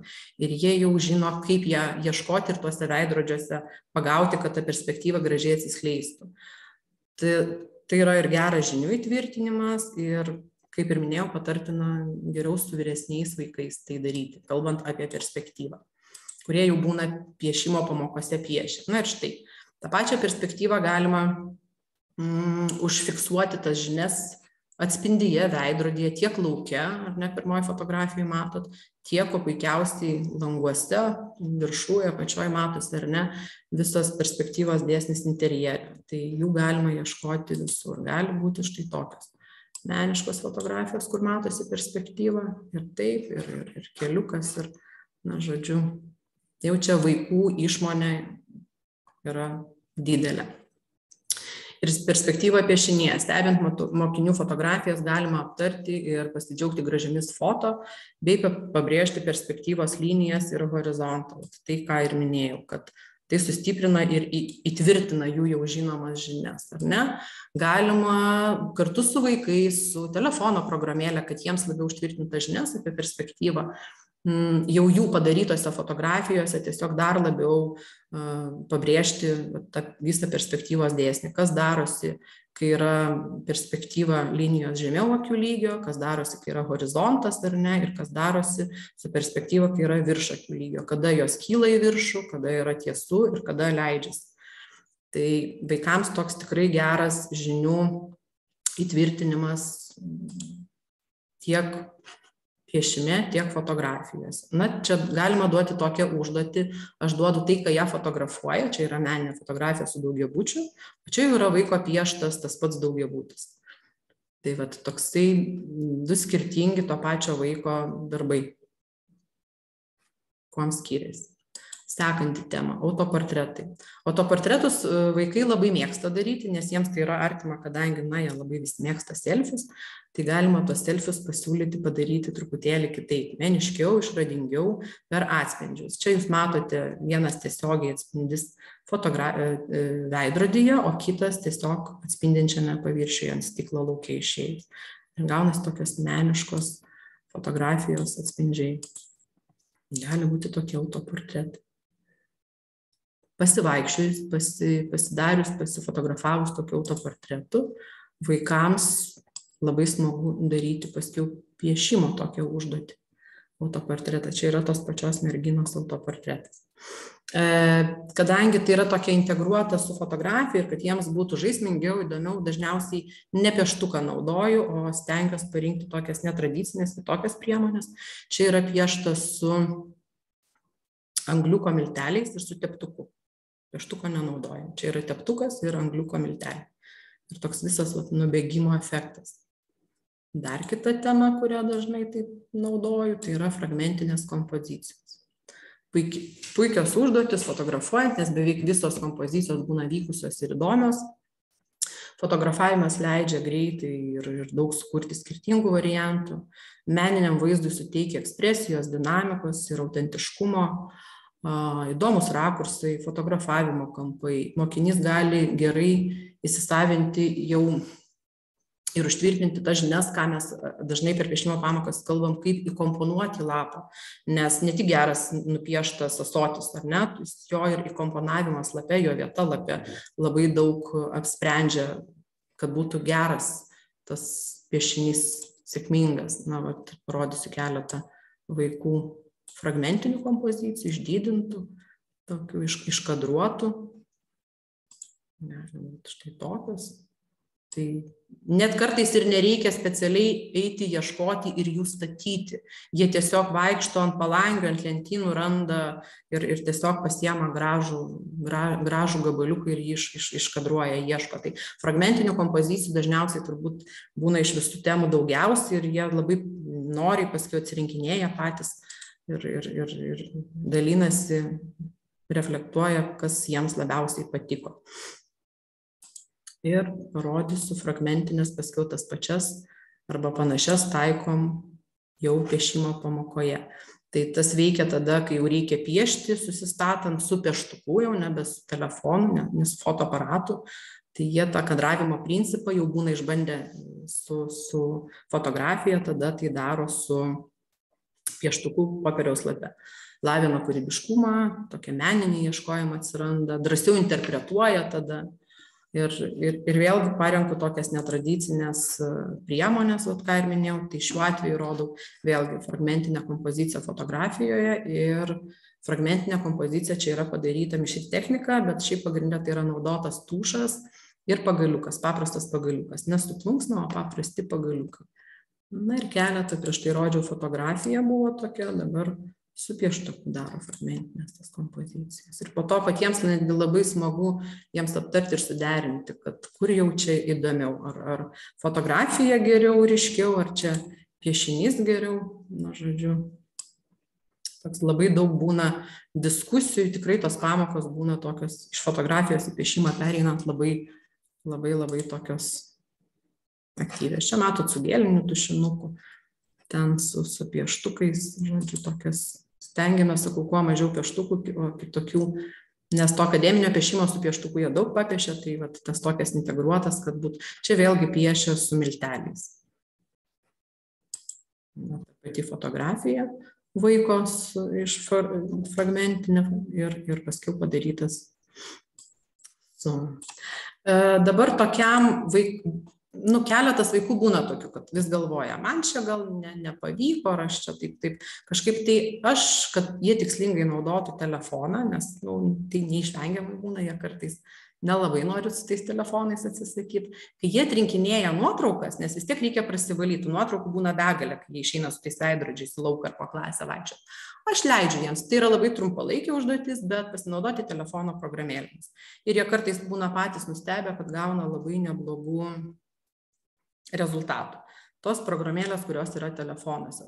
Tai yra vėlgi kitokia pamoka, mokiniai nori įsitraukia į piešimo procesą ir tikslingai naudoja telefoną, labai trumpalaikės tos užduotys ir programėlės pagal e, tai, kaip jie įsivaizduoja, kaip turėtų čia va, piešinys, bet jisai jau pakeistas su programėlė čia jų fotografuoti daugiabučiai rodžiau ten pieštas ranka čia fotografijos jau apdirbtos programėlėmis.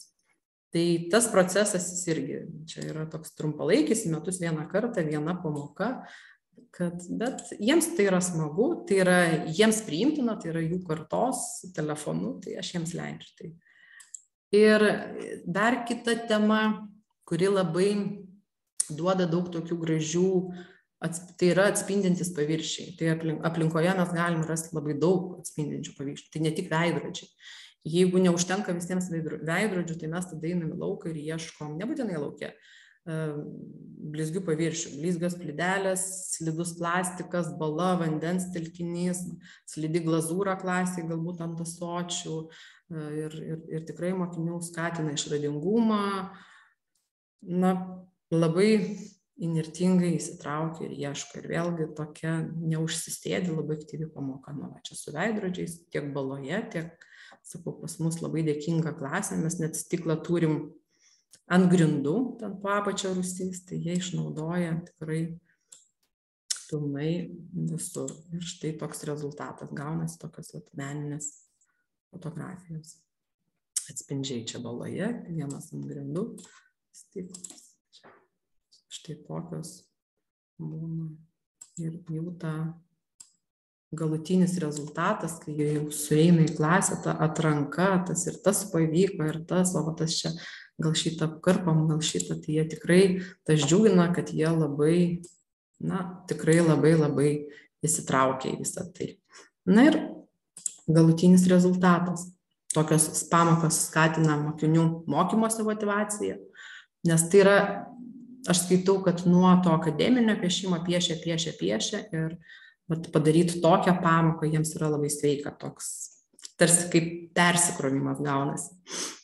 Atskleidžia pažintinius ir kūrybinius gebėjimus, ūkdo mąstymo ir išradingumo gebėjimus, moko planuoti savo veiklą, nes jiems yra skirtas laikas, per kiek jie laiko turi tas kompozicijas surasti, padaryti, grįžti į klasę ir mes po to jau ten aptarinėjom, reflektuojam, kalbamės, atrinkinėjom geriausius, moko pristatyti savo darbus ir mokėti pakomentuoti žodžiu kūrybos visą tą procesą, kas yra vaikams na, sudėtinga ir, ir juos šiaip reikia ugdyti tai daryti. Tai va būtent šitos užduotis labai juos, juos atveria. Ir iš tokių fotografijų galima labai puikiai padaryti parodėlę paskui. Tai mes čia pas mus tik tai, kad stiklo sienas, vėlgi tas pats atspindys pasitarnauja. Ir, ir, ir tas parodėlės būna sukviesti ir teveliai, ir draugai pasižiūrėti šitų fotografijų. Tai, va, tai turbūt tiek tokių aktyvių pamokų piešime su fotografija ir manyčiau, kad pats svarbiausias turbūt šiai dienai toks akcentuojamas švietime ne, ir pamokoje, kad mokinys turi patirti sėkmę. Tai kada jie įsitraukia, kada jie yra patenkinti, kada jie grįžta iš lauko prisifotografavę su emocijom, manau, kad tai ir yra, kad mokinys patiria sėkmę. Tai tiek. Ačiū, Žaneta. Tikrai, tikrai nereali patirtis. Tikrai mes rankose turime kiekvieną minutę telefoną ir taip kūrybiškai išnaudoti šitą priemonę. Ačiū už pasidalinimą. Tikrai, žinokit, aš, aš jūsų patirtim tikrai pasinaudosiu. Ačiū Jums labai. Ačiū Jums. Pilies akmenį pajudinus. Taip, laukiame. Integruotas patirtinis projektas. Violeta Stambrienė, Veronika Lileikienė tikybos mokytoja ir dailės mokytoja, Klaipėdos Aukuro gimnazija. Laukiam jūsų pristatymą, labai intriguojantis pavadinimas, klausom jūsų. Dar pasi, pasitikrinkim antrą skaidrę rodo. Pajudinkit antrą skaidrę, parodykit mums. Net, neturim garso, žinokit. Pabandykit dar garsą jungtis. Labą dieną. Taip, girdime. Dabar Antrą skaidrę paspauskit. Gerai, dabar. Nejuda. Dabar nejuda? Puiku. Puiku. Gerai. Tai tikrai labai smagu, ačiū labai, kad leidote dalyvauti šitai konferencijai. Tai aišku, pirmiausia, norėtųsi, pristatant šį projektą, norėtųsi galbūt pasidalinti idėją, kaipgi kilo šitas projektas. Tai aš esu mokytoja Veronika, čia yra mano kolegė Violeta, kuri ir yra šito projekto iniciatorė. Kadangi mes priklausom tai pačiai metodiniai grupiai tai šiaip mūsų metodinei grupei kilo tokia idėja kadangi moksleiviai antroje gimnazijos klasėje paskutinius metus lanko visus menų dalykus ir taip tiesiog pagalvojome kad kažką reikia padaryti tokio kas labai gražiai api apibūdintų ir integruotų visus dalykus menų kadangi jie trečioje klasėje kaip žinote kad renkasi jau sau norimą dalyką. Taigi ir mes sugalvojome būtent mokytoja violeta jinai labiausiai buvo šito projekto iniciatorė ir sugalvota šitą projektą įgyvendinti taigi mūsų šito projekto tikslas yra aišku skatinti mokinius domėtis daile technologijom.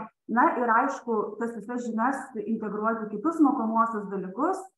Ir žinoma labai smagu kad mes į šitą projektą integruojame netgi devynis dalykus. Ir už aštuonis dalykus moksleiviai gauna gauna įvertinimus. Tai iš tiesų irgi labai geras dalykas ir labai smagu tai kad galutinis rezultatas žinoma tai yra maketo sukūrimas ir viešas jo pristatymas ir viešajam pristatyme jau turime kelis metus tokią įdomią praktiką tai kad viešajam pristatyme moksleivis gali turi galimybę netgi lietuvių kalbėjimo įskaitą gauti. Tai tikrai puikiai pritaikom visus tuos dalykus ir lietuvių kalbą taip pat. Mūsų šio projekto uždaviniai, tai aišku, pirmiausia, lavinti mokinių kūrybiškumą, domėti, žinoma, istoriją, geografiją, architektūrą, muziką ir kitais svarbiais dalykais, na ir aišku, ieškoti sąlyčių su lietuvių literatūra. Kitas uždavinys tai yra žadinti mokinių smalsumą žingeidumą, nes tarkime pavyzdys, kad taikant, pavyzdžiui, matematikos žinias, labai puikiai gali pritaikyti ir šitam projektui, pavyzdžiui, skaičiuojant perimetrą, plotą ir panašius dalykus. Trečias dalykas, tai žinoma, tokie projektai e, leidžia patirti kažką naujo ir patirti svarbiausia kūrybos džiaugsmą. Žinoma, ne visada mums yra labai gera kūrybinė nuotaika, nes moksleiviai būna visaip nusiteikę, bet kai pamato savo galutinį rezultatą, tikrai tuo labai džiaugiasi ir jie, ir mes mokytojai. Ir tokiu būdu moka spręsti, mokosi spręsti visas problemas, kurios iškyla projekto, projekto darbo metu. Tai, o su problemomis iš, susiduria įvairiomis ir su su tai, kaip priklijuoti, kaip iškarpyti, kaip išbrė, pabrėžti ir taip toliau, įvairiausiais, įvairiausiais dalykais. Tai tiesiog daro tas išvadas ir ieško tam tikrų problemų sprendimų. Na ir aišku, visas tas įgytas dalykinės ir bendruosius gebėjimus, dalykinės žinias panaudoti kitose mokymo ir gyvenimo srityse. Šitas integruotas projektas, kurį mes turime savo gimnazijoje, jau mes turime penktus metus. Jis nuolat yra besiplečiantis. Šiais metais mes sugalvojame integruoti ir muziką. Pačioje pradžioje, žinoma, tai buvo daugiau kelių dalykų, tai žinoma, pagrindiniai dalykai tai buvo dailė ir technologijos. Na, o vėliau jau išsiplėtė, kaip, kaip girdėjote, net į devynis dalykus integravome. Taigi šiais metais jau yra penkti metai šitam projektui ir e, šitam projekte dalyvauja mūsų gimnazijos moksleiviai, būtent antrų klasių gimnazijos moksleiviai. E, projekto vertintojai yra mokytojai, kurie dėsto šitai klasiai ir mokytojai, kurie, e, kurie tiesiog ateina į projekto pristatymą ir aišku dar viena grupė žmonių, kurie vertina moksleivių darbus, tai yra pirmų klasių mokiniai, kadangi jie kitais metais pristatinės šitą, šitos savo darbus, tai jie mokosi vieni iš kitų. Tai pirmų klasių moksleiviai taip pat vertina ir paskui pristato. Truputėlį vėliau mokytoja Violeta parodys keletą pavyzdžių, kaip moksleiviai vertina vienas, vienas kitą. Šiais metais integruotas projektas vyko pusantro mėnesio, dažniausiai mes ir turime šitam projektui įvykdyti pusantro mėnesio, kad moksleiviai tikrai galėtų puikiai, puikiai atlikti darbus ir svarbiausia spėti tai padaryti. Šiais metais šiam projektui pristatyti buvo vykdoma nepamokinė ūkdymo diena, būtent skirta Lietuvos nepriklausomybės dienai paminėti. Ir tas renginys dažniausiai vyksta aktų salėje, nes reikia didžiulės auditorijos. Ir kiekvienam moksleiviui yra duodama maždaug iki 10 minučių, kad jisai maždaug per 10 minučių pristatytų savo, savo šitą darbą. Dabar kokie yra e, tiesiog projekto vykdymo etapai? Na, tai aišku, pirmiausiai vadina dalys dalykų mokytais. Kiekvienas dalykų mokytas pasako ir būtent iš savo srities, kokių norėtų dalykų, ko tikisi iš moksleivio. Antrasis etapas tai yra maketų kūrimas per dailės ir technologijos pamokas. Trečiasis etapas yra bendradarbiavimas su dalykų mokytojais, tai tarkime pavyzdys, pavyzdžiui, per matematikos pamoką mokytojai nuplanuoja vieną ar dvi pamokas parodyti, kaip vykdomi skaičiavimai, tarkim, istorijos mokytojai padeda moksleiviams surasti istorinius dalykus ir taip toliau. Žodžiu, kiekvienas, kiekvienas dalyko mokytojas skiria vieną, dvi, kartais ir tris pamokas tam, kad galėtų paaiškinti pagrindinius dalykus, tai ko reikės to darbo pristatymui. Mokinių pristatymai yra vieši, kad juos galėtų būtent, kaip, kaip minėjau, įvertinti pirmų klasių moksleiviai ir mokytojai. Tai dabar mokytoja Galėta mums pristatys būtent šito projekto vertinimo sistemą. Kaip ir mano kolegė prieš tai kalbėjo, kad tas yra vertinimas pas mus toksai specialus ir maketus pristatymus mes vertiname pažymį.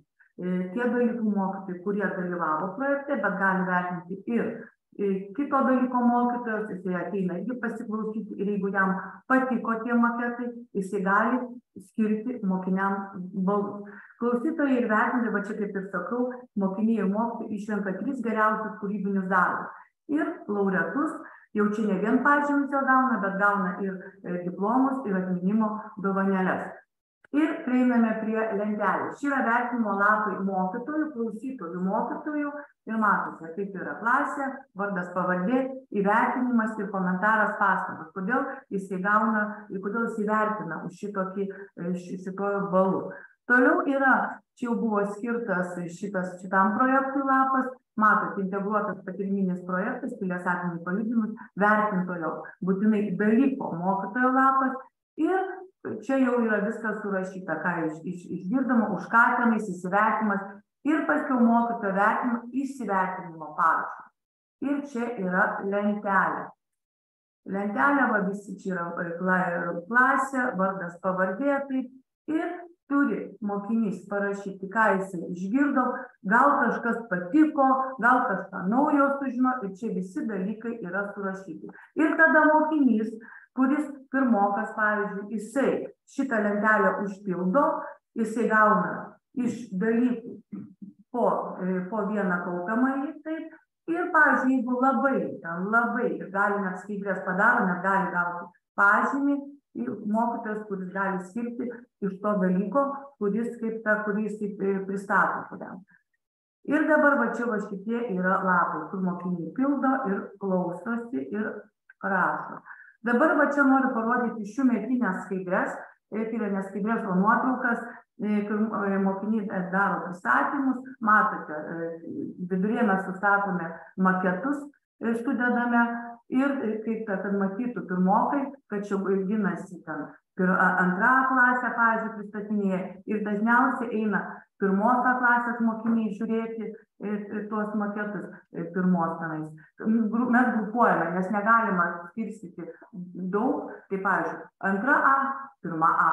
Ir va taip ir viskas taip eina palaipsniui.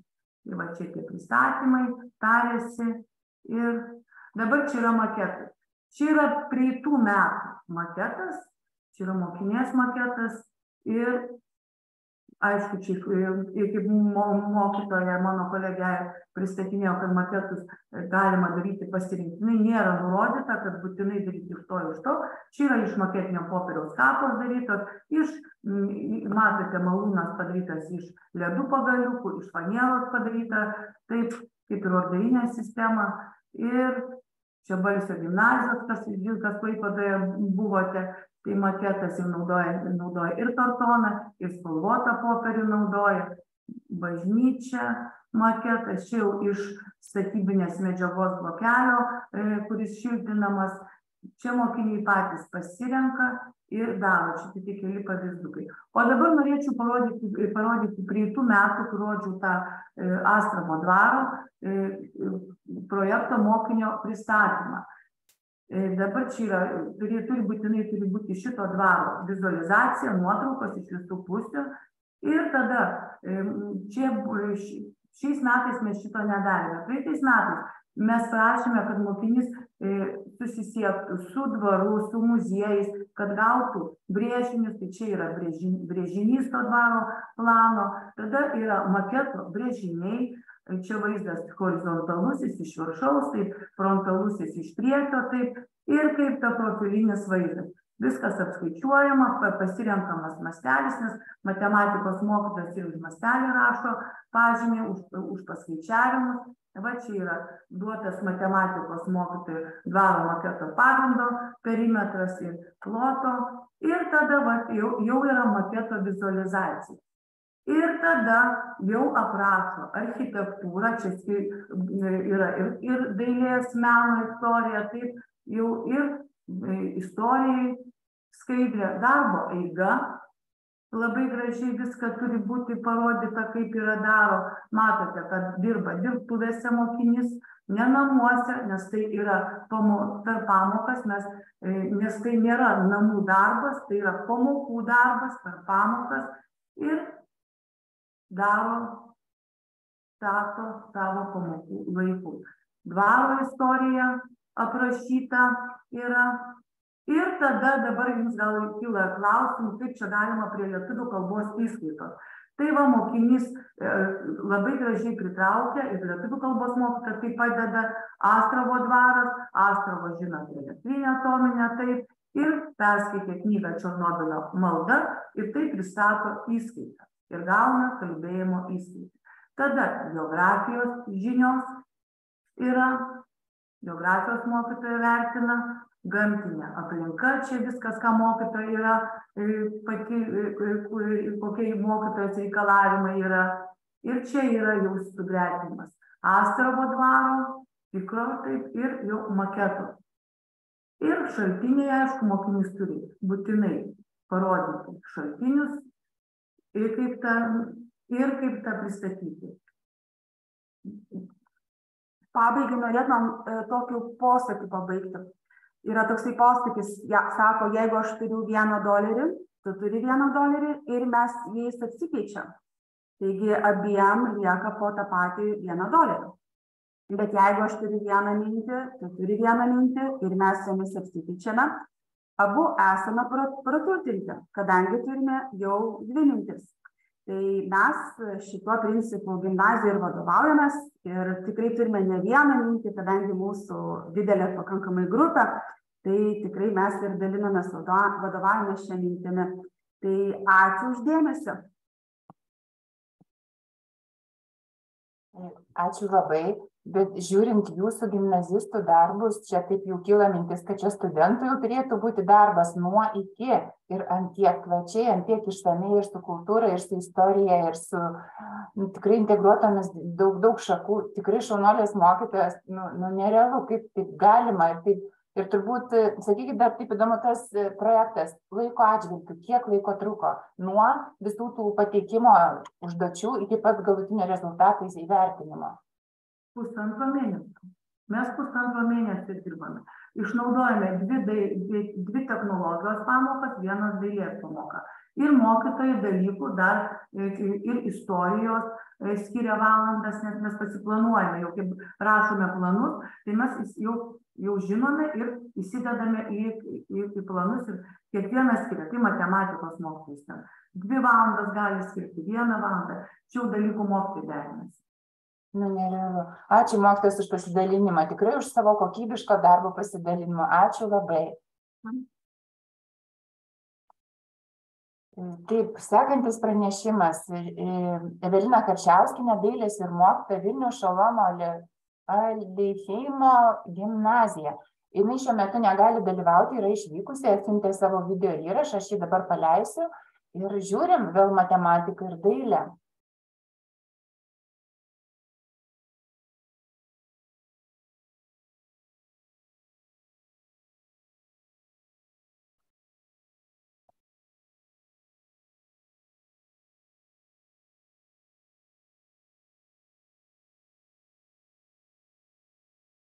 Labą dieną, esu Evelina Karčiauskienė, dailės mokytoja, dirbu Vilniaus Šolomo Lūžimo gimnazijoje ir noriu šiandien su jumis pasidalinti savo gerąją patirtimi STEAM pamokose.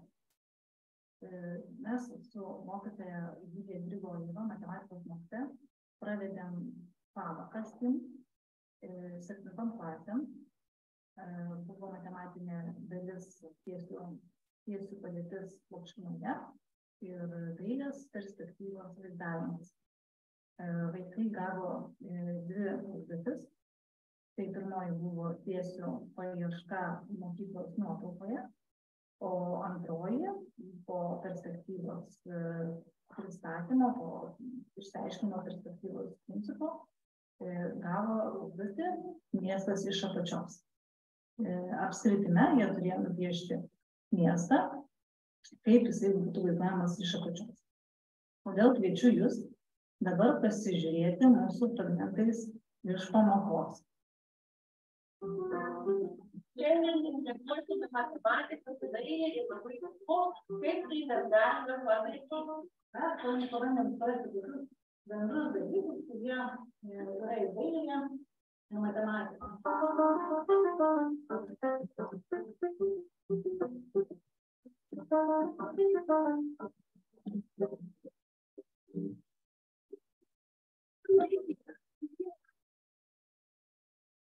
Turim rasti kuo daugiau penkių minučių, kuo daugiau tiesių, susikertančių podestinių, lygiai grečių tiesių ir viską, viską sužiūrėti.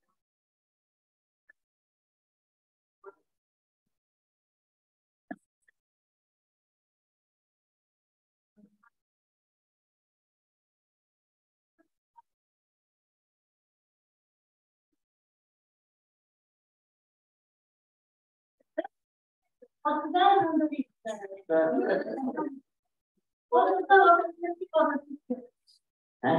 Gyvenimo, gero gyvenimo.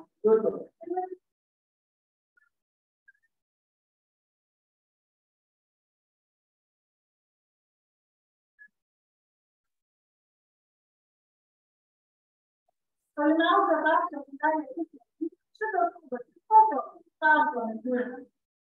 Iš apačios mes matome apačią, tai buvo viena nugarėlė ir matome priekį. Toliau šis. Iš viršaus mes matome viršų, čia mes pavaizduotas šitas turinio galėtume matyti senelę.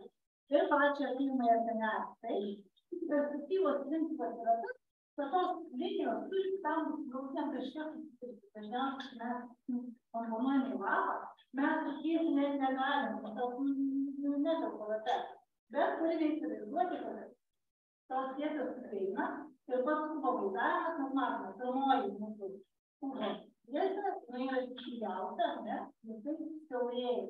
Šiandien jūsų bus užduotis miestas iš apačios. Pasitelkiant tiesą ir pavaizduosime, bandysim pavaizduoti tokią perspektyvą.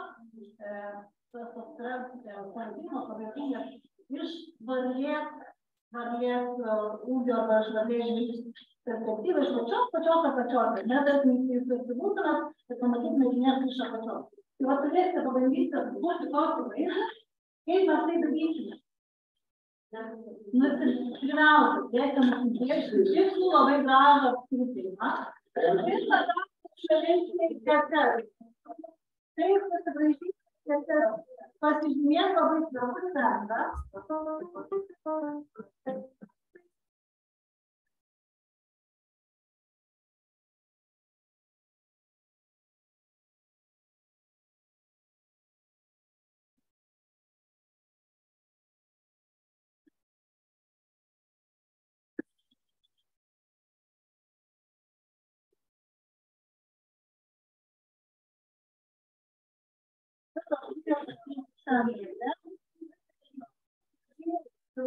Patys centro pasitraukė iš centrinės daiktų, pavyzdžiui,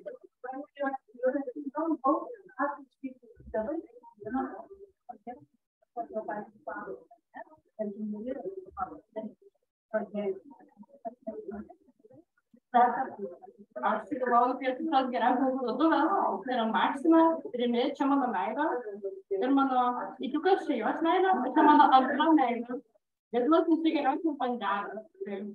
Tas kas tolsta, tas mažėja.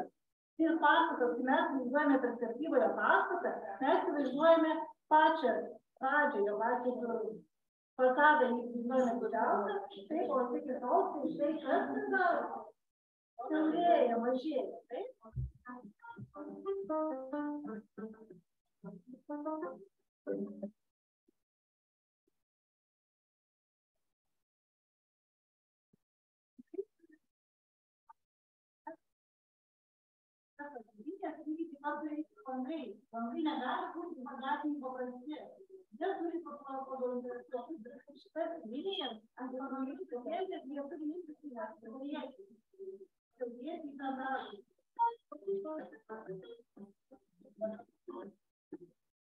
Pačiam centre mes įsismeigėm adatėlę į siūlą, į siūlo kilputę.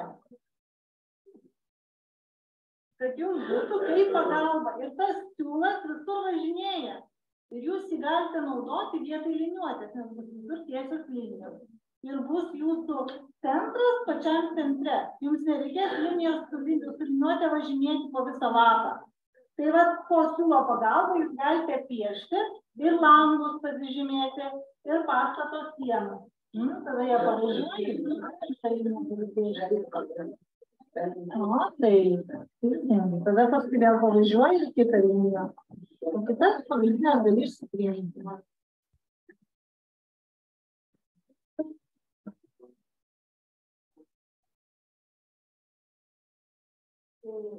Čia miestas, čia kiekvienas reiškia savo emociją. Šitame mieste dažniausiai dominuoja linksmos spalvos, linksmos emocijos, jiems emocijos.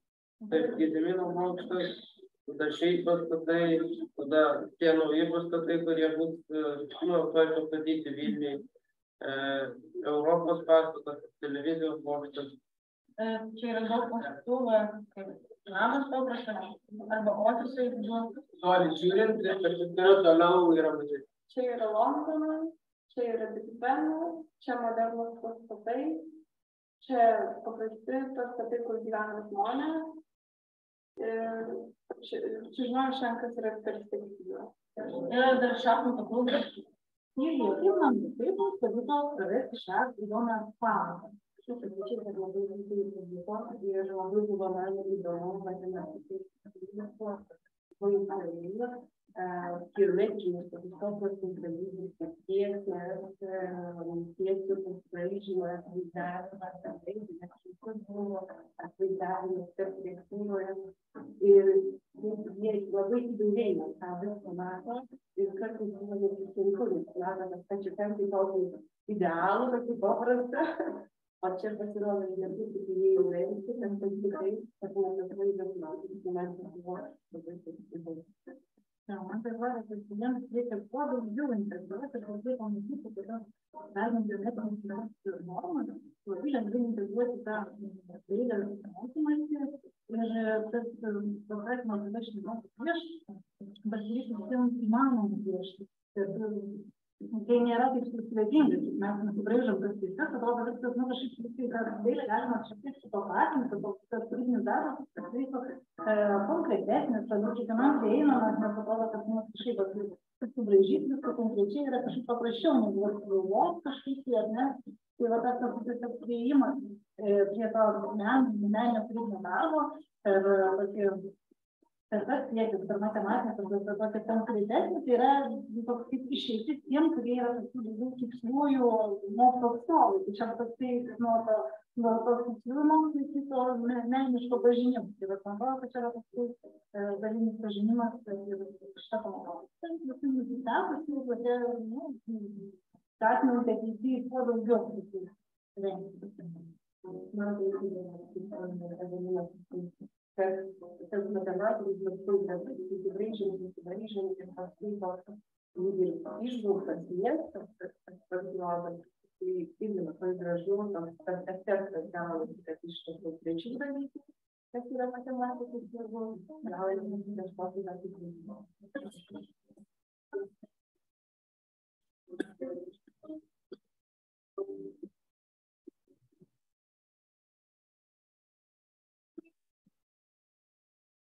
Tai žinai, jame galima matyti įvairių pastatų, nuo aukščiausio pastato Burj Khalifos iki Kvalampūrė esančių ir pastatų dvinių.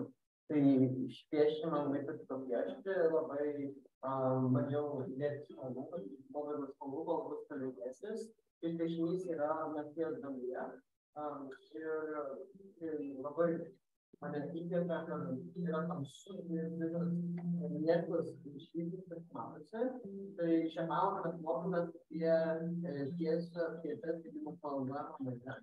Kadangi aš iš matematikos, man perspektyvos būrimas ir piešimas labai patiko ir susirišimas tarp matematikos ir dailės reikės atvėrė naują požiūrį į dailę matematiką. Ir šią pamoką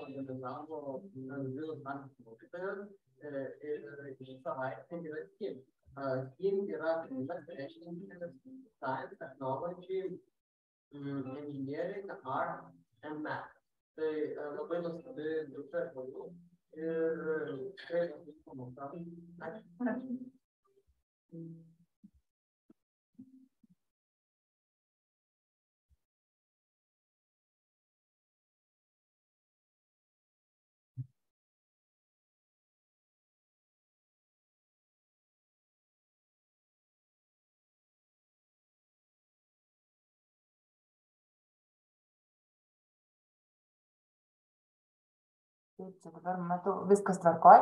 E, dėl garso tikrai prasti, prastas tikrai garsas, bet aš jums įmėsiu nuorodą į būtent į čia, ir kam bus, bus įdomu, galėsite iš naujo pasižiūrėti šitą filmuką.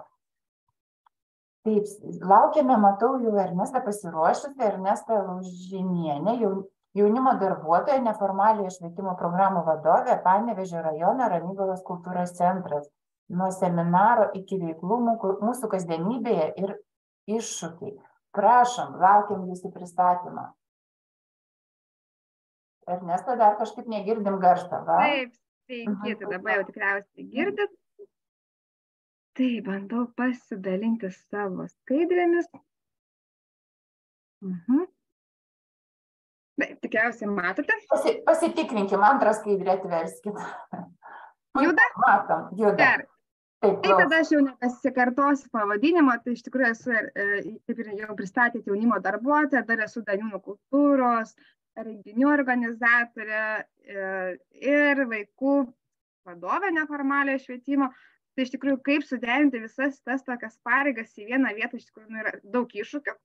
Nes kaip jaunimo darbuotoja dirbu su jaunimu nuo 14 metų iki 29 ir mes esame dvi įstaigos po vienu stogu, tai ir kultūros centras, ir jaunimo centras, tai pas mus veiklos vaikai tarpusavė pinasi, bėgioja, dalinamės patalpomis. Šiuo metu irgi esu pasikavojusi izoliuotą muzikos kambaryje, nes vyksta ir šokių repeticijos, ir visai neužilgo turėsim robotų pirmasias be taisyklių sumo varžybas tarpusavyje, vaikai kausis dėl saldaus prizo, tai neaišku, kaip mums dar čia seksis, nes darom pirmą kartą. Na, o grįžtant prie šito pranešimo, tai taip pat va, dirbu su vaikais nuo 7 metų iki 16, tai mano, mano NVŠiukai vadinamieji. Tačiau nepaisant šitų dviejų skirtingų amžiaus grupių, e, dirbu vis tiek su grupėmis, dirbu individualiai, siekiu kiekvieno asmeninio, socialinio, būtent jauno asmens tobulėjimo. E, jie yra visi skirtingi, nes pas mus yra ir Romų tautybės jaunimo, na ir su visais iš tikrųjų dirbant reikia tam tikrų kompetencijų turėti, kai kada čia ir atsiranda tų pirmųjų iššūkių, apie kuriuos papasakosiu šiek tiek ir vėliau. Na, nuo ko prasidėjo? Iš tikrųjų viskas prasidėjo nuo to, kad dar 2018 metais a, gavau pakvietimą dalyvauti mokymuose, tai būtent neformalus švietimo paslaugų plėtros. Ir nuvažiavus į Vilnių, tai buvo, aš kaip sakau, tai buvo vieni geriausių mokymų iki, iki šiol, nes aš ten buvau kaip mažas vaikas, aš ten viską čiupinėjau, mokinausi, patyriau, džiaugiausi, krikštavau ir visai kitaip, nes robotai, kurie Lego, kurie važinėja, sustoja, juda, skleidžia garsus, man buvo kažkokia neregėta, negirdėta mistika. Tai čia teko susipažinti ir su pirmaisiais modeliais tiek raketų, tiek lėktuvų, kuriuos konstravom, gaminom, apie programavimą, apie judančias bitutes, kurias galima užprogramuoti kad nuvažiuotų tam tikrą atstumą, tai iš vis buvo kažkas ne, ne, negirdėta, nematyta ir ne, nesuprasta. Na, o kad 3D piešiniai gali atgyti, tai čia buvo, wow, čia man buvo topų topas. Na, gaila dabar, kad šita programėlė jau yra apmokestinta ir vaikams šito džiaugsmo nebegalime suteikti, nors anksčiau buvo dalis apmokamų, dalis ne na ir grįžusi po šitų mokymų po savaitės pasakojau savo direktoriai ką aš patyriau dalinausi įspūdžiais e, kad ir mum būtent to reikia jį atvežti į kultūros centrą. Tai sakė aš nieko nesuprantu ir nesuprantu ko tu nuo manęs nori nes interaktyvios grindys e, judantis lego buvo nu visiškai kažkas ne, nesuprasta. Ir devynioliktais metais maksima paskelbė e, konkursą mes bendruomenė būtent ugdymui švietimui Specialiai neprašiau visos sumos, nes dažniausiai iš patirties žinau, kad jeigu prašysi visos sumos, jos negausi. Paprašiau 7 tūkstančių e, ir mums pasisekė. Ramygala, kuri yra nutolusi nuo, nuo Panevežio beveik 30 km. Ramygloje nėra Maksimus ir čia mes laimėjome Maksimos projektą. Tai buvo kažkas nesuvokiama. Ir mes nusipirkom už tuos pinigėlius pirmuosius Lego robotus, interaktyvės grindis, planšetinius kompiuterius nusipirkome. Na, pradėjom vaikų vasaros užimtumo, tokias kaip ir mini stovyklas. Vaikai tiesiog ateidavo patys konstruoti, kurti, buvo ir keletą mergaičių. Kuom labai džiaugiamės, tai nebuvo kažkokių specialių užduočių, temų, tiesiog vaikai patys kūrė, eksper, eksperimentavo, žaidė, dalinosi mintimis. Turėjom pirmąją kelionę į Robo centrą.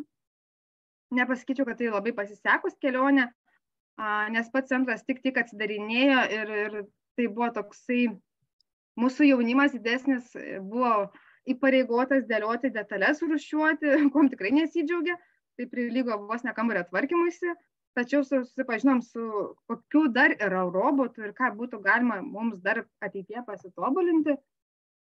Na ir dar po metų patys pradėjom teikti NVŠ būtent užsiemimus tai pradėjom nuo to ką mes jau turėjom iš iš laimėto projekto vėliau rašėm kitus projektus kurių dėka mes nusipirkom ir virtualios realybės akinius hologramas tai turėjome mokymus kur atvyko specialūs lektoriai ir mokino mus kurti pačius hologramas tuos mini vaiduoklius lange.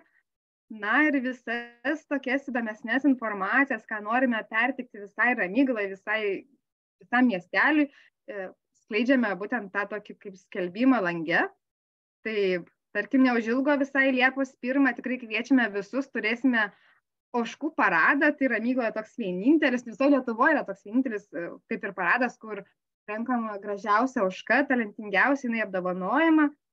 Ir ta oška naktimis lange pasirodo kaip mažas vaiduoklis, kviesdamas mus jau čia ruošti tai šventį na taip pat per žaidimą per lego iš tikrųjų mes ir komanda darom formavimą. Tai čia yra vienas pavyzdys kaip vaikams duodamos tos pačios detalės identiškos tačiau sėdėdami nugaromis jas komunikuodami turi tarpusavy nežiūrint vienas į kitą sudėlioti identiškus gaminius.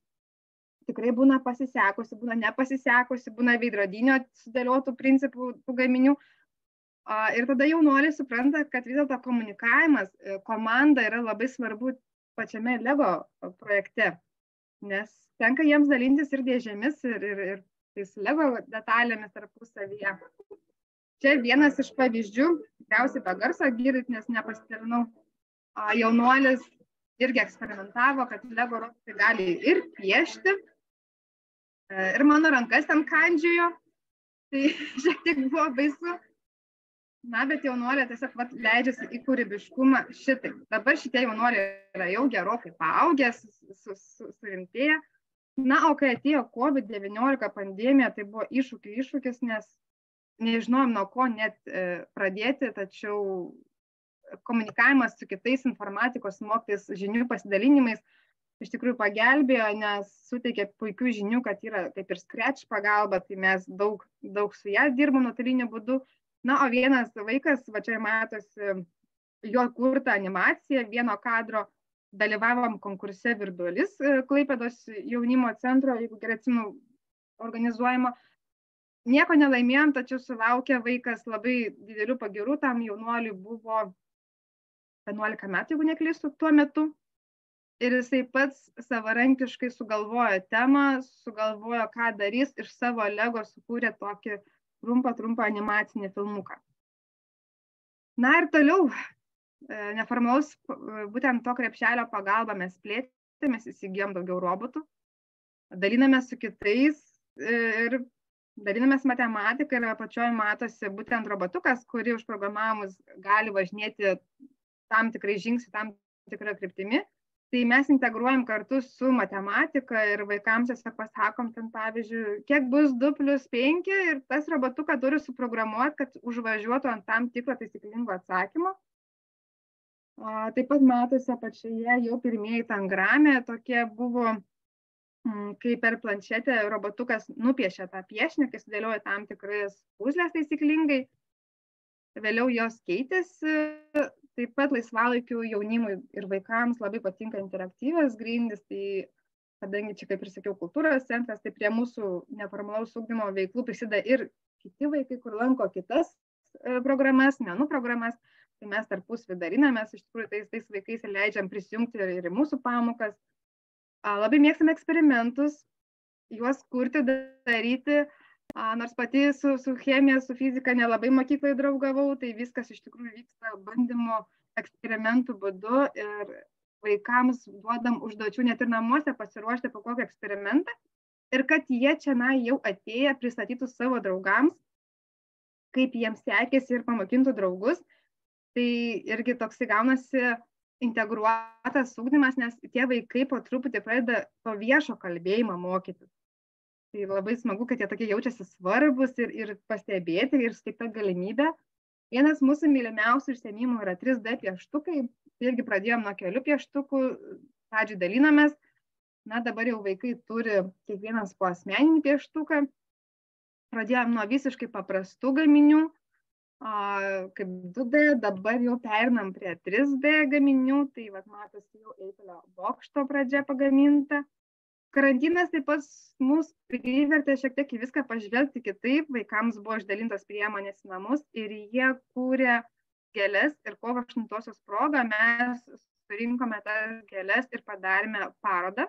Seniūnijoje būtent tas gėles eksponavome, tai buvo vienas trapiausių gaminių, nes tas siulelis milimetro storio sudarė iš tikrųjų įspūdingus vaizdus ir grožius ir, ir, ir kvietėme net ir suaugusius ateiti ir išmokti pasigaminti gėlę.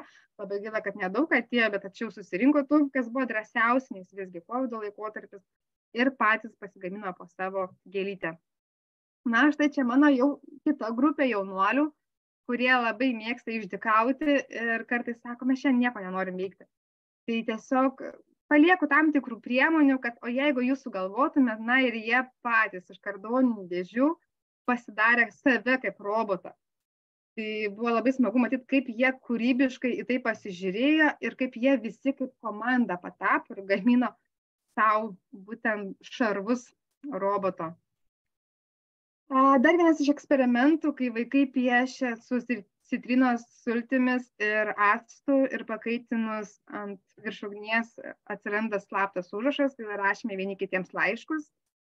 Mūsų robotukai mažieji, kurie išdikauja, žaidžia, tai mums laiką nuotaikas pakelia ir jeigu vaikas nori pabūti tyliai ramiai su savyje, tai duodam spalvas ir duodam pasireikšti, kaip jis tai nori su to robotuku pabendrauti kūrėme muzikinius įrašus, žaidžiam su kompiuteriais, tai tikriausiai, sakau gaila, kad garso nepasidalinau. Tai labai smagių programėlių yra.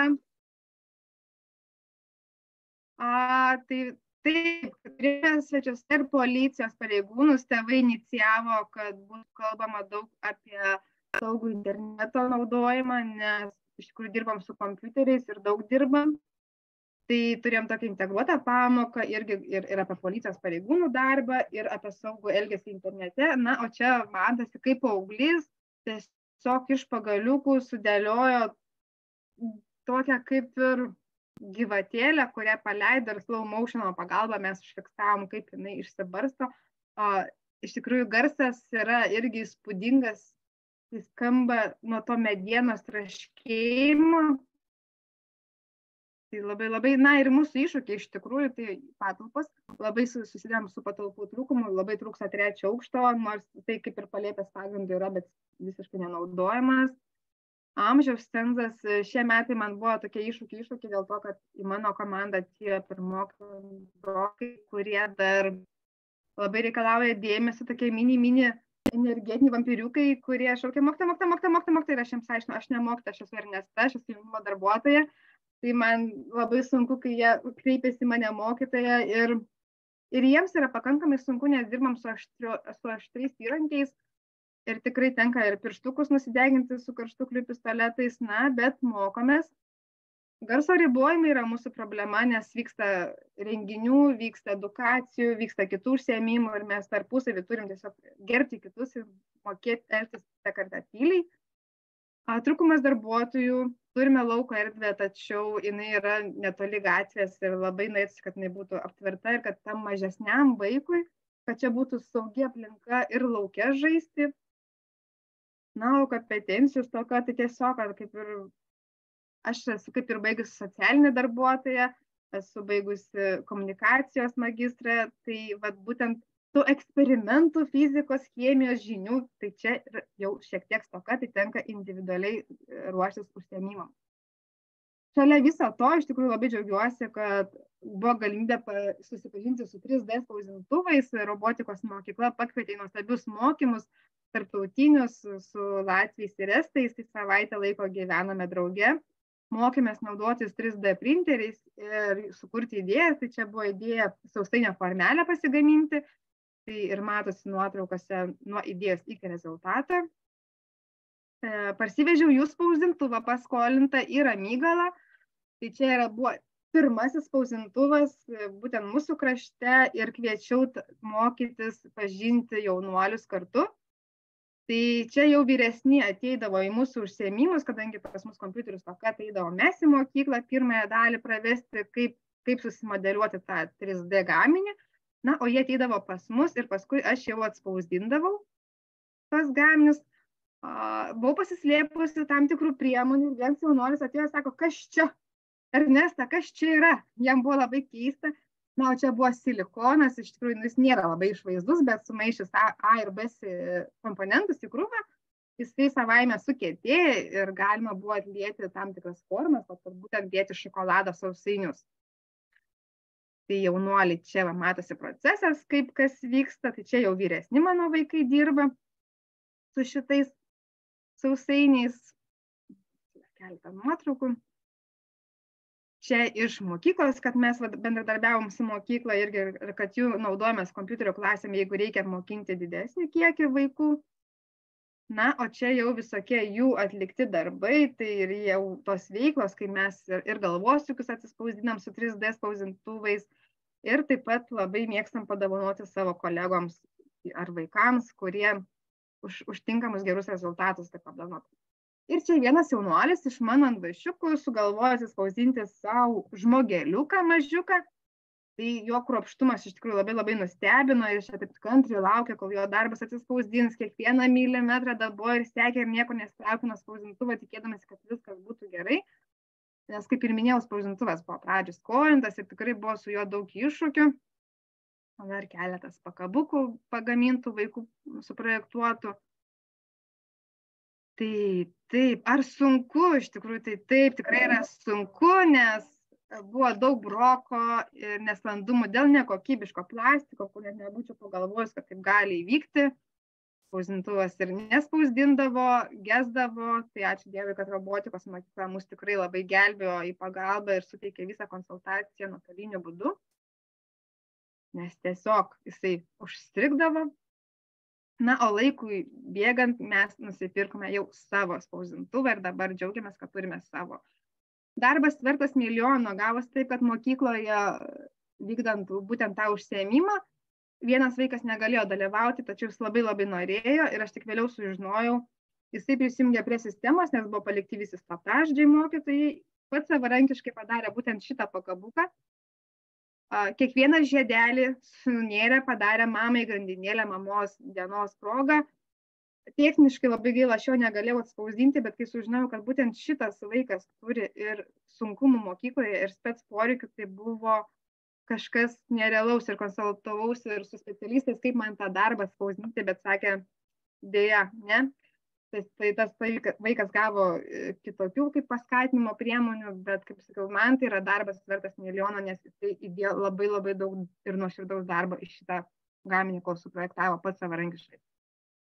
O kas iš to 3D? Tai būtent apsimokė 62 jaunuoliai, daugiau negu šimtas pakabukų pagaminta buvo ir įteikta dovanomis na o grįžtant prie mano tų nvašiukų veiklos tą kelią į stim pasaulį tai vaikai mokinosi ir, ir elektrikos būtent pagrindu tai su elementais led lemputėm ir vario juostelėmis gaminame kalėdinius 3D namelius ir papuošėm kultūros centro patalpas, darėme tokią kaip ir mini parodą tėvams.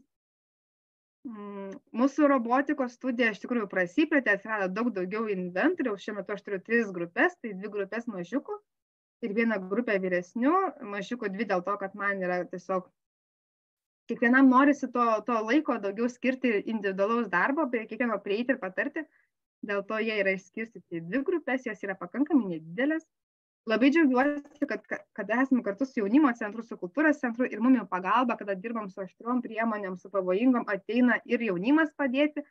A taip atsirado didesnis ryšys tarp skirtingo amžiaus kartų ir mokykloje jie kažkaip pradėjo sutarti ir atsirado pagarba vienas kitam tolerancija sumažėjo patyčių kuom galime tikrai pasidžiaugti ir vat jie padeda vaikams gaminti irgi savo pačių sukurtas mašinėles. Jos važiuoja neturiu gaila video tai vaikams buvo labai smagu ir net dalis jaunuolių nešėsi į mokyklą savo mašinėles parodyt savo klasės draugams kaip jiems pavyko pasigaminti. Na o mūsų tangramė iš kompiuterio išėjo į virtualų pas į tikrą pasaulį tai būtent ant stalo matosi didžiulė raudona dėlionė. A turime tokią pačią ir žalią ir vaikai komandose gali tarpusavyje varžytis kas tarkim sudėlios greičiau greičiau tam tikrą figūrą. Tai tos pačios figūros keliauja ir į miesto šventes ir kartu siūlome ir tėveliams sudėlioti, kad jie pajaustų, ką tie vaikai čia pas mus veikia to neformalaus ūkdymo metu, kad mes ne tik žaidžiam, bet ir augom ir, ir kūrybiškai mastom ir sprendžiam visokiausias iškiausias problemas. Daug žaidžiam, daug mastom, vėlgi skatinam kūrybiškumą, tai čia yra keletą akimirkų, kaip vyresni bando kaip komanda sudėlioti bokštą nelenčiant rankomis. Iš lasdelių buvo paversta mergina robotu, kuris savo norų pasisiūlė pastovėti, kol vaikai ją aplipdė lasdelėmis. Na ir mūsų keletą robotukų, kurie juda. Turime taip pat ir fizikos tokių kaip ir mm, dėlionių, čia su jie irgi gausi labai jokingai, nes viena mergaitė sako, nu, prisipirkit jaunimo centre, ten kažkokį žodį pasakė, aš nelabai supratau, ko jinai nori nuo manęs.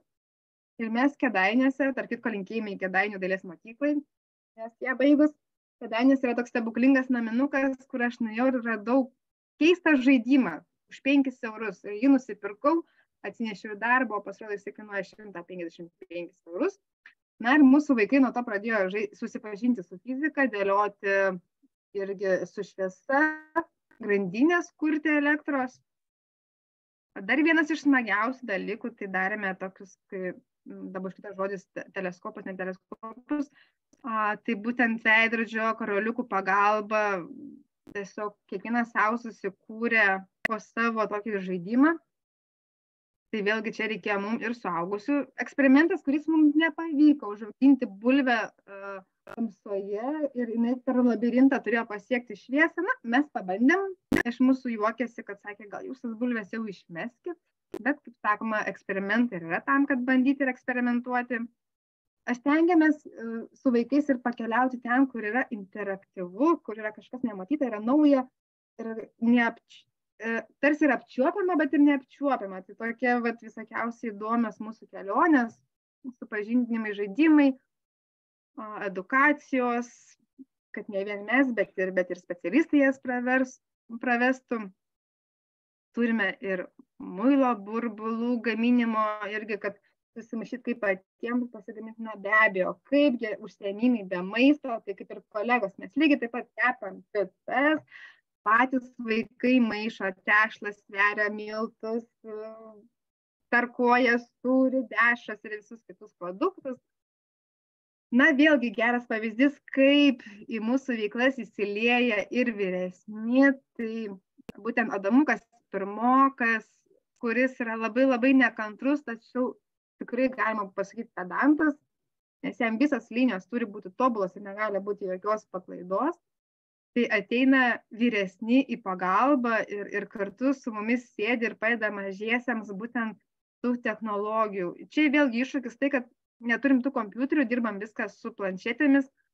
Na, liečiam pieštukai yra labai gerai, bet tačiau smulkiems detalėms yra šiek tiek problema, o pelytės apsunkina planšečių darbą ir dėja jos išsikrauna, išsimginėja.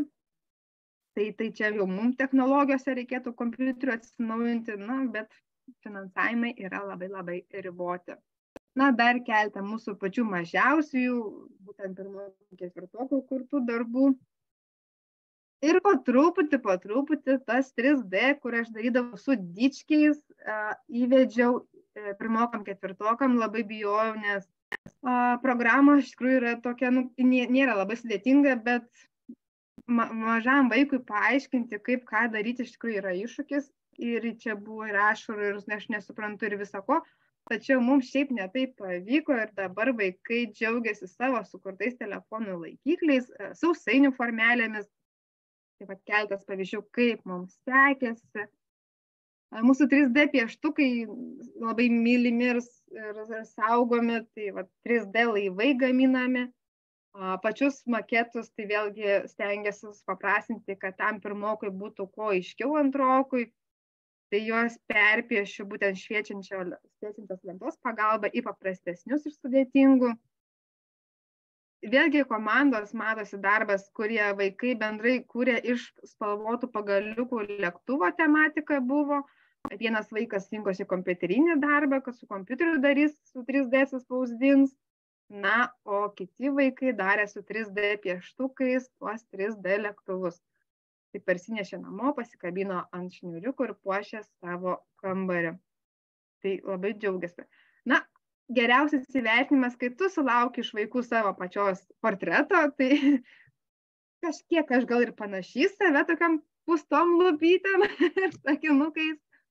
Na ir mūsų vaikam padėka tai yra tiesiog tas neformalus laikas, pasibuvimas prie filmukų, prie animacijos, picos kepimas ir tiesiog draugė draugė pažaidimas. Tai trumpai ir tiek.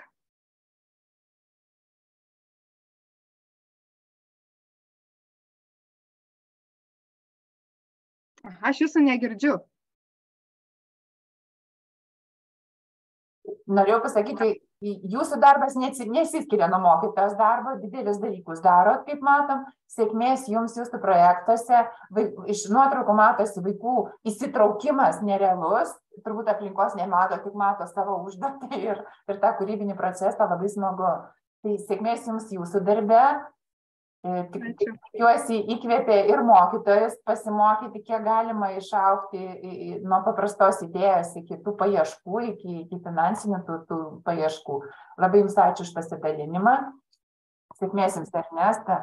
Taip, na kągi, ir paskutinis mūsų pranešėjas, tai Rita Valaikienė, technologijų ir keramikos mokytoja ekspertė, Klaipėdos Germano Zuidimano gimnazija. Zudermano, Zudermano. Zudermano, taip. Žymus rašytojas.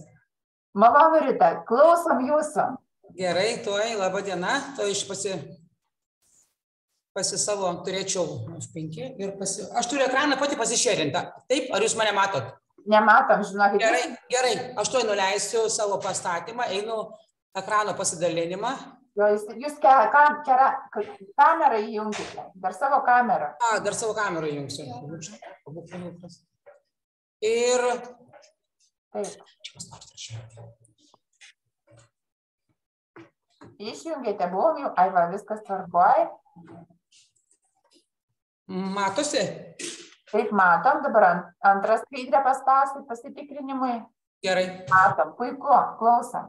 Nebijokite, nebus jokių apibrėžimų, viskas bus konkrečiai.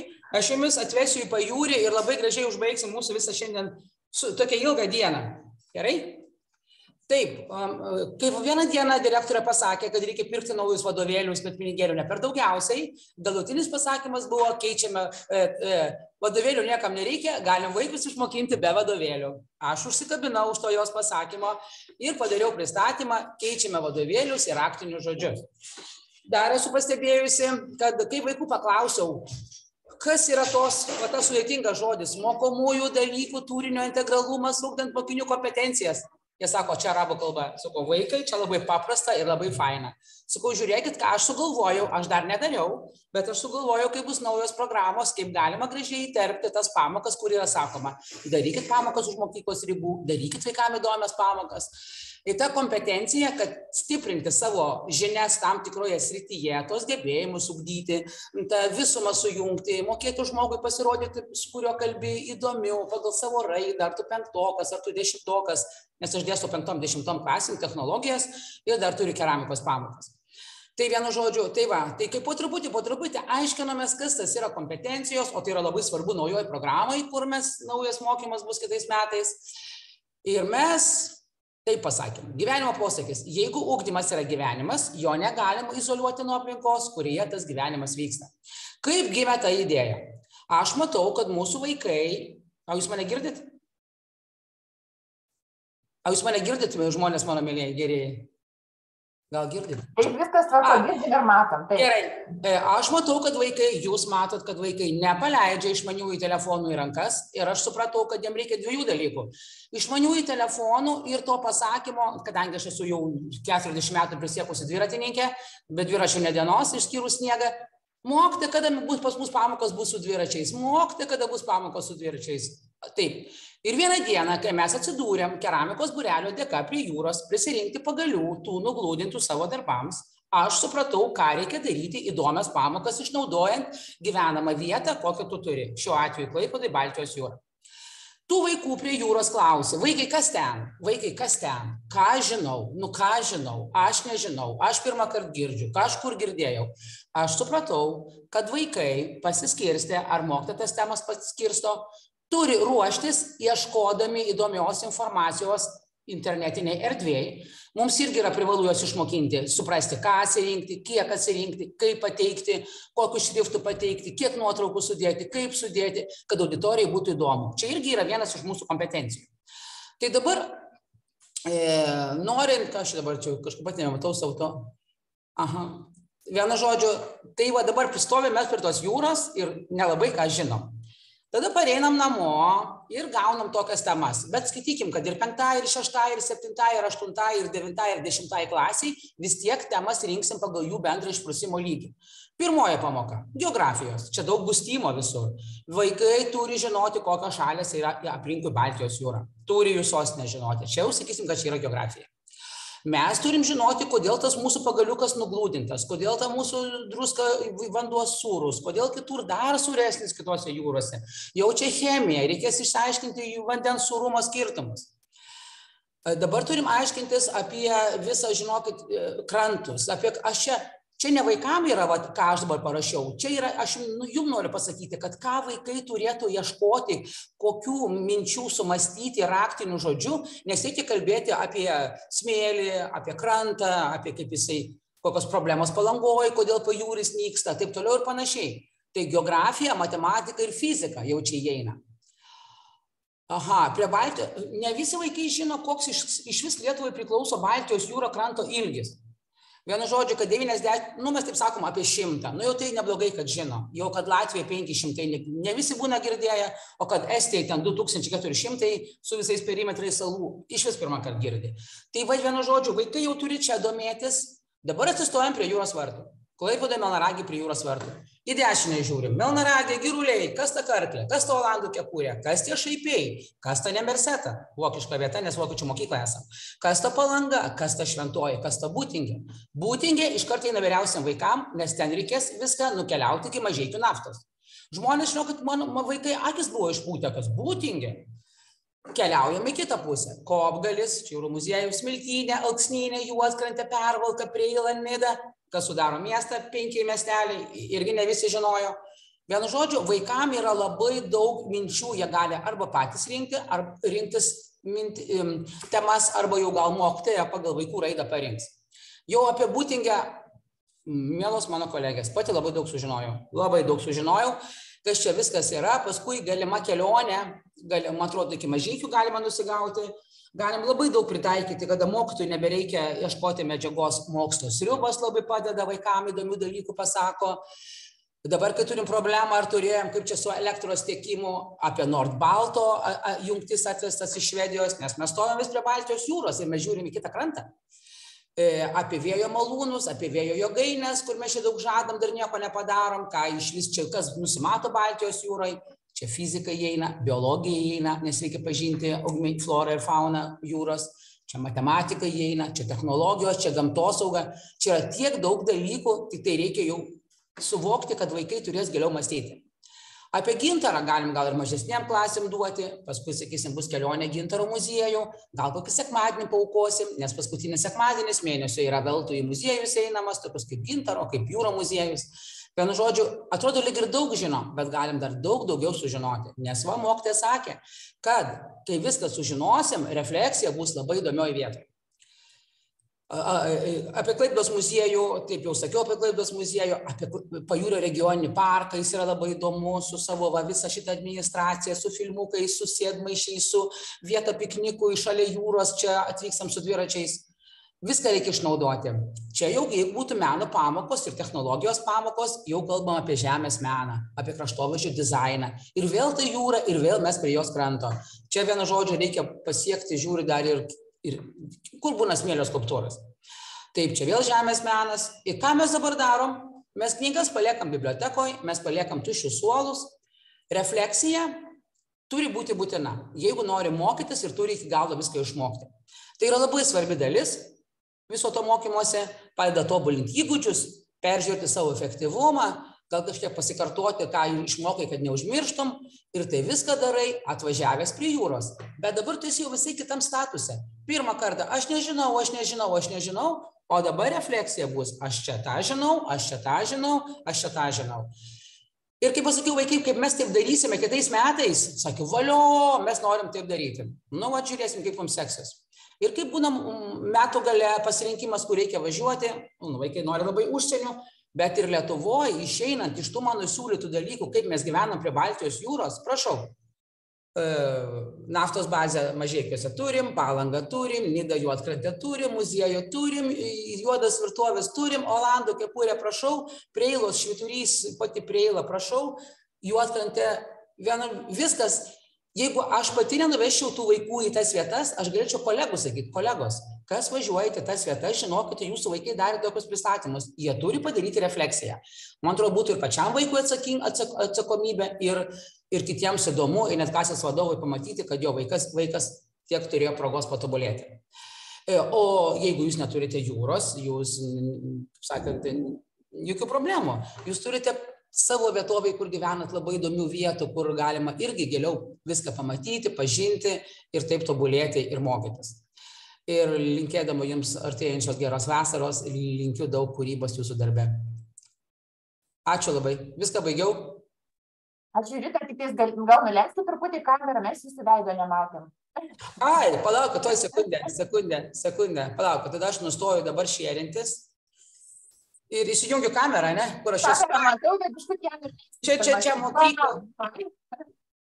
Tokia energija, toks pozityvas. Labai... Mokykloje dirbu 27 metai ir, žinai, visą, kiekvieną dieną ateinu, kaip vis atrodo, vakar pradėjau dirbti. Ne, aš atvažiuoju su dviračiu visą laiką, man geriau, žinot, aš su dviračiu atvažiuoju. Tai aš skaitau, kad ta gamta, ta jūra, aš labai džiaugiuosi, kad šiandien buvo beprotiškai gražių pristatymų, yra ko pasimokyti, čia naujas programos bus, mes 30 procentų galime e, savo idėjų įnešti, visai yra fainai bet aš galvoju kad vat išnaudoti tą aplinką dėl technologijų ir dėl to stimo ir kad vaikam būti lauke visai nebloga idėja. Taip, taip, Rita, tikrai, tikrai ačiū už, labai už, už tokį baigiamąją žodį. Aš jau labai trumpai, nes visi nori jau baigti. Taip, tikrai pasidalinom, pamatėm, išgirdom labai puikių patirčių, ar ne? Nežinau, praturtinsim savo programas. Ir žinot, va taip irgi klausantis, žiūrintis, atrodo, ko tam ugdymui trūksta ar ne? Tiek pozityvių tiek energingų mokytojų tiek daug visokių programų ir tiek daug idėjų iš nieko padaryti kažką. Nežinau labai džiaugiuosi labai džiaugiuosi šita konferencija labai džiaugiuosi jūsų pasidalinimais. E, Dėl refleksijos, jeigu yra klausimų, rašykite dabar į čatą, vat, dar gal mūsų pranešėjai lektoriai mato, atsakys, o jei ne, aš gal įmesiu savo, savo elektroninį paštą, jeigu norėsit kažkas, tai vat, susisiekti su lektorium. Kažkokia idėja patiko kažkokią bendradarbiavimo idėją turit. Būtinai man parašykit aš jums persiųsiu tada lektorių kontaktus ir ir galėsit toliau bendradarbiauti nes šita idėja tikrai graži ir tikrai labai norisi kad jinai toliau vystytųsi augtų. Tuoj parašau savo paštą.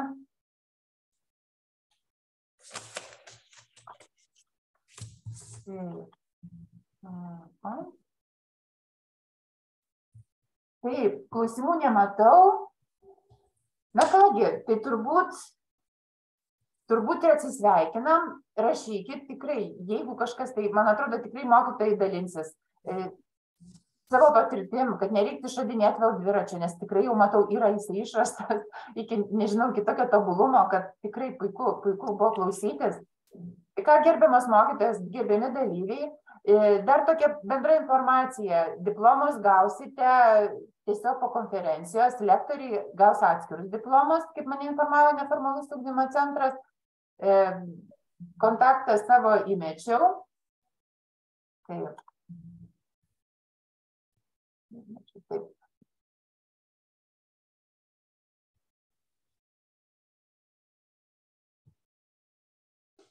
Taip, dėl, dėl skaidrių persiuntimo tada dar pasidomėsi, pasižiūrėsim, kaip, kaip ten toliau galima padaryti su tam skaidrėm.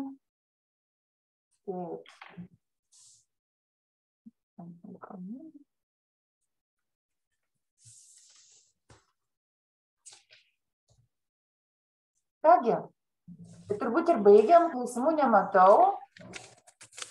Tada iki kitų, mėly mokytojai, susitikimo ir gero jums laiko. Gražios vasaros artėjančios, pasisemti idėjų, pailsėti ir vėl naujom jėgom kiti tos nuostabius darbus iki kitų susitikimų. Visą. Sudie.